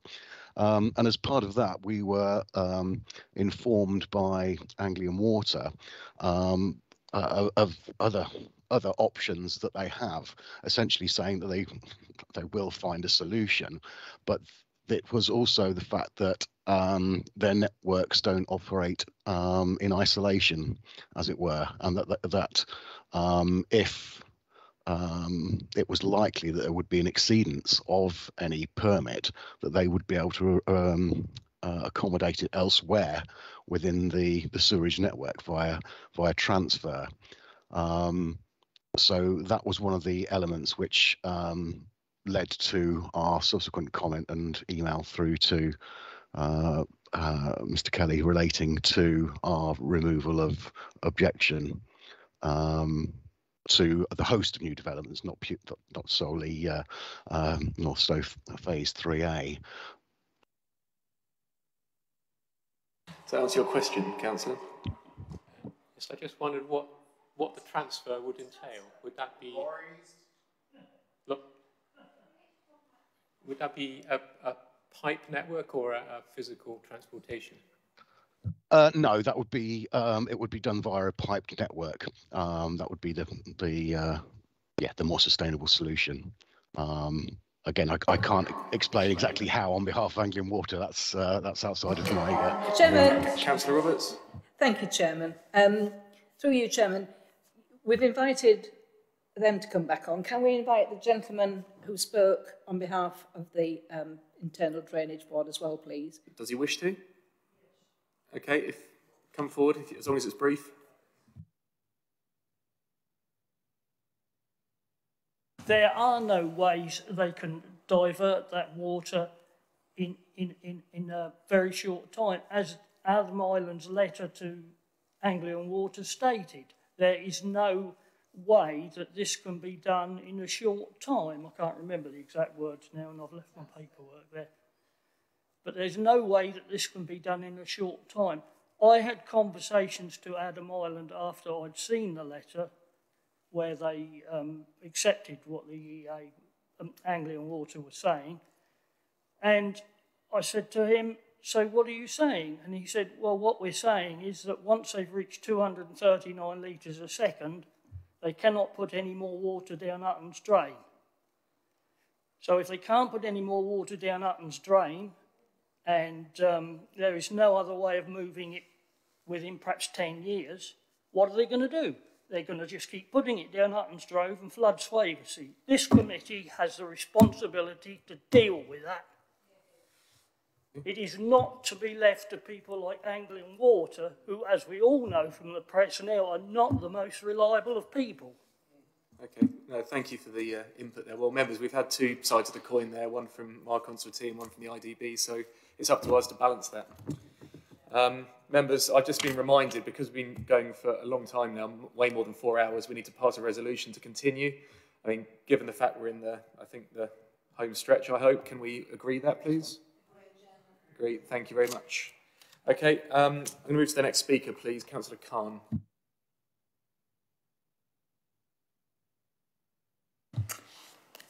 I simply wanted to comment. Um, um, I mean, we're in a very difficult position because uh, we are dependent upon promises from Anglia, Wa- uh, Water and Cambridge Water that they will supply. Uh, um, and we have to take them, we're really obliged in the sense to take them at face value, but we have certain reservations because they're different independent bodies and we can't, we know from experience that major, what they're talking about, major capital works and so on, are often are very often delayed. And so I am concerned that we, I am concerned that we, um, we cannot review the phasing of this until such uh, provision is made. Um, and uh, I see the difficulties that it's one of several developments which contribute to this. Uh, uh, uh, and there's a certain injustice in the fact that one would have to might, might have to pay for the other, uh, you know, the, the lack of control on others. But, but in principle, I feel that we ought to have some provision for review if the problem uh, in years to come, because this is over a period of, of decades, that this development, rather than in, in, a short period of time. So that's something that does concern me. Um, in terms of the, the water, the drying out, um, a number, about 25 years ago, my parents were living in Cambridge, were suffering, had a problem which they thought was subsidence. And so I learned quite a bit about subsidence, subsidence at that time. It proved not in their case actually to be that. But they were lie, they, they, their building was built on, on clay ground. And basically the problems with building subsidence is often, very frequently due to drying out of clay you know, because the lack of, uh, in, in very warm weather. So it's important to know whether the um, whether the provision in this case was due, if that was the cause. It was notable that people are not talking about substance in the new development, which is on, on uh, apparently on gravels. Um, so I suspect that this is what was happening, uh, it was, this was happening there, and whether that was related to the groundwater level or just general climate, um, it's something I think we're going to be expecting to happen more frequently in the future. Um, I don't know, but the new development appears to be mainly uh, on gravel with the surrounding development a bit, bit distant. Uh, uh, so uh, I suspect that the risk of this happening is less. Um, but it, I think it would, again, I rather sympathise with Councillor Fane's proposal that we defer it while this is looked at in more detail. I think there is need to have more clear information of how this might happen in the vicinity of the new development if they're going to reduce the level of water. I understand the dewatering is temporary during the period of construction, and then, but I, I, I would welcome that to be confirmed, maybe so that maybe a temporary phase which then is, um, is stopping being dewatered afterwards. Um, so I, I, I see we're committed basically to this development. It's in the development plan. We are, in fact, committed by things which were taken many years ago when these considerations weren't so high. Um, so um, it, creates, it has created problems. Um, I'm concerned about, I am concerned about the context of those proposal, uh, proposals. Uh, uh, and I am, a, I would be sympathetic to the uh, deferral and looking at these uh, water matters in, more detail, and particularly these issues of, of groundwater. I think they, they do need to be examined more carefully. Okay, thank you for your comments. Councillor Hawkins, please.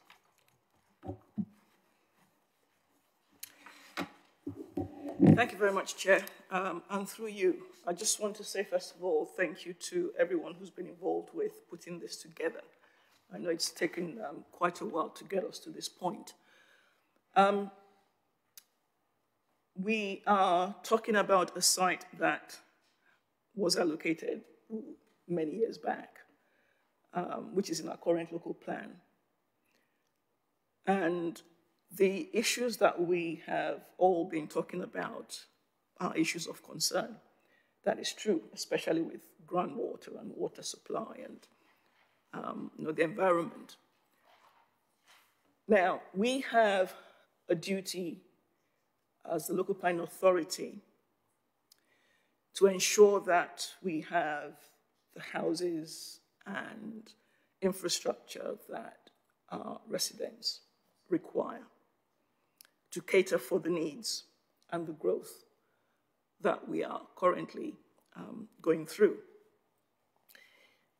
We also have to rely on statutory bodies to provide some of this infrastructure.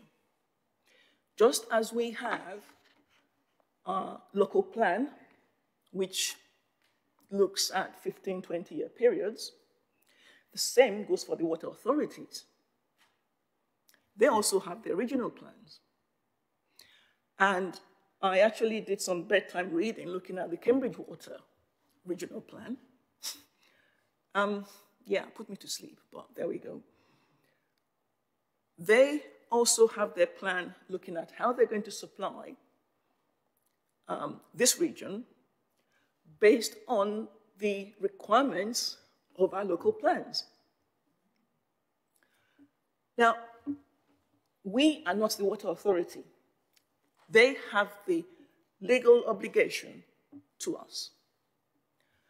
They have provided some information, but we're saying we require some more of them. Fair enough. But looking at this, they have not raised objections to this outline planning application, and I say outline. You hit their letter to me. And if I was, let me rephrase that. We do rely on their expertise. One thing that has um, given me some confidence is the uh, condition in uh, condition 39. I think if you recall, I did ask the question how they were going to do this monitoring um, early on. Now, this monitoring was something that wasn't done when phase one was being built out. The problem that we had with phase one actually started, as I think you heard from the Longstanton um, uh, parish councillor, many years ago. And it wasn't actually picked up until 2018 when Councillors Malyon and Cheung Johnson raised it. And we then worked with Longstanton Parish Council to um, get the um, Wallingford report. So we are picking up issues here and we are learning from the mistakes that were made in the past. As Mr. Kelly said, you know, we can have a baseline from which to work, but we cannot put a figure on that. It's what is in the ground that we can work with. And whilst I share all the concerns that have been raised, and you know, um, some of these are things that we as a local planning authority have no control over. Let us control what we can control. And we need to hold our um, the statutory organizations who are our partners, we need to hold their feet to the fire.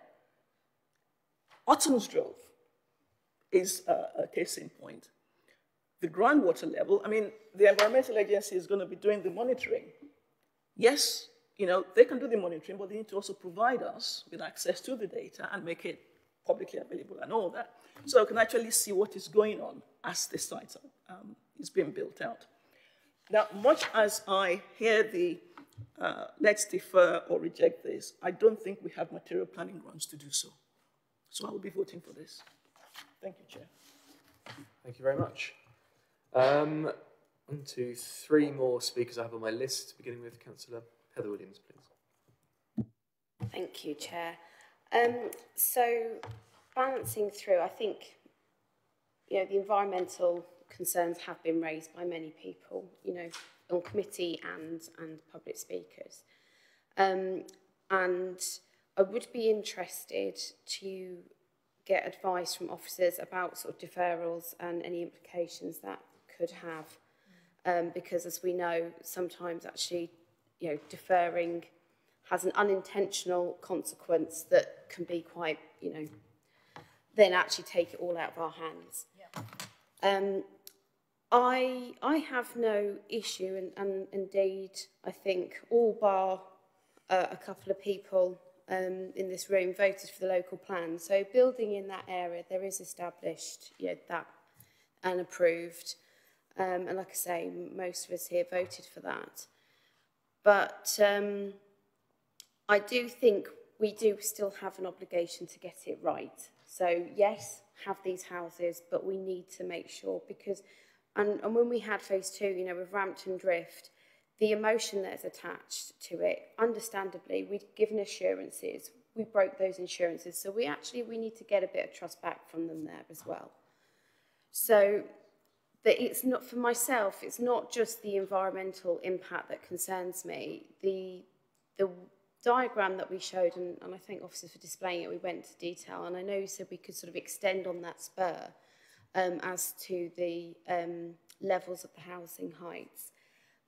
But for myself, I think just that bit doesn't really satisfy my concerns. Um, even if we were to put more in, that it is a very close distance. And I appreciate we're going to have some trees, but we've also heard that we might lose some coverage from that. Um, and I think, it, you know, when we had like in, in Waterbeach where it was almost ringed to sort of bring it into heights in the, in the middle and lower down. So I think I think I know officers said that they would, would sort of speak and come back if it couldn't be agreed, but I, I do feel to support it myself, I would need to see actually what it is that's being settled on, because because just that jointy bit isn't enough. Um, I'm also very conscious of the comments that have been made around Utton's Drove. Um, you know, like many people, droves and sluices until I sat on planning, you know, was not, not something I'd come across. But it's something that in my time with the council we've heard again and again and again. Um, so I can understand why people are concerned about that. And there has been a lot of effort and work gone into this, that's without doubt. But I, I don't think, I think to have peace of mind and to be able to sleep myself at night, I would need to see for myself a bit more concrete guarantees around that. And I don't think we have that at the time. I do think these things can be overcome, um, but it's not here in what we have in front of us. It's, it's not there yet. Um, so with that, I am minded for, for refusal, but am open to hearing the, the um, things on the deferral. Okay, let's, uh, let's throw to officers for that. And what would the um, uh, what would the advice around deferral be? Would there be any consequences we haven't considered yet? Uh, thank you. There's, there's two elements, I suppose, um, uh, in, in, terms of the issue of deferral. I think there is recognition um, from, from all of the comments that have been made uh, that we do not know for definite exactly what's going to happen. I think um, uh, it's uh, and that's a reality because it's almost impossible to lift up everything that's underneath phase three and look in forensic detail at every single part of it. The HR Wallingford report that was circulated, but which uh, underpins uh, some of the concerns uh, that Longstanton shared with you earlier on today and Northstowe Town Council referred to also, uh, highlights actually the difficulty of being able to uh, identify the under and understand exactly what happens uh, under a place. Uh, and um, in relation to phase one, it highlights the fact that, for example, climatic conditions uh, interfere with any attempt or impact the ability to try and understand it. So the, the um, uh, applicants have done some modelling based upon um, uh, monitoring that they, they have undertaken of, of groundwater. And of course, they also have been monitoring groundwater under phase two. Uh, and they have put forward a, pro a proposition. Is that exactly what is going to happen?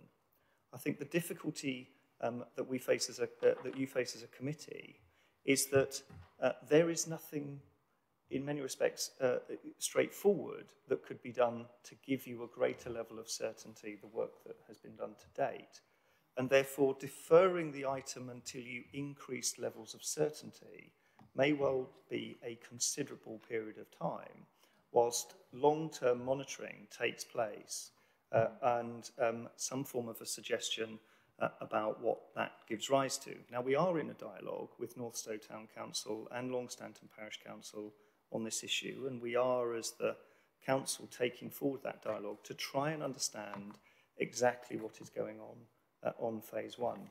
But even our own drainage team, people like Pat Matthews, who've been with the council for 25 years, recognise that, um, uh, uh and we've had positive conversations with the town council. They have a hypothesis, but the exploration of that is going to take, as I said, a considerable period of time. I think people have recognised that the principle of development, I think a number of people have said the principle of development is satisfactory. And effectively, the outline planning permission, whilst it puts a number to that, it's actually the same number in your adopted local plan, um, you are being asked to confirm whether, uh, under the terms that are set out in the recommendation, um, confirming that principle of development is acceptable to you. The important point, because I don't think we as officers could identify how we could give you more certainty, and certainly the conversations with third parties, whilst they focus on monitoring and review of groundwater conditions, have not identified a clear route to that other than the process that we have defined in conditions, which is to monitor before development commences, to monitor as development takes place, and to consider both through the drainage uh, conditions and the phasing whether or not um, mitigation or interventions in the event of a uh, adverse effect can be brought forward that sort uh, that seek to increase the groundwater recharge as that development and indeed the learning on phase two uh, proceeds. Uh, and, uh, and so uh, what I would recommend to you is that um, refusal on the basis of um, the current position I think would be hard to justify in terms of having a tangible basis upon what level of certainty you were looking for from this development.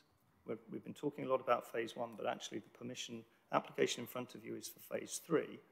Uh, and secondly, if you were to seek to defer the item, I'm slightly uncertain about when we would be able to bring this application back to you and what level of information would provide the assurance that's necessary. You've heard from, uh, and, and, and you have heard from uh, and seen in the report that the agencies that we have consulted on this matter, including the Environment Agency, are satisfied with the material in front of you. So the point around, uh, were we to then face a planning appeal seeking to um, uh, explore that issue, is again whilst there is uh, a number of comments that have been received about phase one, uh, and um, uh, we have noted them, uh, there isn't adverse comment from the statutory consultees, and indeed um, the basis of the assessment that has been done sets forward a credible proposition for consent, monitoring and management of that impact in the event that it arises differently.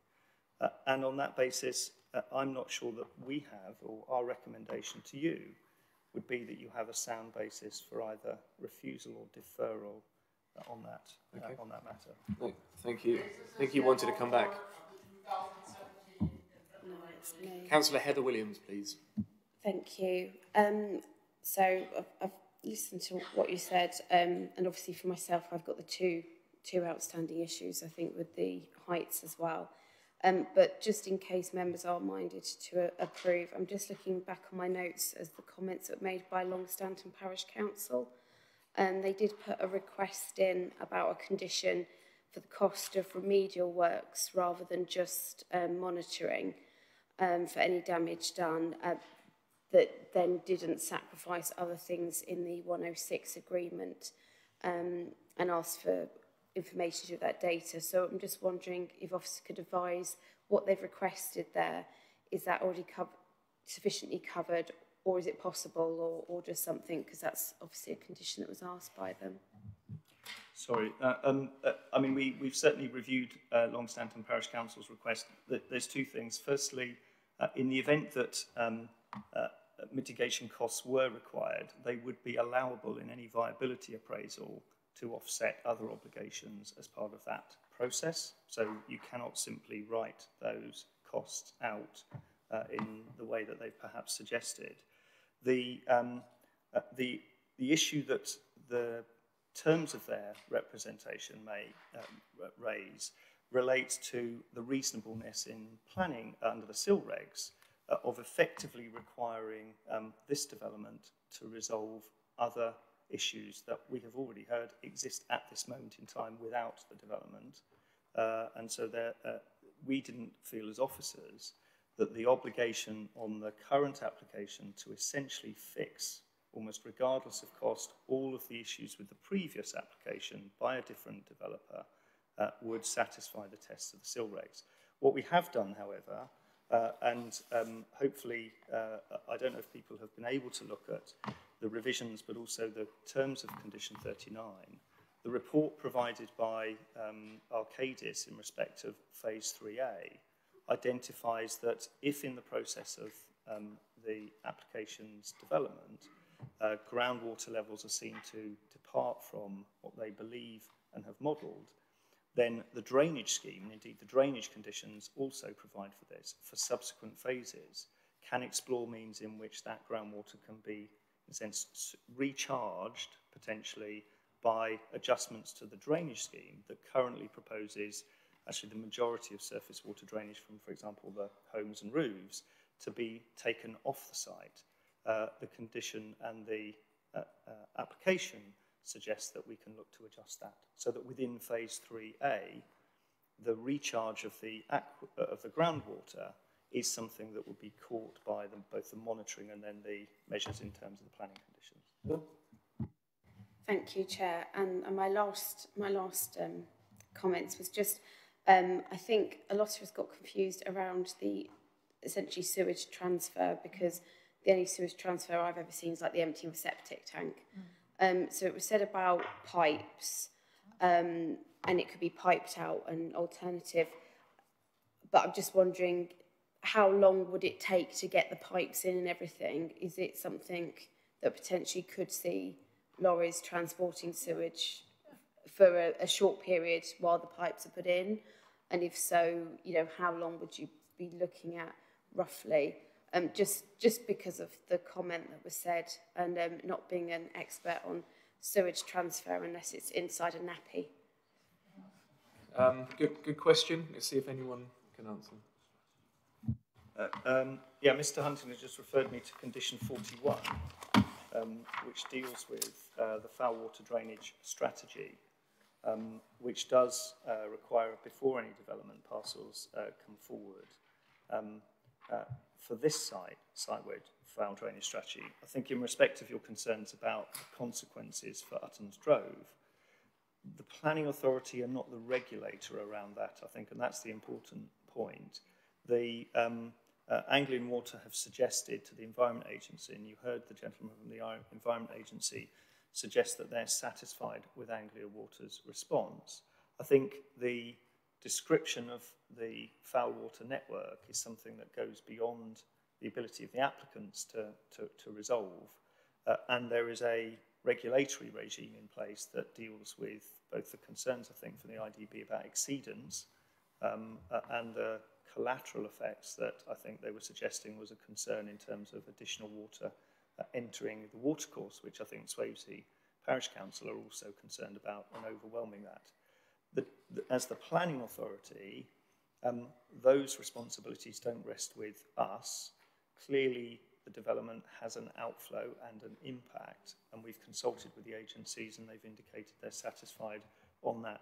There are differences of view that you've heard, but the resolution of those are not through the Town and Country Planning Act.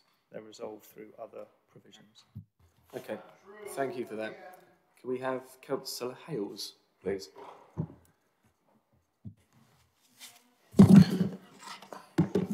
Thank you, Chair. Um,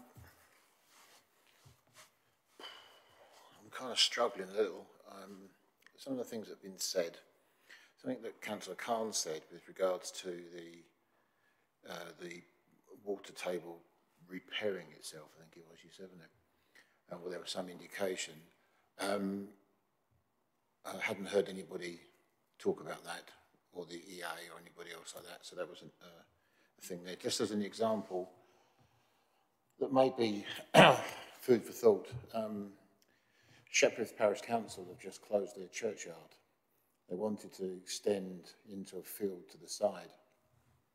And uh, as I believe by law, they have to have a dig to see if the ground is suitable to put remains in. And the, the body that came back said that the water table was far too high and essentially that um, those laid to rest would essentially float which was not good. And that then affects the main churchyard because that's next door to it. So they said it's exactly the same problem there as it is here. And so that churchyard was instantly shut for new burials, even though it still has space. And the, I think if I, am correct in my comments, is that in the report that came from the, the people who did the, the um, investigation was that the cement works that used to extract, Barrington used to extract an awful lot of water from the ground are now not. And so therefore the water table has gone up some substantially, which has now caused that effect all over. So I don't know whether we have any kind of lessons to learn from that small one company taking the water out there as to what's going to happen elsewhere. Comment that Heather made with regards to the spur. Um, I too feel it's knocking on the door of Oakham, Oakington, rather, Oakhampton, further away Oakhampton, Oakington is knocking on the door. And you could argue, um, and I appreciate that we can't change bits and pieces here, but I'm sure there are others who own the plan can. Um, it could be it could be reduced by at least a third, which would make that much less of an impact. Um, the comments from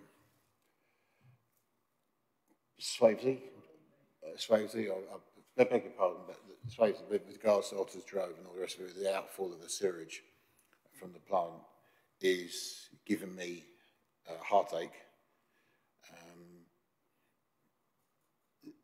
there doesn't seem to be in front of us, even though we're not the, we're not the statutory body for those things, i.e. water, sewage and all the rest of it. But since they're part of the consultation process, it doesn't feel that we have um, the, information before us that says that we can be confident that whatever plan they have in the next 5, 10, 15 years uh, would, would satisfy us as, as lay people. So that, that's a worry. Um, and I think my last point kind of covers that with essentially the detailed plans from AW, Anglian Water or Cambridge, Cambridge Water as to the extraction, the levels of extraction, how they're going to reduce. And I think Councillor Fane said something along those lines with, it's all very well to say we're going to reduce usage down to X, Y and Z, but when Joe Bloggs wants to wash his car and there isn't a hose ban, he will. And so there is those things there. So at the moment, I'm struggling, to be fair, as to whether I, I would say uh, refusal or deferral. And I appreciate Stephen's point with regards to the deferral. So I, I'm, I'm definitely in turmoil here. So unless Stephen can come back and make me feel a really happy bunny,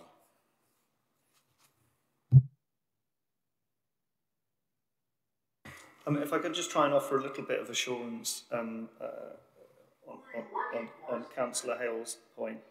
Um, our recommendation um, is based upon the basis of the feedback that we've had from the, from the consultees around uh, this point. And uh, uh, on foul, foul sewage uh, and the treatment uh, around Utton's Drove, uh, we don't have, Anglian Water, um, I think, have not provided to the Environment Agency a definitive plan on how they're going to address that.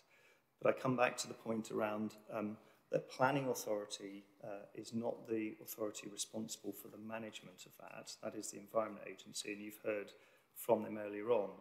What I can advise you is when the planning authority has consulted the Environment Agency about that matter, the Environment Agency initially raised concerns, but then have subsequently, um, uh, on the basis of their assessment uh, of the risk and the harm that, that arises, they have advised the planning authority uh, that uh, their concerns have been satisfied.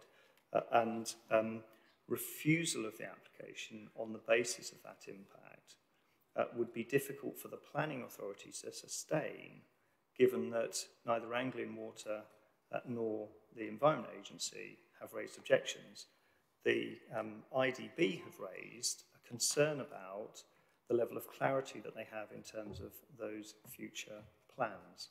But since you have nothing in front of you around those plans, again, deferral on the base or refusal on the basis that those plans are inadequate would be at odds with the advice that you've received from the Environment Agency, who've indicated they're satisfied. The, the, the, the, the second, the second uh, point Chair, that you raised. Chair. Thank you, thank you. Yeah. Ca- Councillor Hales. I do, I do apologise, Chair, but Mr Kelly, would you mind repeating the last couple of three sentences? Couldn't quite catch what you said. Thanks. So the the um, you'll forgive me if I if I if I've gone too far or or, or um, uh, please stop me. The the planning authority have, have consulted with um, uh, the Environment Agency, who are responsible for managing uh, the uh, outputs uh, from Uttons Drove with uh, defined, uh, and, and you've heard the concerns from the IDB, who have a, also have a responsibility for the maintenance and management of that infrastructure. Anglian Water have met with the Environment Agency, uh, and the Environment Agency have withdrawn, their, uh, removed the concerns that they've originally raised, not just about this scheme, but about other major developments, on the basis of their level, uh, I'm assuming, and Adam is on the call, their level of assurance about the ability to resolve the concerns that have been identified.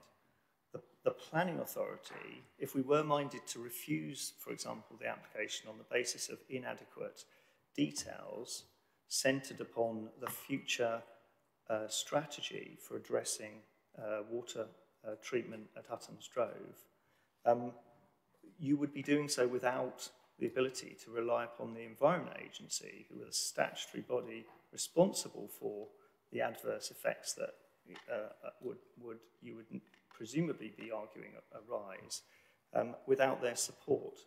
Uh, and um, uh, we have already provided for in the extent of the local planning authority's interest, foul water management details to be provided on site. Um, the IDB, I think, did recognise uh, that this point in terms of capacity will be reached in 2027 or beyond, I think was the, was the uh, or before then. Um, but it is, not an, um, it is not an immediate issue, and I think the IDB confirmed that it is not an immediate issue at this moment in time. It is it is an issue that needs to be addressed through the investment plans and the strategy of Anglian Water, which need to be agreed by the Environment Agency. I, I think I think we've we've gone over this a number of times now, and I think we've we've heard the local authorities' position on it. That isn't going to change. We've heard what the IDB's position in, is on it. That isn't going to change. Um, so we need to weigh up as a committee how much weight we give to that. That's a decision for us. Councillor Roberts, please. Thank you again, Chairman, and through you, Chairman. I have a, a few um, finishing um, thoughts that um, I'd like to uh, share. Uh, I think it was Councillor Cahn said, well, you know, the, this is going to be decades in the sort of future, but it isn't, is it? Um, we've already heard the date 2027, it's only five years away, it's no time whatsoever. And we've also heard from the Internal Drainage Board that when emergencies occur, they will not be able to sort it out. Um, it's a, it's a long-term um, situation which requires a lot more work on it at the moment. Um, and it's not mandatory. The, the consultees are not, we are not mandated to take notice of them. They are there as advisors. Tumi Singh seems to think it's funny, but I think the residents wouldn't. We are there to listen to them, but there are always two sides to every story. And we've listened to their views, but you know, you've got two completing organisations here. Uh, and I'm afraid I don't think the tw twain are necessarily going to meet. But we've got another organisation which is just as responsible, the Internal Drainage Board, who have told us categorically and read out very, very strong evidence um, of why we should be so concerned here. Um, we, we cannot negate our responsibility. We are the first block in this house of building. It's up to us not to get negate our responsibilities, but to actually put down a marker. I don't want a deferment because I think a deferment will, as Stephen has said, will lead to months and months, and then they'll go to us for non, non-determination. So I think that's a no-go. But one of the things that I would be um, happier about was if this is refused and it goes to appeal, then an appeal would probably take two or three days, not like we've been today, five and a half hours. Um, it would take days. Every bit of evidence would be put in front of inspector, every single bit. And every bit of, single, of evidence would be, you know, looked at for its value, looked at for its value. And, and a decision could be then taken by an inspector. But, you know, I really don't go along with this. We haven't got enough things to fight it with. I think we have got enough things to fight it. And quite honestly, what the hell have we wasted five and a half hours of today? We came in at 10 o'clock. It's now half past three. If we couldn't, why the hell did not somebody say at the start of this meeting, well, actually, chaps, there's no good you sitting here all day being hungry because you can't have a proper meal or anything because there's nothing you can do about it. I mean, it's, that is so incorrect. That is not true. We can do something about it. We have a responsibility to do something about it. If we refuse them, they could go to appeal straight away. But as I say, an appeal is a very different beast. I've been to a, a, appeals where I've thought, my little village doesn't have a cat in hell's chance. And actually, we've won against the big boys. Um, it all depends how you present your case, how determined you are, and I'm sure that you know both sides, um, you know, will present a proper case. Um, but I think it's for us today to refuse it. There's so much hanging on this, the quality of our life, and I mean, the, I'd, I'd have the fear of God in me now if I lived in Longstanton or Oakington. I really would, um, of what might be coming. You know, we are blighting these properties. Because now, once this gets into the Cambridge Evening News, as it will this week, because they'll be listening, once it gets into the Cambridge News and all these stories of uh, uh, um, concerns about the flooding, um, all this, not enough water, you'll all have to put a, a, a brick in your lavatory, you'll have to have a bath with a friend, you'll only be able to do it once a week. It'll all go in, and they will think immediately, my God, I'll have a hell of a job selling my house because South Cambs District Council have blighted it. Now, that isn't acceptable. This isn't a way that open, transparent, uh, decent government works. We are here for the people we represent. We're not here for the developers. We're not here for the water authorities. We are here first, foremost, and primarily for the people we represent and the quality of the life that we can or will not give them. It's up to you. Thank you very much. Um, we only have a few more speakers left, and I'm hoping we can move to a resolution on this. For what it's worth, I tend to agree. I don't think we should be deferring this today. I think we should be making a decision one way or the other. That's obviously my view, and it's up to the committee what we do on that. But I'm going to hear from the rest of the speakers, then I'm going to move that we conclude this. Uh, Councillor Wilson, please. Thank you. Um, this is probably going over the same, it's very similar ground, but um, the, the one thing that worries me is the evidence from the Swavesey IDB. Having, um, I, I've, I've, I, I've, I've worked with the um, Old West IDB and I know how much, how knowledgeable these people are and how much expertise goes into what they do. So have Anglian Water come back to us on or any of the other statutory bodies come back on what the IDB concerns are? Uh, officers, can anyone respond on that? Um, I, it's probably helpful for um, Mr. Ireland to, to uh, from the Environment Agency, I think, to comment on that. All I can say is that the IDB referred to a letter from Anglian uh, from the Environment Agency um, uh, on this application in which it raised concerns from January 2021. Uh, as I said earlier, subsequent to that, we've had a letter from the Environment Agency that removes those concerns uh, and an impediment to development. But perhaps Mr. Okay, yeah. Uh, Ireland Mr. Ireland, if you could indulge us, please. Yes, certainly, as uh, as as mentioned earlier, and was uh, mentioned by uh, Mr. Wilderspin from um, uh, the Swavesey IDB.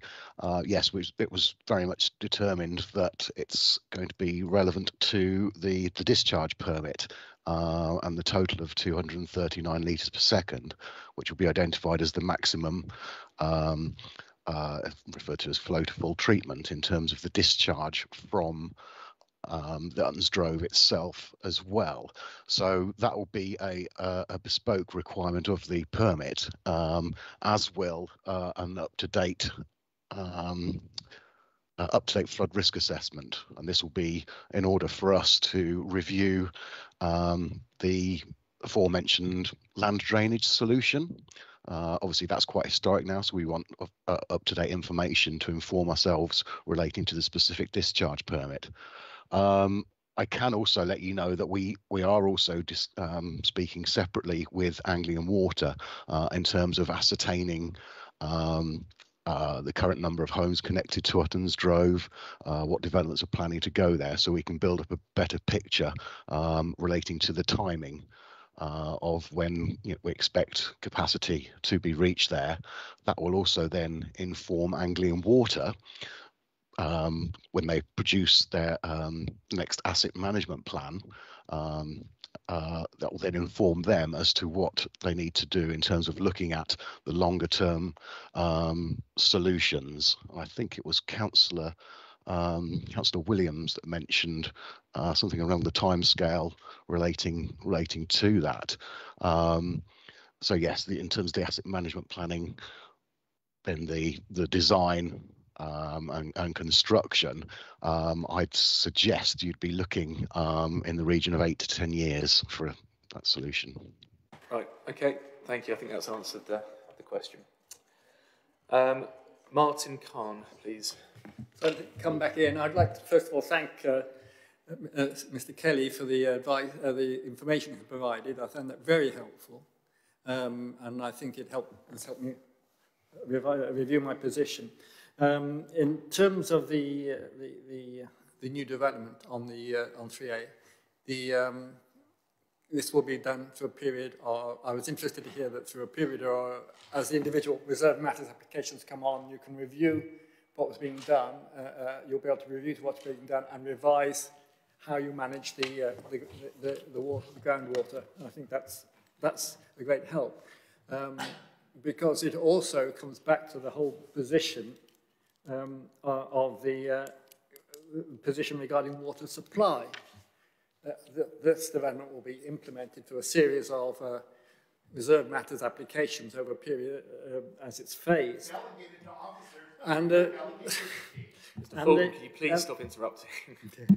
um, so I, I think it's important to make it clear that we would be needing to look at uh, water supply as reserve matters come on. Uh, and some way, I think it's important that if we, the application is approved, that that's made clear. Maybe simply through an advisory to say that as information becomes available, um, the position of water supply may affect the phasing uh, and speed of the phasing of the development. Um, I, I, say that with a bit of reservation because I remember for, nearly 50 years ago when I was living in this area shortly. There was a problem with water supply in this area then. Water shortage is a, is a, is a persistent thing in this area because we get less rainfall in the east of England than, uh, and there was lots of talk about transferring water from the west to the east. There was talk about what they called the Great Contour Canal, which was going to bring water from the west or the, or the Pennines down to this area to supply water. So it is a problem, uh, and it's not been resolved. Uh, so I am aware that there may still be a problem uh, during the duration of this. So I think we need to have something which says something about it. Uh, I realise that it's not our responsibility to supply that. And if they say they're going to supply it, we have to take the statutory body's responsibility. But I think um, situations may change and we have to be aware of that. Um, in terms of sewage, the position regarding uh, the pumping stations and the two pumping stations, the total water produced by the two pumping stations will be the same, so the same the amount of water discharged into the Ouse will be the same, whatever's happened. It may just be where it's actually discharged. The problem seems to me the problem that was raised was a problem about the amount of discharge that they pumped into the river. Uh, and that is a that, that is a problem which the Internal Drainage Board is worried about. The pumps are not large enough for doing, uh, uh, are not large enough to do more than a certain amount. That seems to be an argument between Anglian Water and the Internal Drainage Board, not between us and the Internal Drainage Board. The, the, they are worried about being able to pro provide the discharge that they require. Uh, uh, and that's an argument. Um, Anglian Water said they can do it. Uh, I don't really, on consideration, I'm not sure that we have a say in this. It's unfortunate. It is a concern, but it's not something that really we can do through the planning system, and I think I agree with that point. Um, so, uh, I, again, it's perhaps an advisory to, to note that there's a problem, but it's not something that we can resolve. Um, okay, thank you for that. I have two more speakers now, and then I think we can probably finish. Councillor Richard Williams, please. I, am sorry, but, but, but with the greatest of respect, I don't think we can sit here and say we have an expert in the room who has told us there's a real problem here. Uh, the Environment Agency, I, very much respect their view, but they're not the people on the ground, and I think it's fairly obvious from what we've just heard that they don't have as detailed an understanding of this problem as the person who actually deals with it and is telling us this is a real problem. I don't think as a council we can just say, oh, it's nothing to do with us. We're just the local planning authority. We just granted permission for another 4,000 houses. Nothing to do with us. I, we could, what is the point of us? Yeah. These are material considerations. We do have a choice. Otherwise, as Councillor Roberts said, we might mm. as well have packed up at five past ten this morning if we really have no choice about this planning application. These matters are material considerations we can take a view on them, and we have an expert in the room, specifically on the point of the foul water drainage, telling us that there is a significant problem here and that we cannot be, on, on, on the expert's evidence, satisfied that this development can be approved in a way that doesn't have severely detrimental um, impacts on the environment for the foul water drainage reasons we've seen. As we are perfectly entitled to take the view, and as I do take the view, um, that, you know, I'm not satisfied that the impacts on groundwater have been adequately dealt with. So, uh, you know, I, I, I respect the good faith of members to, to reach different views on this. Some of us may vote to approve, some of us may vote uh, to uh, re refuse. I will be voting to refuse. But I don't think we, we can do it on the basis that it's nothing to do with us. It's just an argument between two other agencies. We're just the local planning authority. It's not our job it is our job and we have to decide. I would respect decisions on either side, but I don't think we can pretend they're not decisions from for us. Thank you. Thank you very much. Councillor Harvey, please. Yes, thank you, Chair. Um, well, first I'd like to thank, um, I think it was um, our officers for um, sort of flagging uh, condition 41, because I think that does give me some comfort um, that these problems are reviewed prior to each phase. And, and I, I guess addressing my sort of concern that um, you know, have several major developments who might be competing for a limited resource, I, I suppose um, those are also phased. Um, and therefore, there is an ongoing opportunity to um, reassess it. But could, could you just confirm that uh, in relation to um, condition 41, um, there is this assessment of capacity not only for the subsequent phases but also for the first phase because I think obviously that would give a, a kind of more confidence that um, nothing will have changed between today and, and the next kind of step in the process, if you like, um, that we would have then had um, a, a, reiteration of um, confidence from the Environment Agency that capacity exists uh, and backed up by Anglian Water. Just ask Mr Kelly to come back on that. Thank you. The condition 41 is framed um, uh, that prior to the commencement of the development, so it would be expected to address the issues um, before anything happened uh, on any of the development parcels.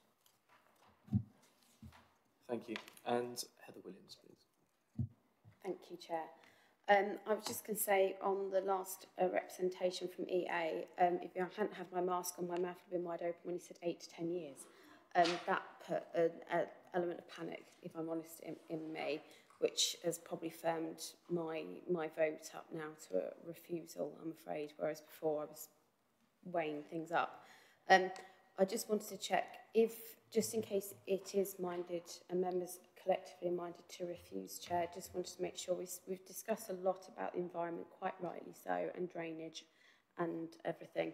But I do think that the scale parameter plans with the heights, that they really do need to, for me, that is equally a really big issue. And I, I think I've heard that it is for Councillor Hales as well, that that's a that's an issue. So if I could just seek, seek reassurance that that's been noted, just as other issues may have dominated.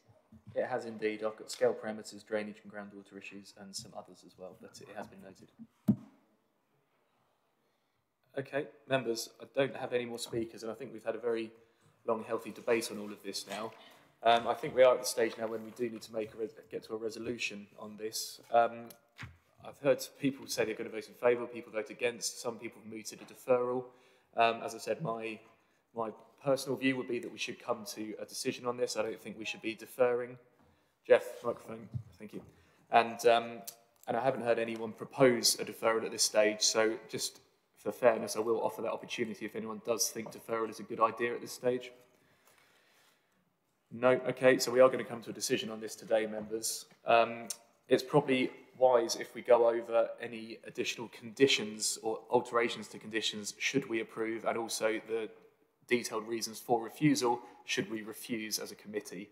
So I'm not sure how prepared officers are to, to go through those. If, if maybe if we start with the conditions, should we approve? Thank you, Chair. Obviously, there is a delegation to officers as part of the recommendation. Um, in the addendum sheet, uh, we uh, propose some uh, an alteration that we've discussed previously to condition 39 um, to um, uh, bolster that and include provisions around uh, an agreed baseline. Um, we had the conversation around condition 42, uh, which picked up on the discussions around construction management uh, routing. Uh, with your, uh, in the event that members are minded to support the recommendation, obviously the delegation is um, to uh, officers on that alongside the completion of the section 106. Mr Reid identified the potential to introduce a construction management routing plan uh, into the section 106 agreement uh, and that may well mean that elements of condition 42 might fall away particularly around that particular point, but I'd ask you to note that, uh, and the matter is um, delegated to uh, officers. The other um, uh, uh, adjustments to the conditions are contained, I believe, in the um, addendum sheet that was circulated, I think, yesterday. Um, I don't, haven't picked up, uh, Chair, any others, save for Councillor Williams and Hale's comments around the parameter plan. Mm -hmm uh, and the um, ambition that um, if commission, permission is granted, uh, that, uh, that um, uh, the matter of the two-storey dwellings uh, within that spur be uh, addressed by way of either a condition or um, uh, an adjustment to the, to the um, terms. Yeah, I think how I understood it was that um, I think members were minded should approval be granted that that particular spur that we spent some time looking at be restricted to only two stories. That's how I understood it. Yeah, has that been captured by officers? We've captured that. Good, okay. Councillor Hawkins, have I missed something? Just a quick one. I think um, there was talk about uh, the pump for uh, Swavesey IDB, because we're talking about pumping station, a new pump. I must admit that one passed so me that's by. something that was taken note of. Have officers noted that? I said, must admit that did pass by me. Thank you, Chair. There is, in the heads of terms, there is a contribution towards the pump at, um, at Webb Sluice. That's the pump. That's the pump that takes. Right. Is that the one that you're talking about? There's, there's something in the heads of terms towards that. I don't think it was Webb use. No. No. I think I, I think if the con if if the issue is about uh, a contribution towards Utton's Drove, um, uh, I don't recall the details of that conversation, but certainly um, uh, that really is a matter for the water resource management plans of Anglian Water uh, and their capital programme rather than uh, for this development on its own, um, having regard to um, the wider uh, feed-in and catchment for that facility. Tumi, do you want to come back? So it was just something that I, I maybe I misheard, but it's okay. Um, one thing I did pick up actually, I think someone at some point did ask for um, provision to review the drainage scheme should approval be granted at regular intervals to make sure what would be impl implemented is working. Uh, I think there was a suggestion around the uh, water supply side. Yeah, that's um, it. My advice would be that I think that needs to be dealt with at a strategic level because effectively, uh, in really in line with the CIL regulations, it isn't just this development that draws from the aquifer, it's every single development in Cambridgeshire uh, or in Greater Cambridgeshire. Uh, and um, the local plan and the strategic level of the local plan is really the vehicle to introduce policies that may, for example, require staircasing in terms of implementation rather than a specific site.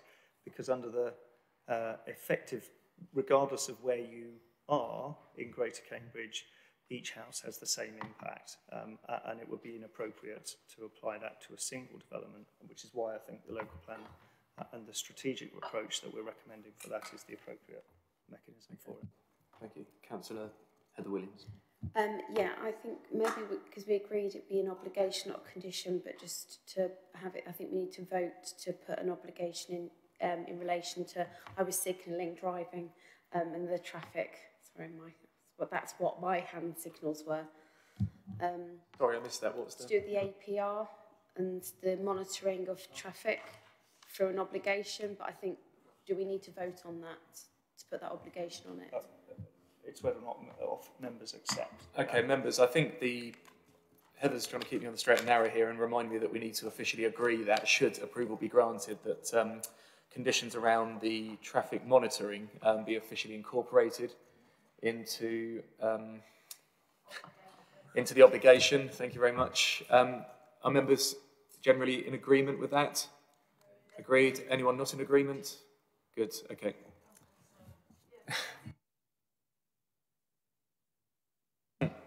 Members, I haven't jotted down any further conditions or alterations to conditions as we've been going through the debate. Have there been any that I've missed that members feel we should be including?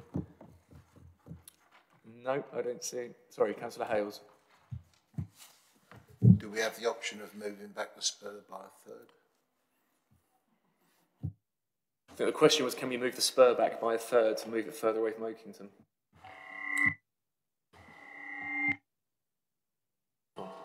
The, the, the application um, uh, in front of you with the parameter plans isn't, doesn't propose that. There has been an amendment uh, in that. And because whilst we have spoken about uh, the potential uh, for reducing the height of the buildings, a change to the parameter plan uh, of that nature um, isn't something that I would suggest is appropriate to, to consider here. Okay. All right, well, I think we've got the updated conditions should approval be granted members. So we move on to reasons for refusal should committee refuse. Um, I'm hoping officers have been jotting down official terminology as we've been going through.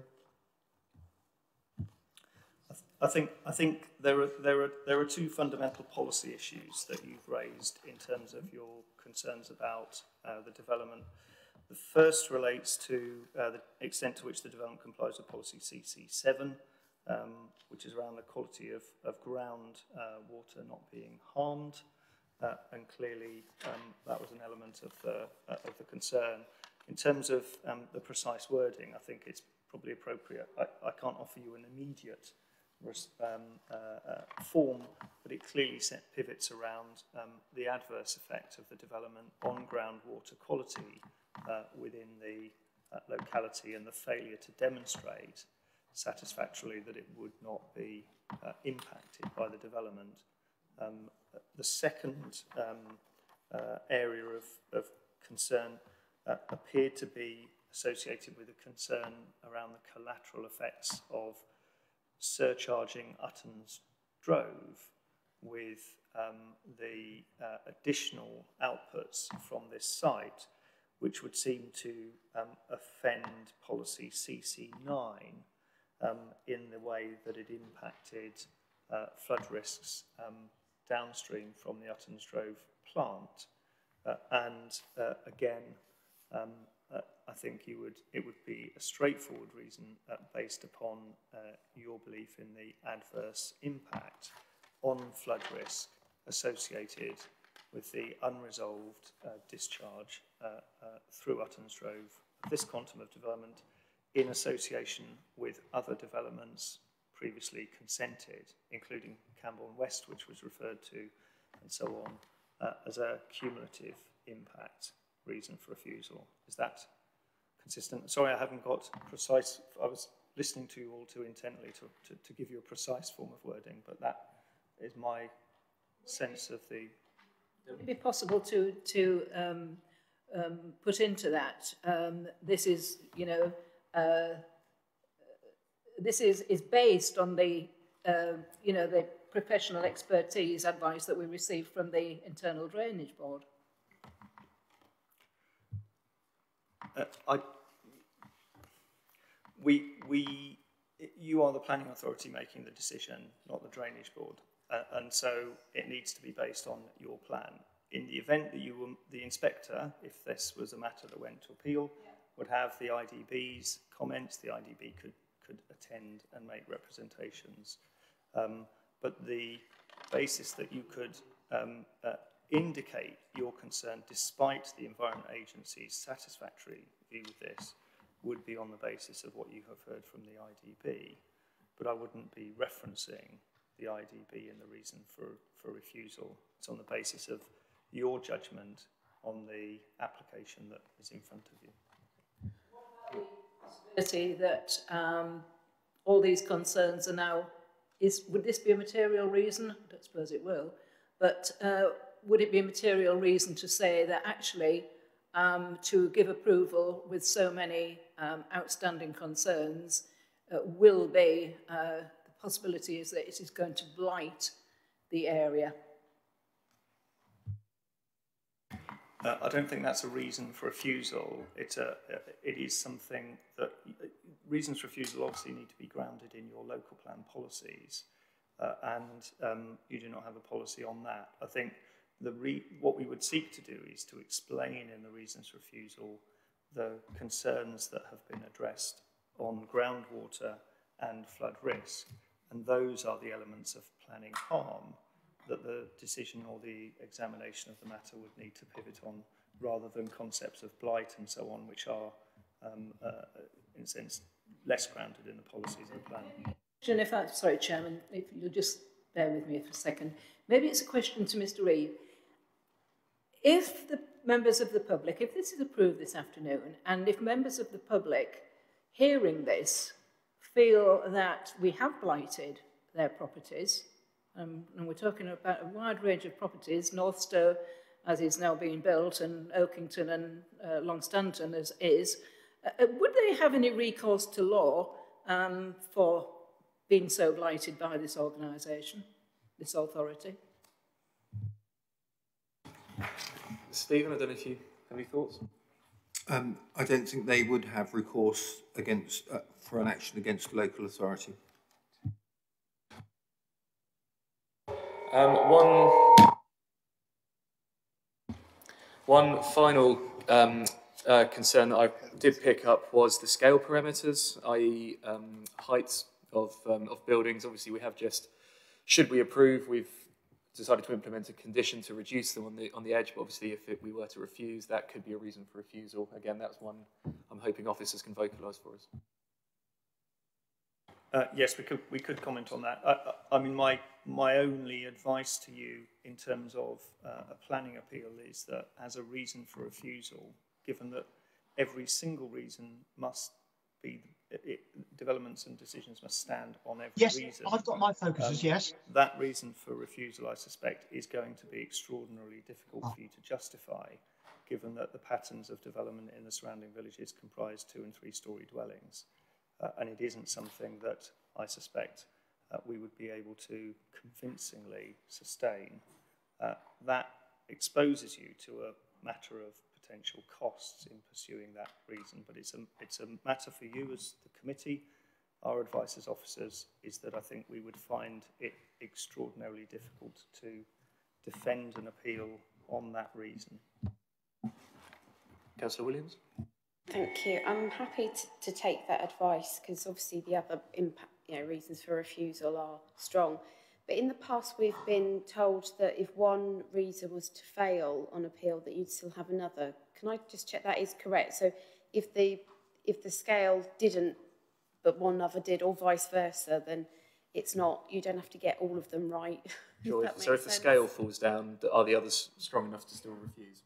So, so uh, obviously we've discussed the uh, relative strength of the of the of these um, three matters for a large part of today. Um, you're quite right. Um, the appeal, if there is one, would be contested against all three of your reasons, subject to the advice of any barrister.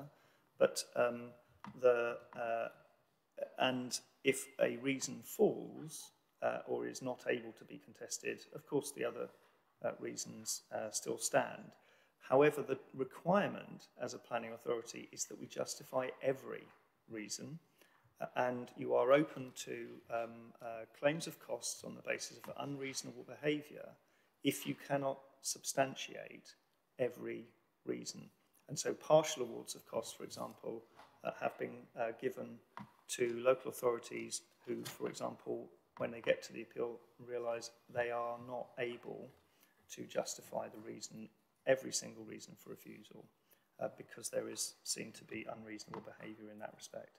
But of course, if, if ultimately another reason fell away, um, there are three reasons that we have touched upon here. Uh, each one uh, would, would remain even if one of them was struck out. You just risk um, costs in that, in okay. that space. Councillor Williams? Yeah, I was going to say because for, for me, the heights on those edges are, are really important to the sort of quality of life for the existing residents there. Um, so I'd be inclined to, actually, I think it, it could be defended on, on those grounds, I would, you would hope. Um, but, um, but yeah, I think I'd, I'd rather have more, more reasons than fewer. Sure, okay, so you're proposing to include that as a reason for refusal? Yeah, I think yeah. so. Okay, members, we're going to have to decide this as a committee. So can I ask members, um, how do we do this? Do, are members inclined to include that or does anyone not want to? Okay, I'll tell you what, Aaron, we're going to go to a vote, please. Can we, we're going to have to vote on whether to include this as a reason for refusal because we haven't got unanimity. So members, we're going to have an electronic vote now on the keypads. We're deciding whether to include scale parameters, i.e. building heights, as a reason for refusal. Should we refuse? If you wish to include it, press green. If you don't wish to include it, press red. And of course, you have the option to abstain as well.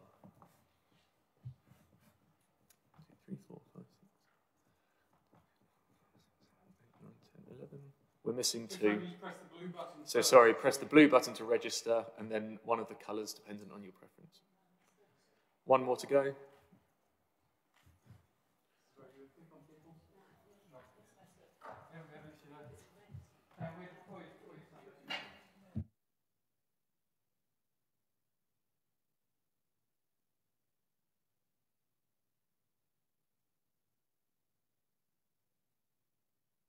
Okay, so that is it. Everyone's voted, six votes in favour, five votes against, so we will include that as a reason for refusal should, that, should we vote as a committee to refuse. Thank you. Okay, members, I think we're at that, that point in the day uh, when we can now make a decision on this. We've, we've um, rehearsed the, the, additional conditions, should we approve, and we've rehearsed the, the reasons for refusal, should we refuse. So members, we're going to go straight back to the keypads, please. Aaron, if you could set up another vote. So members, we are now voting on whether to agree with the officer's recommendation of approval. If you are in agreement, vote green. If you're not, vote red. And of course, everyone can abstain.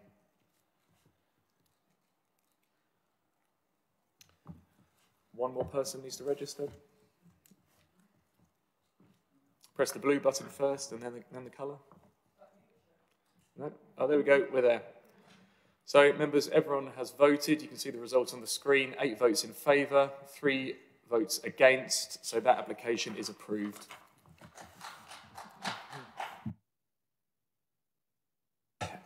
members, it's four o'clock. I fear we shouldn't really, we're not going to get through the next application, I'm afraid. Um, I'm just going to confirm.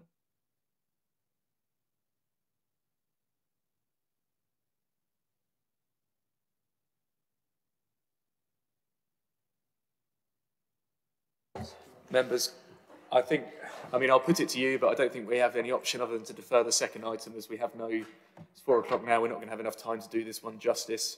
So, I mean, I'm proposing that we defer the second item, item five, which is phase 3B of Northstowe, um, until, until we reconvene at a later date to decide it. Members? Can we do next week, Chairman? Is there anything available? Not, not, not, not sure. I mean, I'm sure we can thresh out the detail, but um, I think in theory, um, everyone's shouting at me one sec.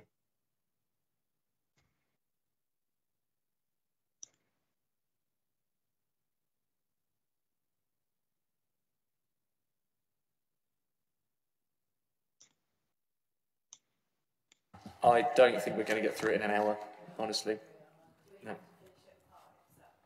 I think we have to finish in a reasonable time. Um, so members, I'm going to put that to you that we defer to a later date. Obviously, as soon as we can get it in the diary, we will. So I'm going to put that forward. Can someone second that, please? Yes, absolutely.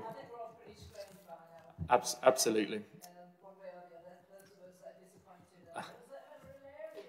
Okay, so that's been seconded. Members, are we in agreement that we defer the second item?